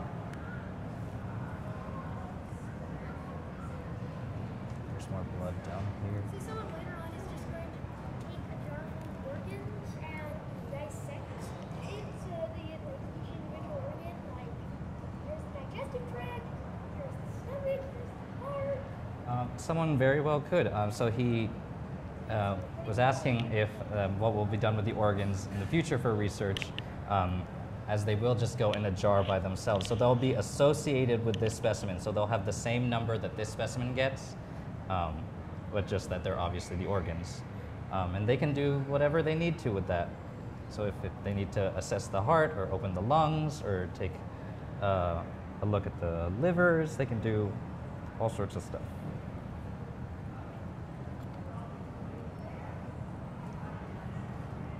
Okay, so do you want to carefully begin cutting more around Oh here? boy, okay. And I'll start taking apart the cloacal end. Okay. And let so me, we're uh, gonna try to get everything out in a way that it'll helpful. be tongue to cloaca. Okay. So speaking of the cloaca, do we have a determination yet? Not yet. No. Um, what do you want me to do? Um, kind of uh, just tear more of the fascia around this pelvic region. Okay.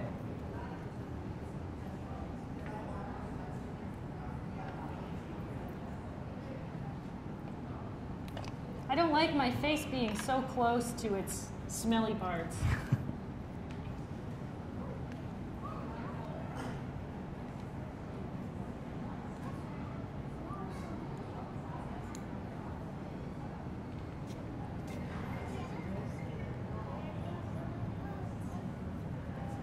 Oh, all of its goopy bits.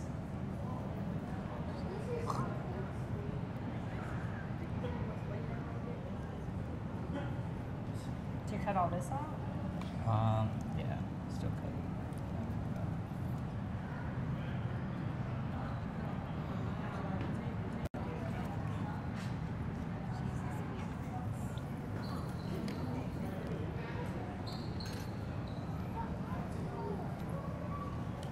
Just two pals taking out all the guts from an alligator. Just another day at work here. Just your average Friday afternoon.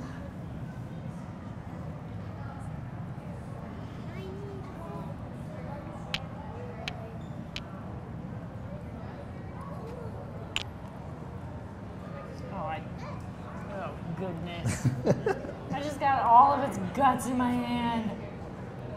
Feels weird, doesn't it? It does. Do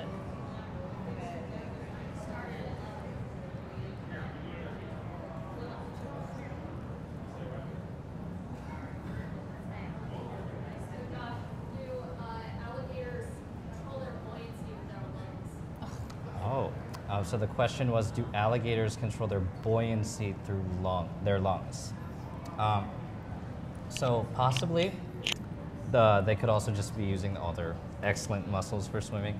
Um, so when the alligator is diving, it um, has a way of shutting off the flow from the heart to the lungs. So there's a minimal amount of blood going from the heart to the lungs. So it's not using up as much oxygen as it is on land. So that could be one way they're preserving their buoyancy by using that air in the lungs. Ugh, You got it. I know. Good. Did you get it? Almost. Oh boy, fam. We're Here almost we there. go. Almost there. What a marathon. Four hours. This is by far the longest. Well, I mean, three and a half hours was our beaver, so this is pretty long live stream. It is hard to talk for that long. That good stuff is like a balloon. You pop it and everybody gets mad and leaves. How long on average do uh, dissections take to like do? The Uh, question- depends yeah. on the animal. So like the four hours you saying for this animal, that that makes sense because there's two of us doing it. I've done two other gators before, and it take me like eight hours to get this far. Yeah, it's it's time intensive, which is why we don't do it more often, which is also why there's still a bunch of stuff in the freezer. Oh yeah. Oh yeah. I mean, that's all you can do. no, not really. Do you have a playlist for when you're cutting up something? yeah, you know, honestly, I, well, when I was um, doing a lot of preparation work at the University of Montana, um, I, there was a CD player, and I put you know CDs and whatever in it and listen to music. And um, I moved to Chicago in 2013, but visited the collection just a couple of months ago and was in the prep lab and, they, and I was looking around and they had the same CD player and I popped it open and that's where my copy of the Dodos was. and I was like, this is my CD. I'm, I, I burned this. So yes, it was funny. I left it there. It felt like it just needed to stay. You almost got it.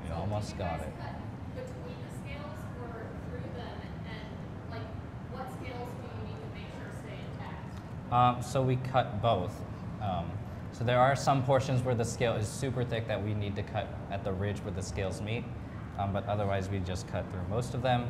The way they're lined up, like at the very middle, is where the scales meet anyway, so it does make that nice line. Um, so scales are very important in reptile identification, but not so much for crocodilians as much as snakes and lizards. Um, I would say the most important scales for the alligator family in general are the nuchal scales, which are the scales right behind their neck, or on their neck, right behind their head. So yeah, the scales are all part of the epidermis, that, that skin layer, and it's really thick on, on reptiles. So we just cut underneath that between that and the muscle tissue. You did it! Got it. Yay! And it didn't even smell that bad. No. Um, Oh, fun. yes. The biggest animal that I've dissected, um, I think another gator, and it was not too much bigger than this. Um, what's the largest you? What is the largest animal that I've dissected? Uh, might be a giant anteater. It was very Oh, right. big. His name was Hose Nose. Oh, that we can probably see. All right. So for the internal anatomy Oh, portion of it, sorry. You slapped me. Um, so again, this is the tongue for anyone new coming in. So the tongue leads to the esophagus, this pink throat area you see coming down. And right next to the esophagus would be the trachea. Um, AKA the windpipe. mhm. And the trachea leads to the lungs. So there are these big uh, lobes here that's kind of bleeding. So you can see they have a lot of membranes inside, and that's to hold all the organs, have all the blood pass, pass through um, to get oxygen. Then we gotta cut a bit more up to show the rest.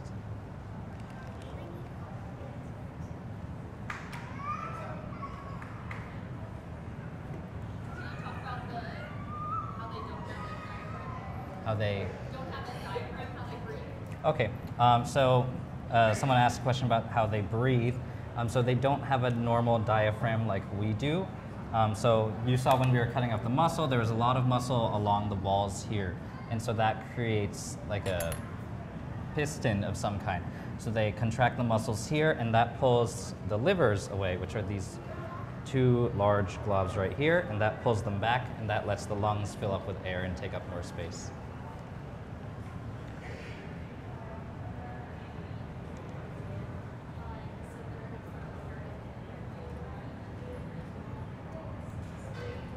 How heavy would you say that bag of organs is? Sorry? How heavy would you say that bag of organs is? How heavy? Um, It's a good two pounds. yeah, two, three pounds. The whole animal is only 10 pounds.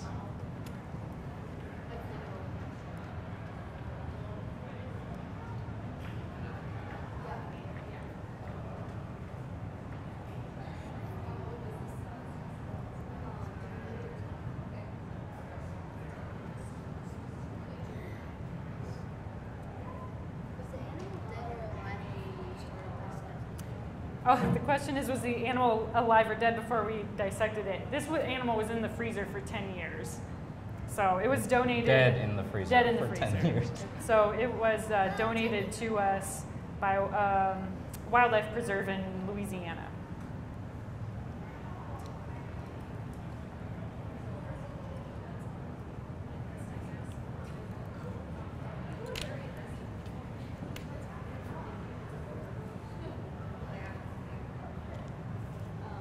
Can you smell anything? No, I don't. Good. My head is killing me though.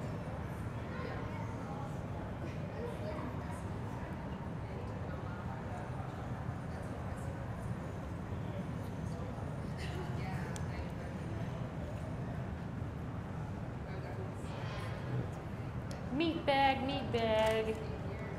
Gotta grab your meat bag. Sometimes I, I'll come up with little songs while I work. For the CD. Yeah, for the CD with my discography. Do you want me? Well, that's those are that's the song. That's the extent of it. It's meat bag, meat bag. You gotta grab the meat bag. And that, so we'll just call that meat bag. That'll just be a B-side special. So track, track 13. Is that what we're up to? Track 13? Track 13. All right, and we have found the heart. you found the heart. Fun. Oh, what a wacky little sack. Sack of blood. Wacky sack. Again, un- unlike most reptiles, which have a three-chambered heart, alligators have a four-chambered heart, like mammals and birds.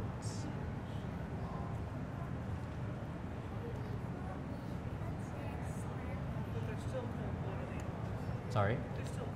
They're still cold-blooded. Yes, they are still cold-blooded animals.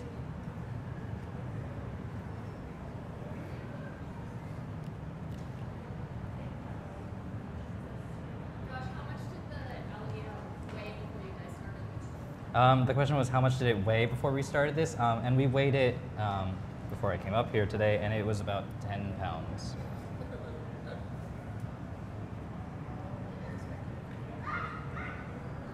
Peter realizes there's one upside to that. He just lost a lot of weight. How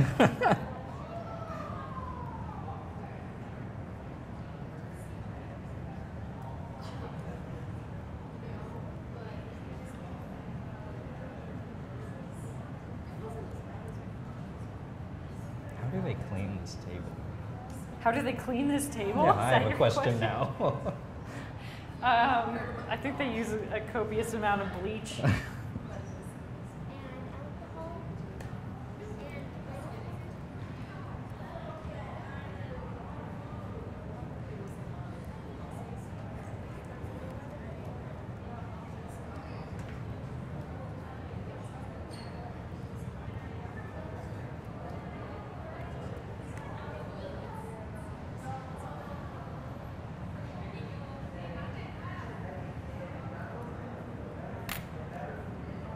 need to get all these the muscle off these arms? Mm, I think that the amount you have is good. Okay. Maybe some on the back end here. He's so floppy. Yeah. Turns out that happens when you remove all their parts. Do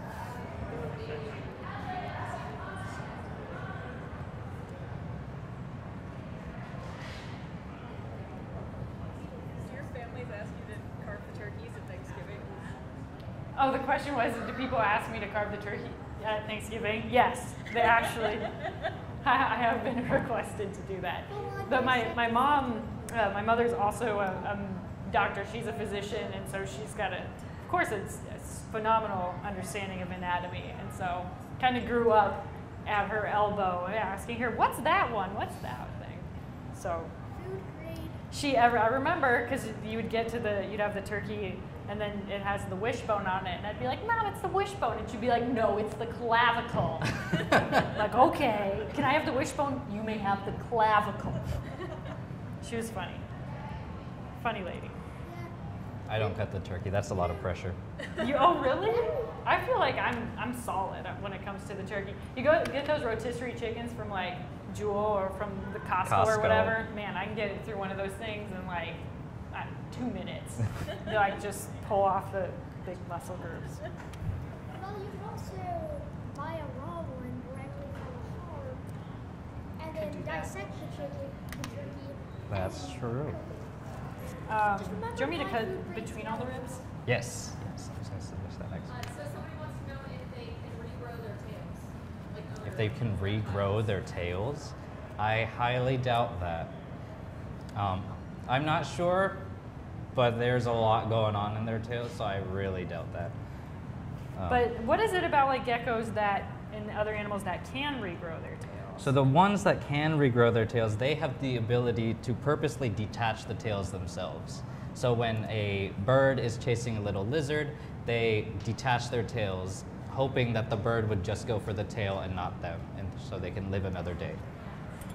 That being said, when they are out of a tail, they can't, they don't get a second chance at that. But it will regrow back, but slowly, very slowly.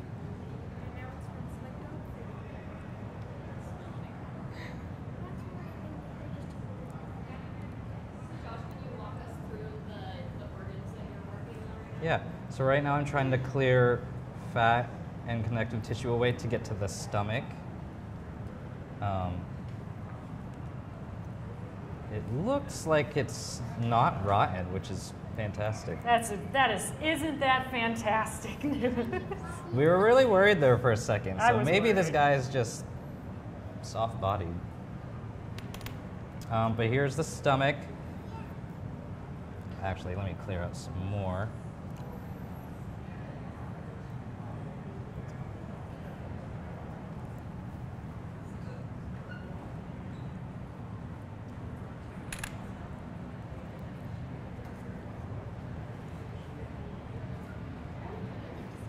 Now I've got the meat bag song stuck in my head. meat bag, meat bag, gotta grab your meat bag. This is the meat bag, everybody. The famous meat bag from the famous one hit wonder. See, when you've been doing this for four hours, you're just like, I'm, del- I'm delirious. what day is it? How long have I been standing here? We've been standing here a while. Four acid still be like active or still Sorry? would their stomach acids like still be Uh, they shouldn't be. It was in a freezer for 10 years. You would hope.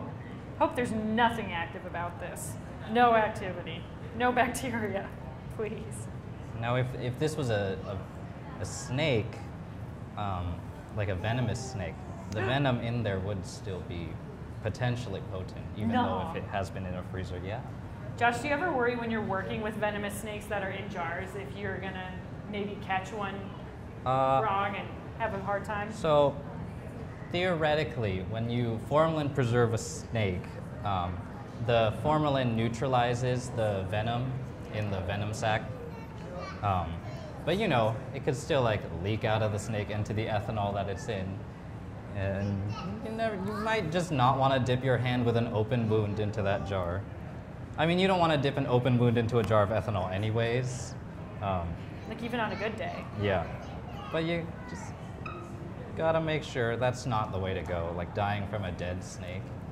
Like I, could- I died from a snake bite from a dead snake. This looks wacky.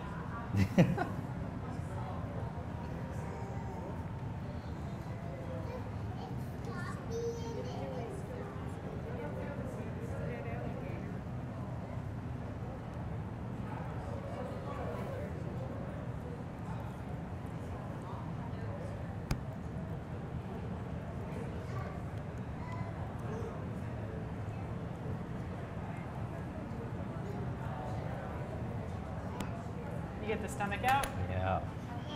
Almost.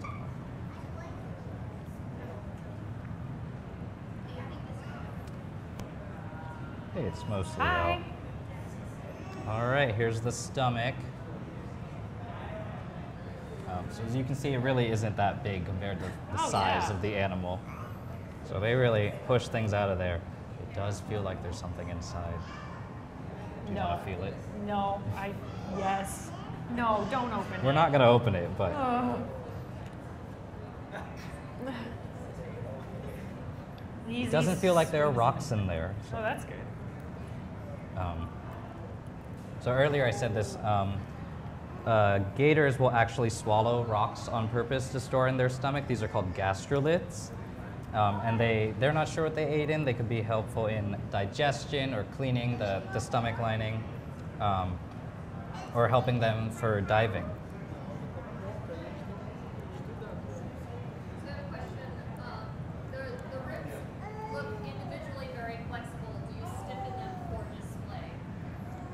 stiffen them for display?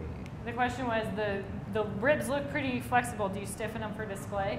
Um, you would. There would be some glue involved. Yeah. Yeah. Yeah. well, you would. I mean, you would be articulating the skeleton and posing it and yeah. adding glue between the limbs in order to get it to stay in place anyway. And also, the sternum would be articulated. Yeah. So this this part of the sternum has been disarticulated from the side of the rib cage. So the sternum um, provides quite a bit of rigidity too. All right, I think I got all these cut through.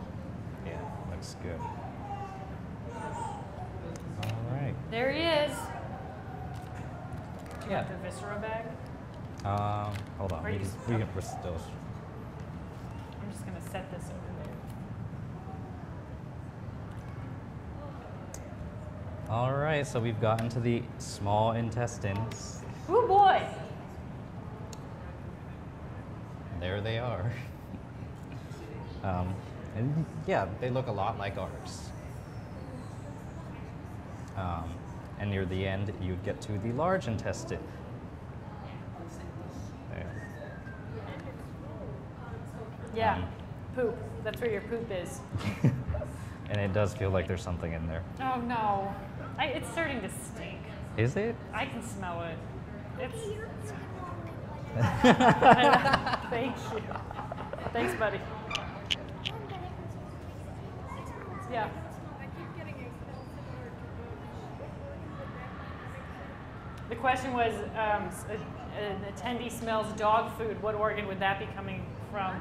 And it's really hard to pinpoint when you got a whole animal turned inside out. I mean, it's all just part of that olfactory journey. It doesn't look like the gallbladder has broken. We would see more green or yellow around. Well, that's good. Actually, but I did not notice where the. Oh, there's the gallbladder. I'm getting You can see it's kind of inside that yellow area.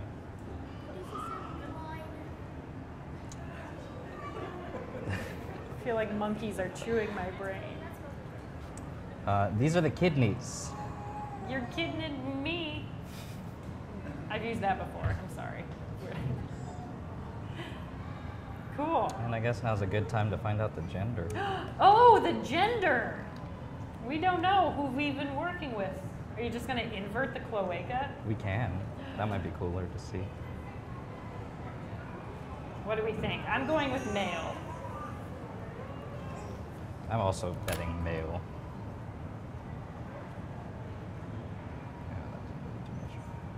I would say I'm holding my breath, but it's like I really am literally holding my breath. what is it? It's a male. Oh, it's a boy. Oh boy. Oh yay. Wow. There it is. It's a boy. Wow, that is um It's really uh, you. You'd think it'd be bigger. Like, Yeah, you- uh, I mean, it's really all they get. Um, even like adult gators, their max penis length would only be like 10 centimeters. what? I mean, if it gets the job done. Right, it's that's there it is. Well, and I Um, think that's like so their reproductive organ is interesting in that. So normally in animals it has to be inflated or everted to come out. Um, their penis isn't connected to any major muscle groups directly, so it just kind of sits there like inside, permanently erect, I guess. What? Until it's time to do the do, and then it flings out. It flings out. Yeah, very quickly. There are cool videos on it on YouTube. Oh, really? There are videos on Um, this. And then um, the way they transfer sperm is different um, than the way mammals do it. So instead of a tube within inside the penis, um, it travels on the outside What? and kind of like, The sperm tube is on the outside? mhm, and like drips down. What? What? That is that is bizarre. Well, nature. It's amazing. That's Um, really that's really something. And then I don't. About the why are the ribs so flexible if they're made out of bone? Uh, the question is why are the ribs so flexible if they're made out of bone? Uh, it's kind of due to the fact that like there's still muscle on it and we've disarticulated it. Normally this is like very tight and compact. Um, Yeah, this would all be connected. The sternum, like these are connected to the sternum, like it is on this side Yeah. here, and then it has a little bit of flexibility back and forth. But it it's not like Yeah, yeah. like that. It will after it goes through the beetles and dries up in our collection. It will harden up once Mhm. all the muscle is like dried up, all the remaining muscle. Um, Well, is that it? well, this last thing are the testes, Oh, which you can actually see here. There are these two. I don't know if the internet can see, but there are these two very thin tubes between the kidneys. there they are. Um, and during breeding season, which is in the spring for alligators, they will actually um, inflate and get Oh, quite large. You can hook up in your phone if you that, Uh, um, I don't think it should. No. Um, the question was, does it affect the function of the kidneys? Um, I don't think it will. Um, but another difference between alligators and crocodiles, so alligators, their testes will only just start producing sperm um, during the breeding season and get big, and crocodiles' uh, testes are always big. oh, good to know. All right. Well, is that it? I, I well, I think think so. We went through everything we could. Yeah, that was that was over four hours. That was amazing. Any final questions from the internet? Um, just if, if it's a penis or a hemipenis, Um, so they only have one, so it is a penis. So other reptiles like snakes and lizards, they do have two penises, so they would be hemipenes. Let's end on that one. Yeah, that's Yeah. a good. cool. Oh, thank you. Thank you. Ugh. Thank you, Josh. No problem. This Thanks was for having me. awesome. Yeah, this was really fun. Cool, thanks, And not as smelly as I thought it would be. I know. Well. Well, you maybe Yeah. thought it was. All right. Thanks, Now internet. put- Thanks, Brain Scoop. It's now time to put the organs Bye. Could you? Is it live? Turn it off. Thank you.